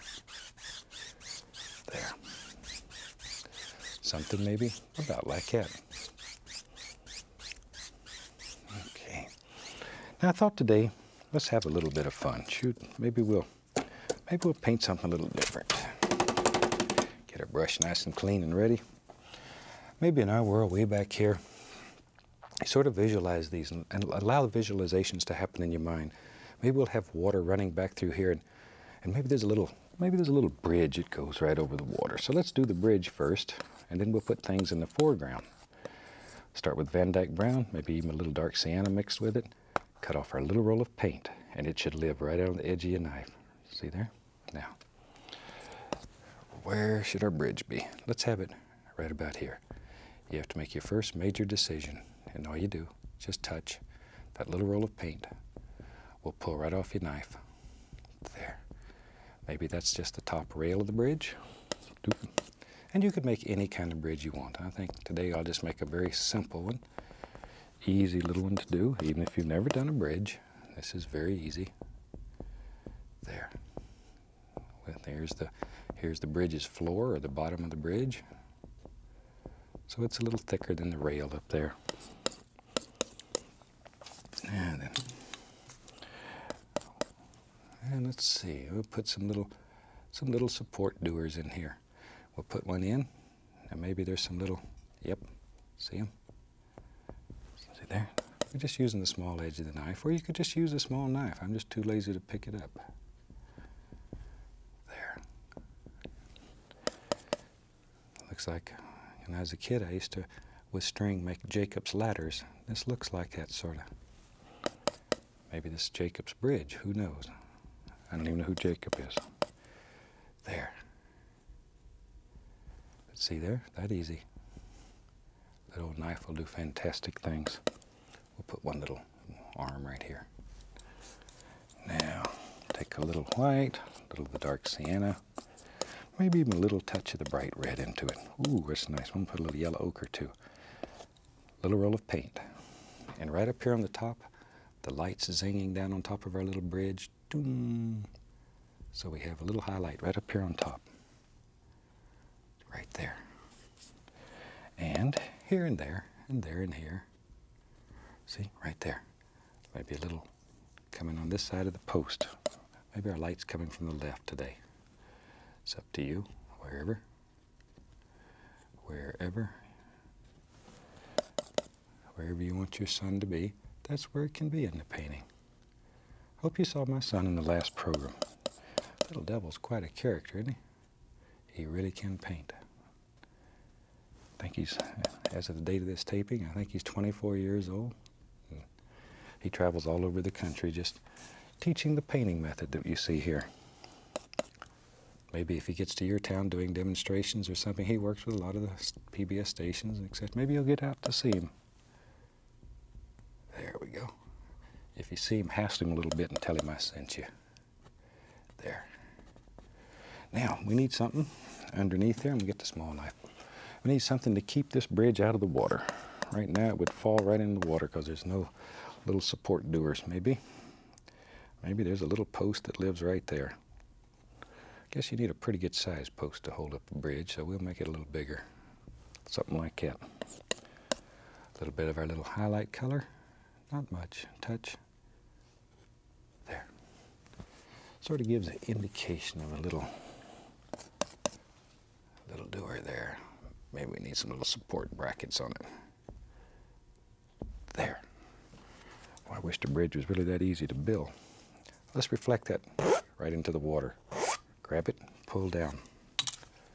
Now we'll take our two inch brush, pull that down, and just go across. That easy. We just made a little reflection there.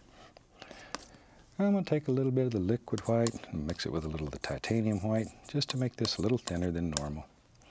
And we'll put a little ripple of water right around the foot there sort of cleans it all up, gives the impression that maybe the water's moving slowly, very slowly by this little bridge. A little, little slow river stream here. Big old fish is laying right under there and resting, taking life easy. I like to fish. Though I'm not a very good fisherman. Shoot, I catch the old fish and put a band-aid on his mouth and pat him on the tutu and put him back in the water and, and wish him well. And maybe maybe I'll be lucky and get the chance to, to catch him again one day. Okay, take a little black, Prussian blue, phthalo green. Put some crimson in there. There we go. Mix them all up. I'll mix a pretty good pile of paint. I'm gonna make some evergreen trees. What the heck? And some big bushy trees. And we're gonna wipe off the knife. There.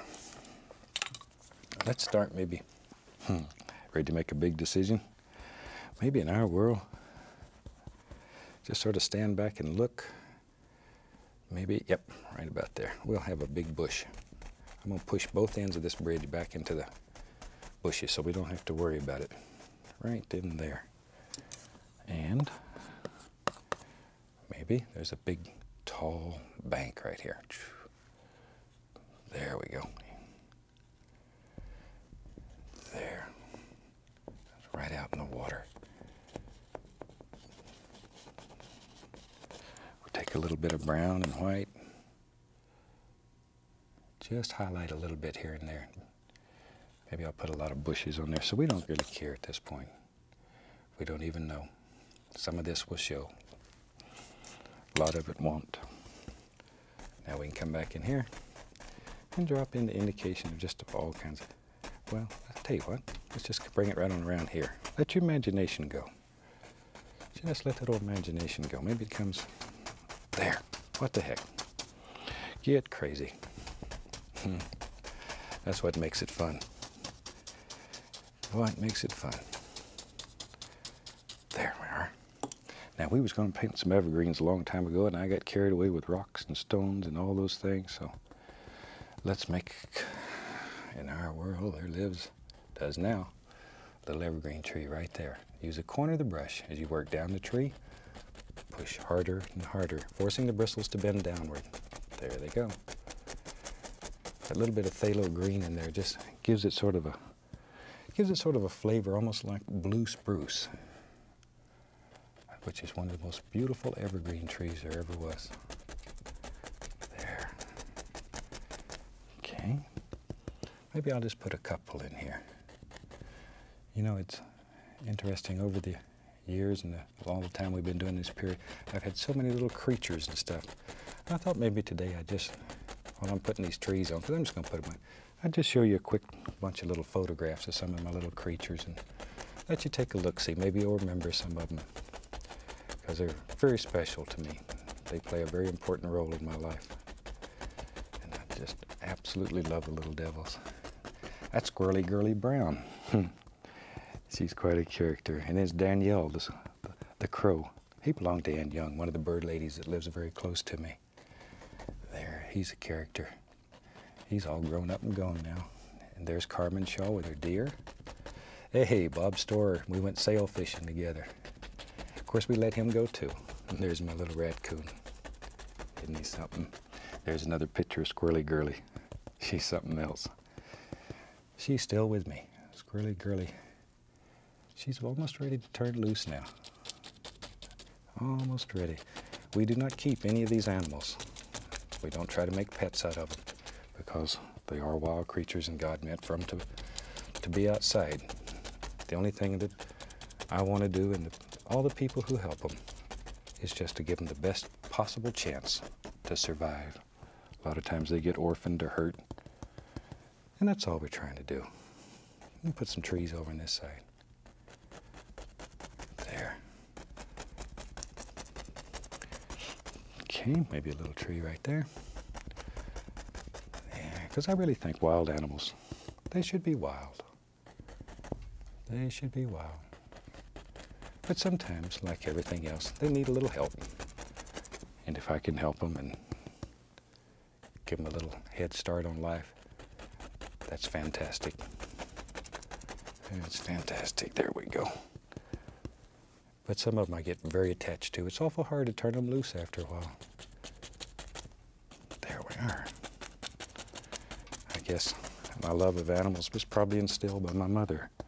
She always loved animals and she helped me raise a little squirrely girl, in fact.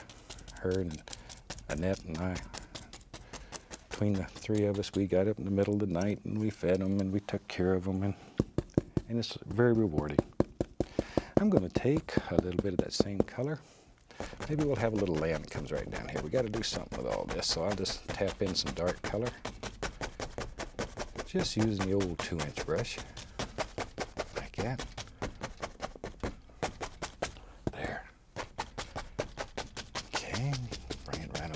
And you could fill this up here with a, yeah, you could use a paint roller, doesn't matter. Just a, it's sort of a good place to practice and get the feel of your brush. Maybe over in here, this comes, we'll have this one come right down to the edge of the water. And don't worry if you get something in there because we need a reflection under there anyway. If fact, if, if it didn't happen automatically, you'd have to go back in there and paint it. So don't worry about it. See, you just grab it and pull it down. You need that reflection to set it right down into the water and go across. That easy. There we are. Now then, grab our little fan brush that had that color on it. Since there's blue in it and green in it, we can go right into yellow, yellow ochre, little Indian yellow, and make a nice dark green color. Maybe I'll get leave them a little black. A little sap green too, I like it. Ooh, that's what I was looking for, sap green. There, let's go back up in here. Now then, let's begin highlighting some of these trees. Just figure out which one's in the foreground, which one's in the background. Do the one that's in the background first. There, and then let the other one come right over the top of it. Here we are. There's another one. Just like so. All you're doing is tapping, letting the bristles bend slightly downward. Slightly downward. Let them get darker and darker as they work downward. There you are. Okay, let's go on the other side. We got to give these little trees something too. We don't want them left out. That old tree would be upset with us.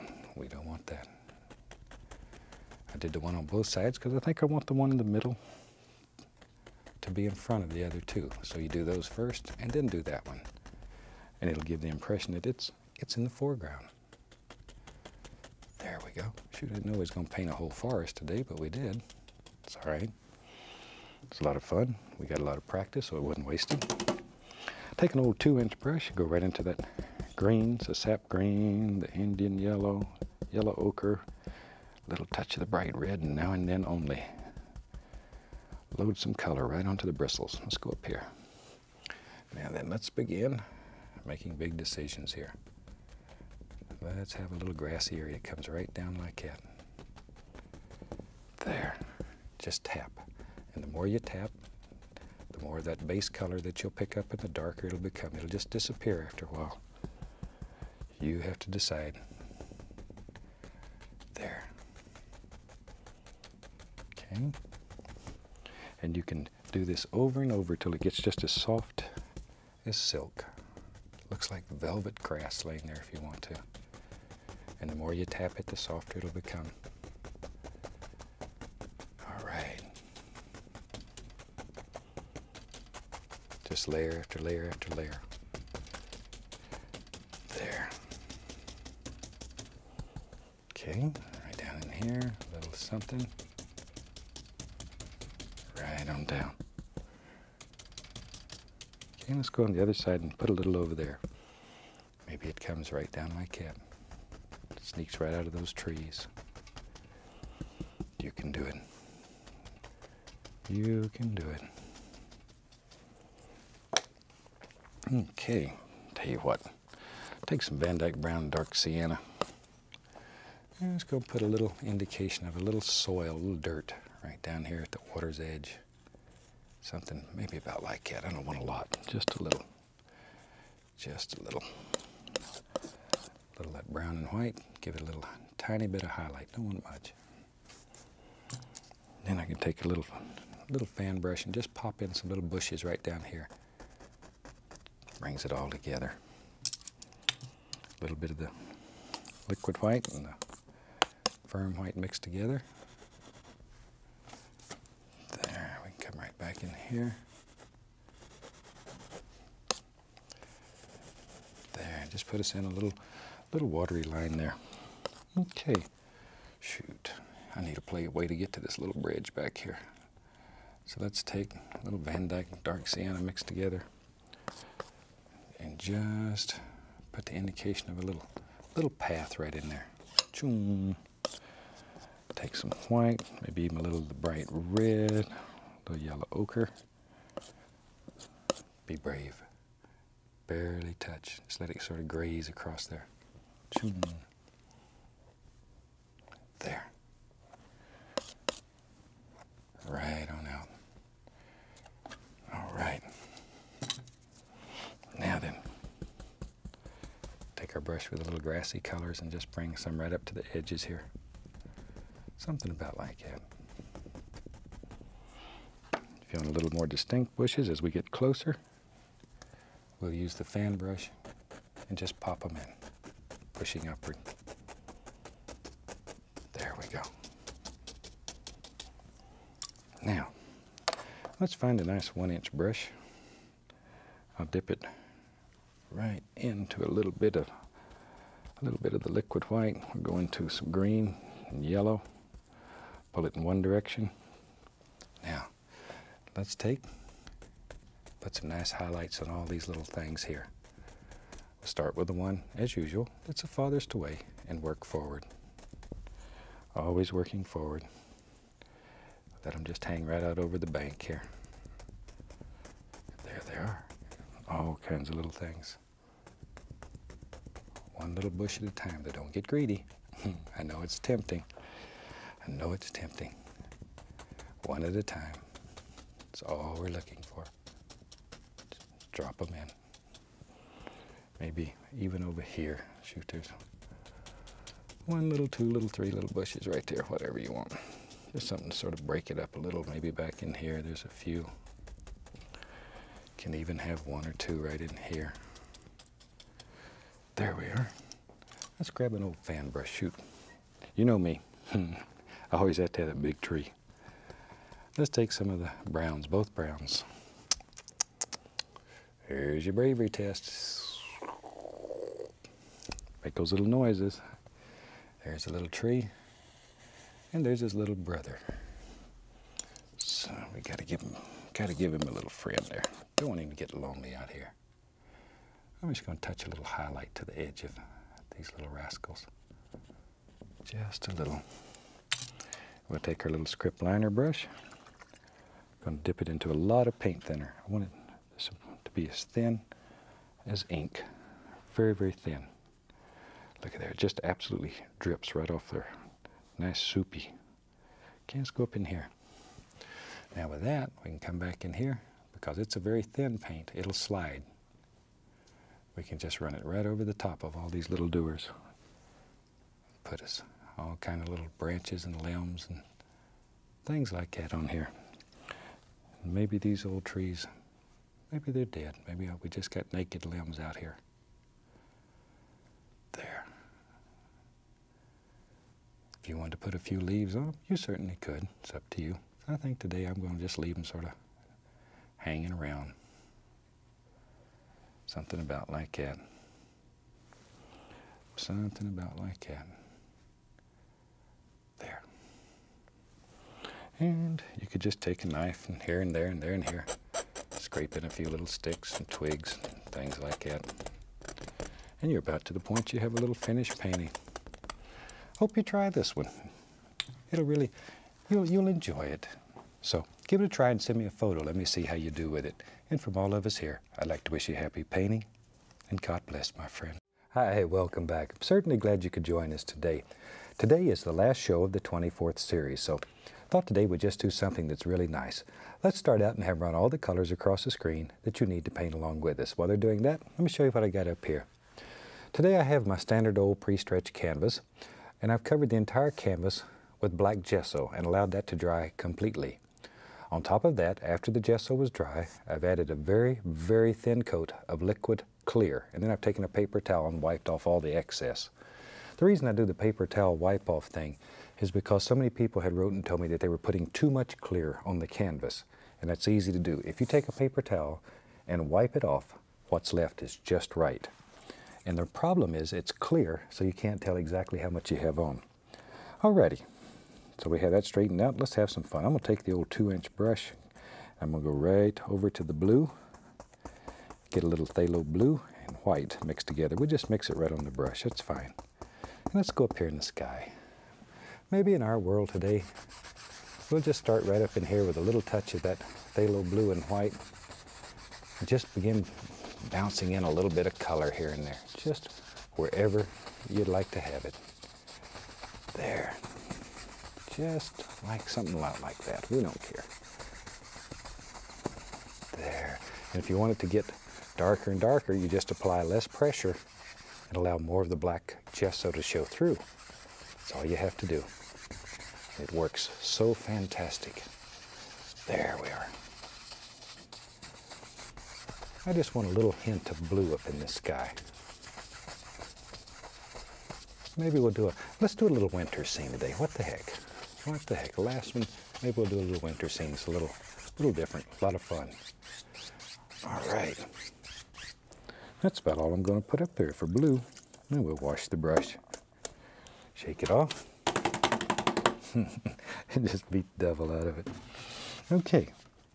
Shoot, that works so good. Let's just keep using that little two inch brush. I'll go into a little bit of the titanium white, just plain old titanium white. I'm just going to tap the top corner right into a little bit of white paint. Let's go back up in here. And just using that top corner, I just want to put in the indication of some little cloud shapes here and there. Something about like that. Wherever. I don't know.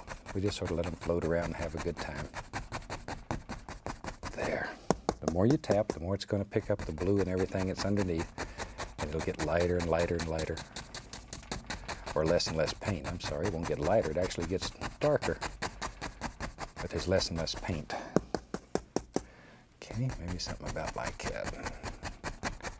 This is the easiest way I've found to make little fluffy clouds, and I've used it throughout this series. There. All right. Now then, I'm go back to the old two inch brush. I have another one here that's nice and clean, and I'm going to sort of tickle it just a little bit, just enough to stir it up a little bit. Not much. Not much. Little tiny, tiny X's.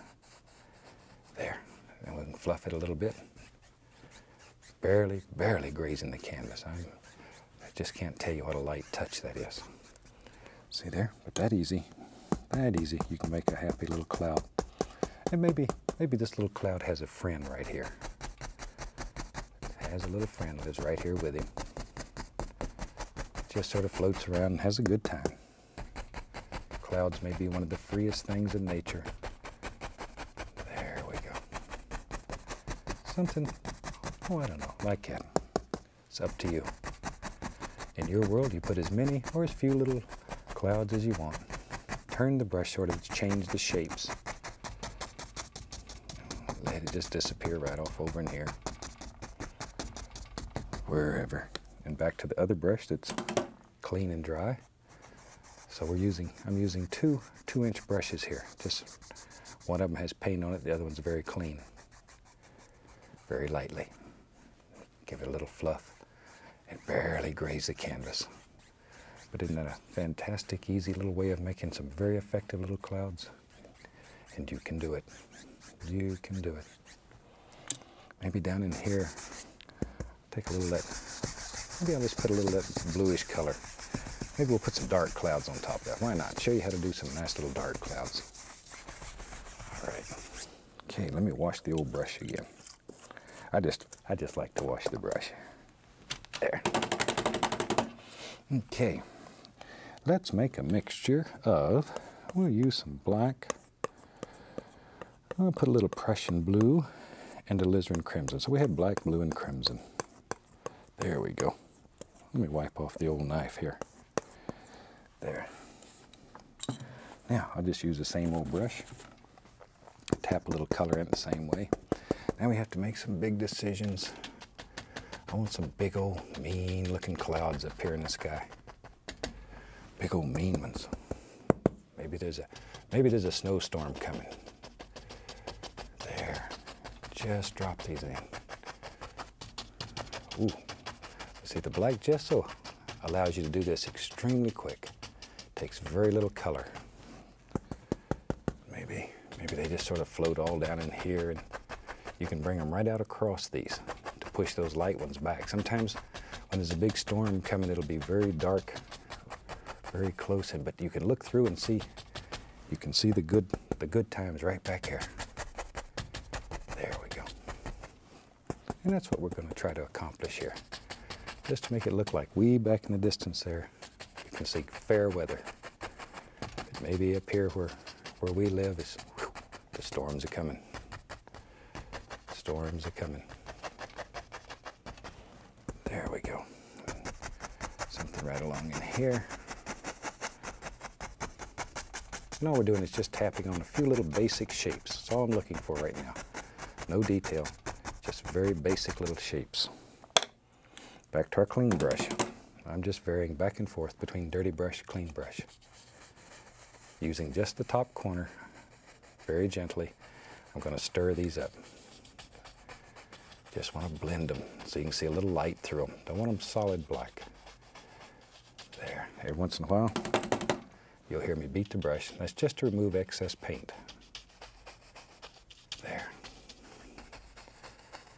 Boy, this is going to be a mean old sky. See it coming now. There. Just knocking off the paint, because you will pick up a little paint off here. Okay. Just barely, barely touching the canvas though. There we go. And you can blend this to any degree of softness that you want. I don't want this one to get too soft though, because if it, if you blend it together too much, you're going to lose that effect that there's a big old storm coming. You can tap it to blend too. Either way. You have a lot of time, you can sit and tap it like this until you can create some of the most gorgeous shapes you've ever seen. There we go. All right. Very lightly now. We'll just blend the entire sky. Just blend it. But isn't that a neat way of making a, a ferocious guy? Oh my gosh. You know something's fixing to happen there. And it's very, very simple when you do it this way. The black gesso on the canvas and a little bit of liquid clear really makes your life, your painting life at least, much, much easier. Now then, I just take another old, well here's one that's dirty, we'll just keep using it. I'm going to make some brown, and for that, use alizarin crimson and sap green in about equal parts. As I've mentioned on some of the other shows in this series, you can take this to the red side or the green side. Usually I take it a little bit to the reddish side, but that's a personal preference. Strictly up to you. Strictly up to you. There. Maybe a little bit more red in there. Oh yeah, that's what we're looking for. Okay, wipe off the old knife here. And I'm just going to tap the old two inch brush right into that. Just, just the corner of the brush right there. There. Maybe there's some little trees back here in the background. Okay. All we do, I'm just going to take the top corner of the brush and tap in some little basic shapes way back in here. There they come. A little more color. There. Wherever you think they should be. Exactly where they should be. I'm not looking for a lot of detail. It's too far away. I don't want detail yet. We'll have a lot of detail in the foreground, but right back here, just want the indication of some happy little trees that live back in there.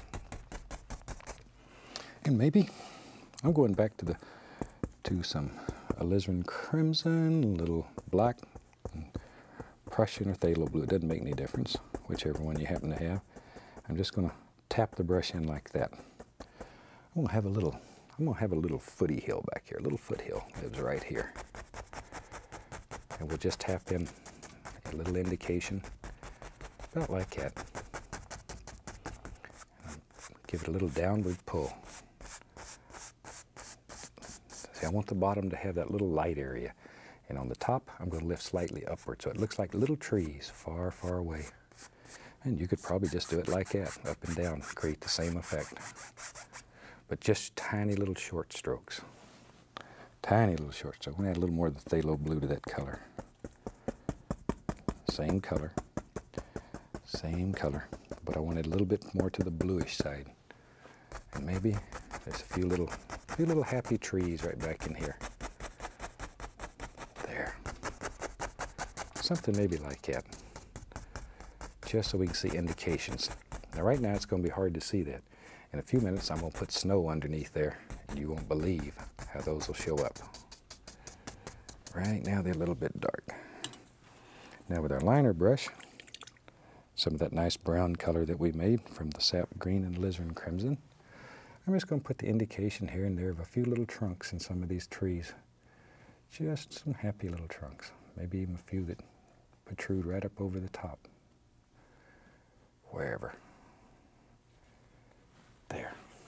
Hope you can see those. They're in there. We know they're in there. That's the most important thing. And maybe that's good and clean. Shoot, let's get crazy. Let us take, let us take, we'll use black, Prussian blue, alizarin crimson, all mixed together. There. Okay, let me clean off the old knife. Let's make us a few nice little evergreens that live back there. Maybe, maybe just a couple. Maybe just a couple. Load the brush full of color, a lot of paint. A lot of paint. Let's go up in here and make a decision. Our evergreen tree, just do it. Make a decision and drop it in. Lives right there. Start with just the corner of the brush. As you work down the tree, add more and more pressure. Maybe this is a maybe it's a big fat tree. What the heck? I'm using the brush almost straight on this time. I want to make this tree big and fat. There. Big heavy tree. Nice old tree. Got a lot of character. Looks like a Christmas tree. There. And let's give him a friend. I don't want him to be lonely back here. There. Poor little tree. Didn't, didn't want him to be lonely. Didn't want to be lonely. There we are. Okay. Something about my cat. Now then, let me wash the old brush out here. We just wash this brush also with odorless thinner and wipe it on a paper towel to clean it. That's all there is to it. I'm going to take some white, some phthalo blue, mix it together, make a nice, eh, put a little more white right there. Yeah, something like that. Now, take the fan brush and dip it into the liquid clear dipped it right in the clear. So this is quite a thin paint now. But the big thing is, is the clear will make it react different on the canvas. It'll look different. Let's go up in here. Let's come right along in here and put some nice, look at that. See, let it bend downward. Put some beautiful little snow-covered branches out here on this tree. Darker, darker, darker toward the base, as always. As always. Now, Back in the background, a little more of the clear. I don't want this tree in the background to be as, as bright. I want you, don't want you to notice it as much. Just want you to know it's there. So I'm using a darker color and much less. Now you know he's back there and you can see him. But hopefully he didn't stand out and, and grab all the attention. Because they'll do that. But the liquid clear is fantastic when you want to really highlight something where you you make an effect like that. It works extremely well. Okay. Take off any excess paint because we're going to go right in there. We'll just use this old two inch brush. What the heck? Let's go into titanium white. And we'll load quite a bit, just like we were loading it to a chisel edge. Just like we was loading it to a chisel edge. Let's go up in here. Got to make a big decision. Where does the snow lay? I think right into this tree. Pull right across. Just like that. Just like that. And because the little bit of clear is on there, that'll slide just like glass. If this was dry canvas, you'd have a hard time making that paint slide on there. It wouldn't be smooth like this. That's so smooth. There. And look how it stands out against that dark color. Shoot. I'm gonna, I gotta play a little bit more. I'm to take a little bit of brown, a little white in it, reach over here, get some paint thinner. I'll make it real thin. So I have just brown, just brown and a little white with paint thinner. Then I'll make another little pile here that's just basically white with the least little bit of, little, excuse me, let me get a little touch of the paint thinner in that too. I want both of these colors to be very very thin. There. Now then, we'll take our liner brush and we'll go through this color first. Load it full. Then I'll go through this one and just get color on one side. maybe, yep, maybe there's a nice tree that lives here. And we can do both sides of the tree at one time. We got the light side and the dark side at one stroke. Put a few little limbs on him, not many. Not many. Something maybe like that. Load it again. And maybe we got another little tree. Lives right there. That's his friend. That's his friend. We'll put a few little arms on him. There. All right. Just a little tree that's sitting back like that. I think today, let's do a little cabin right in there. That's such a lovely place, right, right there at that tree. One of the easiest ways I found, take your knife, scrape off a basic shape. Ooh, right over my tree. That's all right. We know how to make him. Maybe there's a little, maybe he's got a little porch in the back. Maybe it's not even a cabin. Maybe it's an old barn or something. I don't know. Whatever you want it to be. You make a decision. There we go. Just scraping out the excess. Take our brown color and we just sort of fill that in. We're just blocking in color. Just blocking in color. We're not too concerned about anything at this point. Okay, we'll take some white, some of that same brown color, maybe even a least little touch of crimson into it just to warm it up a little. Cut across, get our little roll of paint. Very lightly, barely touching. See, we'll make the front of the cabin that easy. Take a little bit of dark brown into that. Make the indication of a lot of little boards in there just by touching. Just by touching. Let's put a door right there. Got a little door for his house. Now, a little bit more of the dark. Over in this side, just a, a hint. Just a hint, not much. It's much, much too dark over here. There's over on this side, there's very little light. I want to take pure titanium white, and I want it to bounce along here. I want this to look like, I want it to look rough, ragged. If you want it to look smoother, make it in a single stroke. I want it to look like it's just really, snow's just really piled up there in that old roof. Maybe there's even some holes in the roof. Maybe the old house is just deserted. What the heck? Something about like that. Take the small knife. I'm just going to put the indication of a couple little windows right over on that side. A little white with some gray on it. I mean, a little brush with some gray on it. We'll outline the indication of a couple of windows. I like that. Now, back to our old brush that has the white on it. Got to put some snow right around this little cabin here. There we go. Nobody's home here. There. Something maybe like that. In here and there we can touch the least little amount of that blue to create a little cool shadow effect in the snow. There.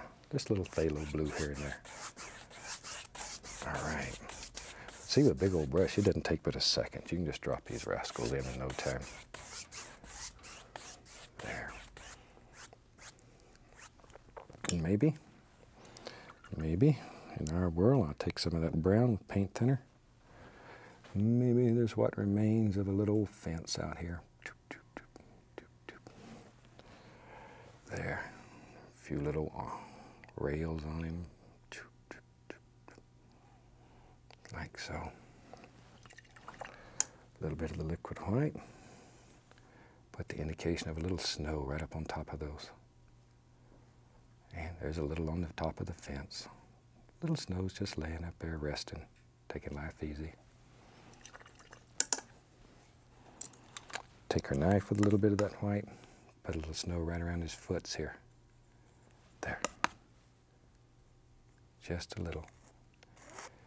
There, maybe it's piled up right in there. Okay.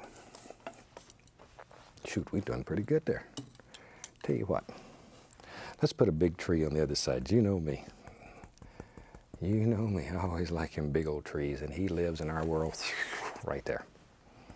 That's your bravery test. Right there. Right there. Just drop him in. We'll put some bushes and some weeds and all that stuff around his little foots. I'll just use the top corner of the old two inch brush and just tap in a few little things. Maybe right on out like that. I don't know. There. Just tap them in. Might even have a, maybe there's a baby tree lives there too. Little baby tree. Right in there. See, just when you're doing these things, just sort of look at them. Make up your mind. Drop them in. Maybe there's some little sticks and twigs and good things like that. Wherever. As I mentioned, this is the last show of the 24th series. I really hope you've enjoyed this series. And I also mentioned in one of the earlier series where we're thinking about putting together a series because so many people have wrote and said, I haven't got to see all the shows and there's over 300 shows, how can I see them, etc., etc. We're putting together a series now we're going to call the best of the joy of painting. And I've went through and picked out my favorite paintings from the last couple of hundred shows. And we're going to put those together at random and create a whole new series called the best of the joy of painting. So you can see the painting series from the time it started till today. If you'd like to see that give your station a call. Tell them you're interested in it. I'm going to take a little brown and white and just barely touch this Give it a little sideward pull. There. You know, and as we get close to the end of this old series, there's so many people I'd love to thank for making all this possible. And I just, there isn't time to thank everybody. But there's so many special people, and I'd like to mention just a couple. Our partners, Walt and Annette Kowalski. You know, Annette writes all of our books and puts them together. She's a fantastic artist in her own right. And my wife, Jane, a super, super lady that has believed in me for the last 24 series, and, and she's helped make all this possible.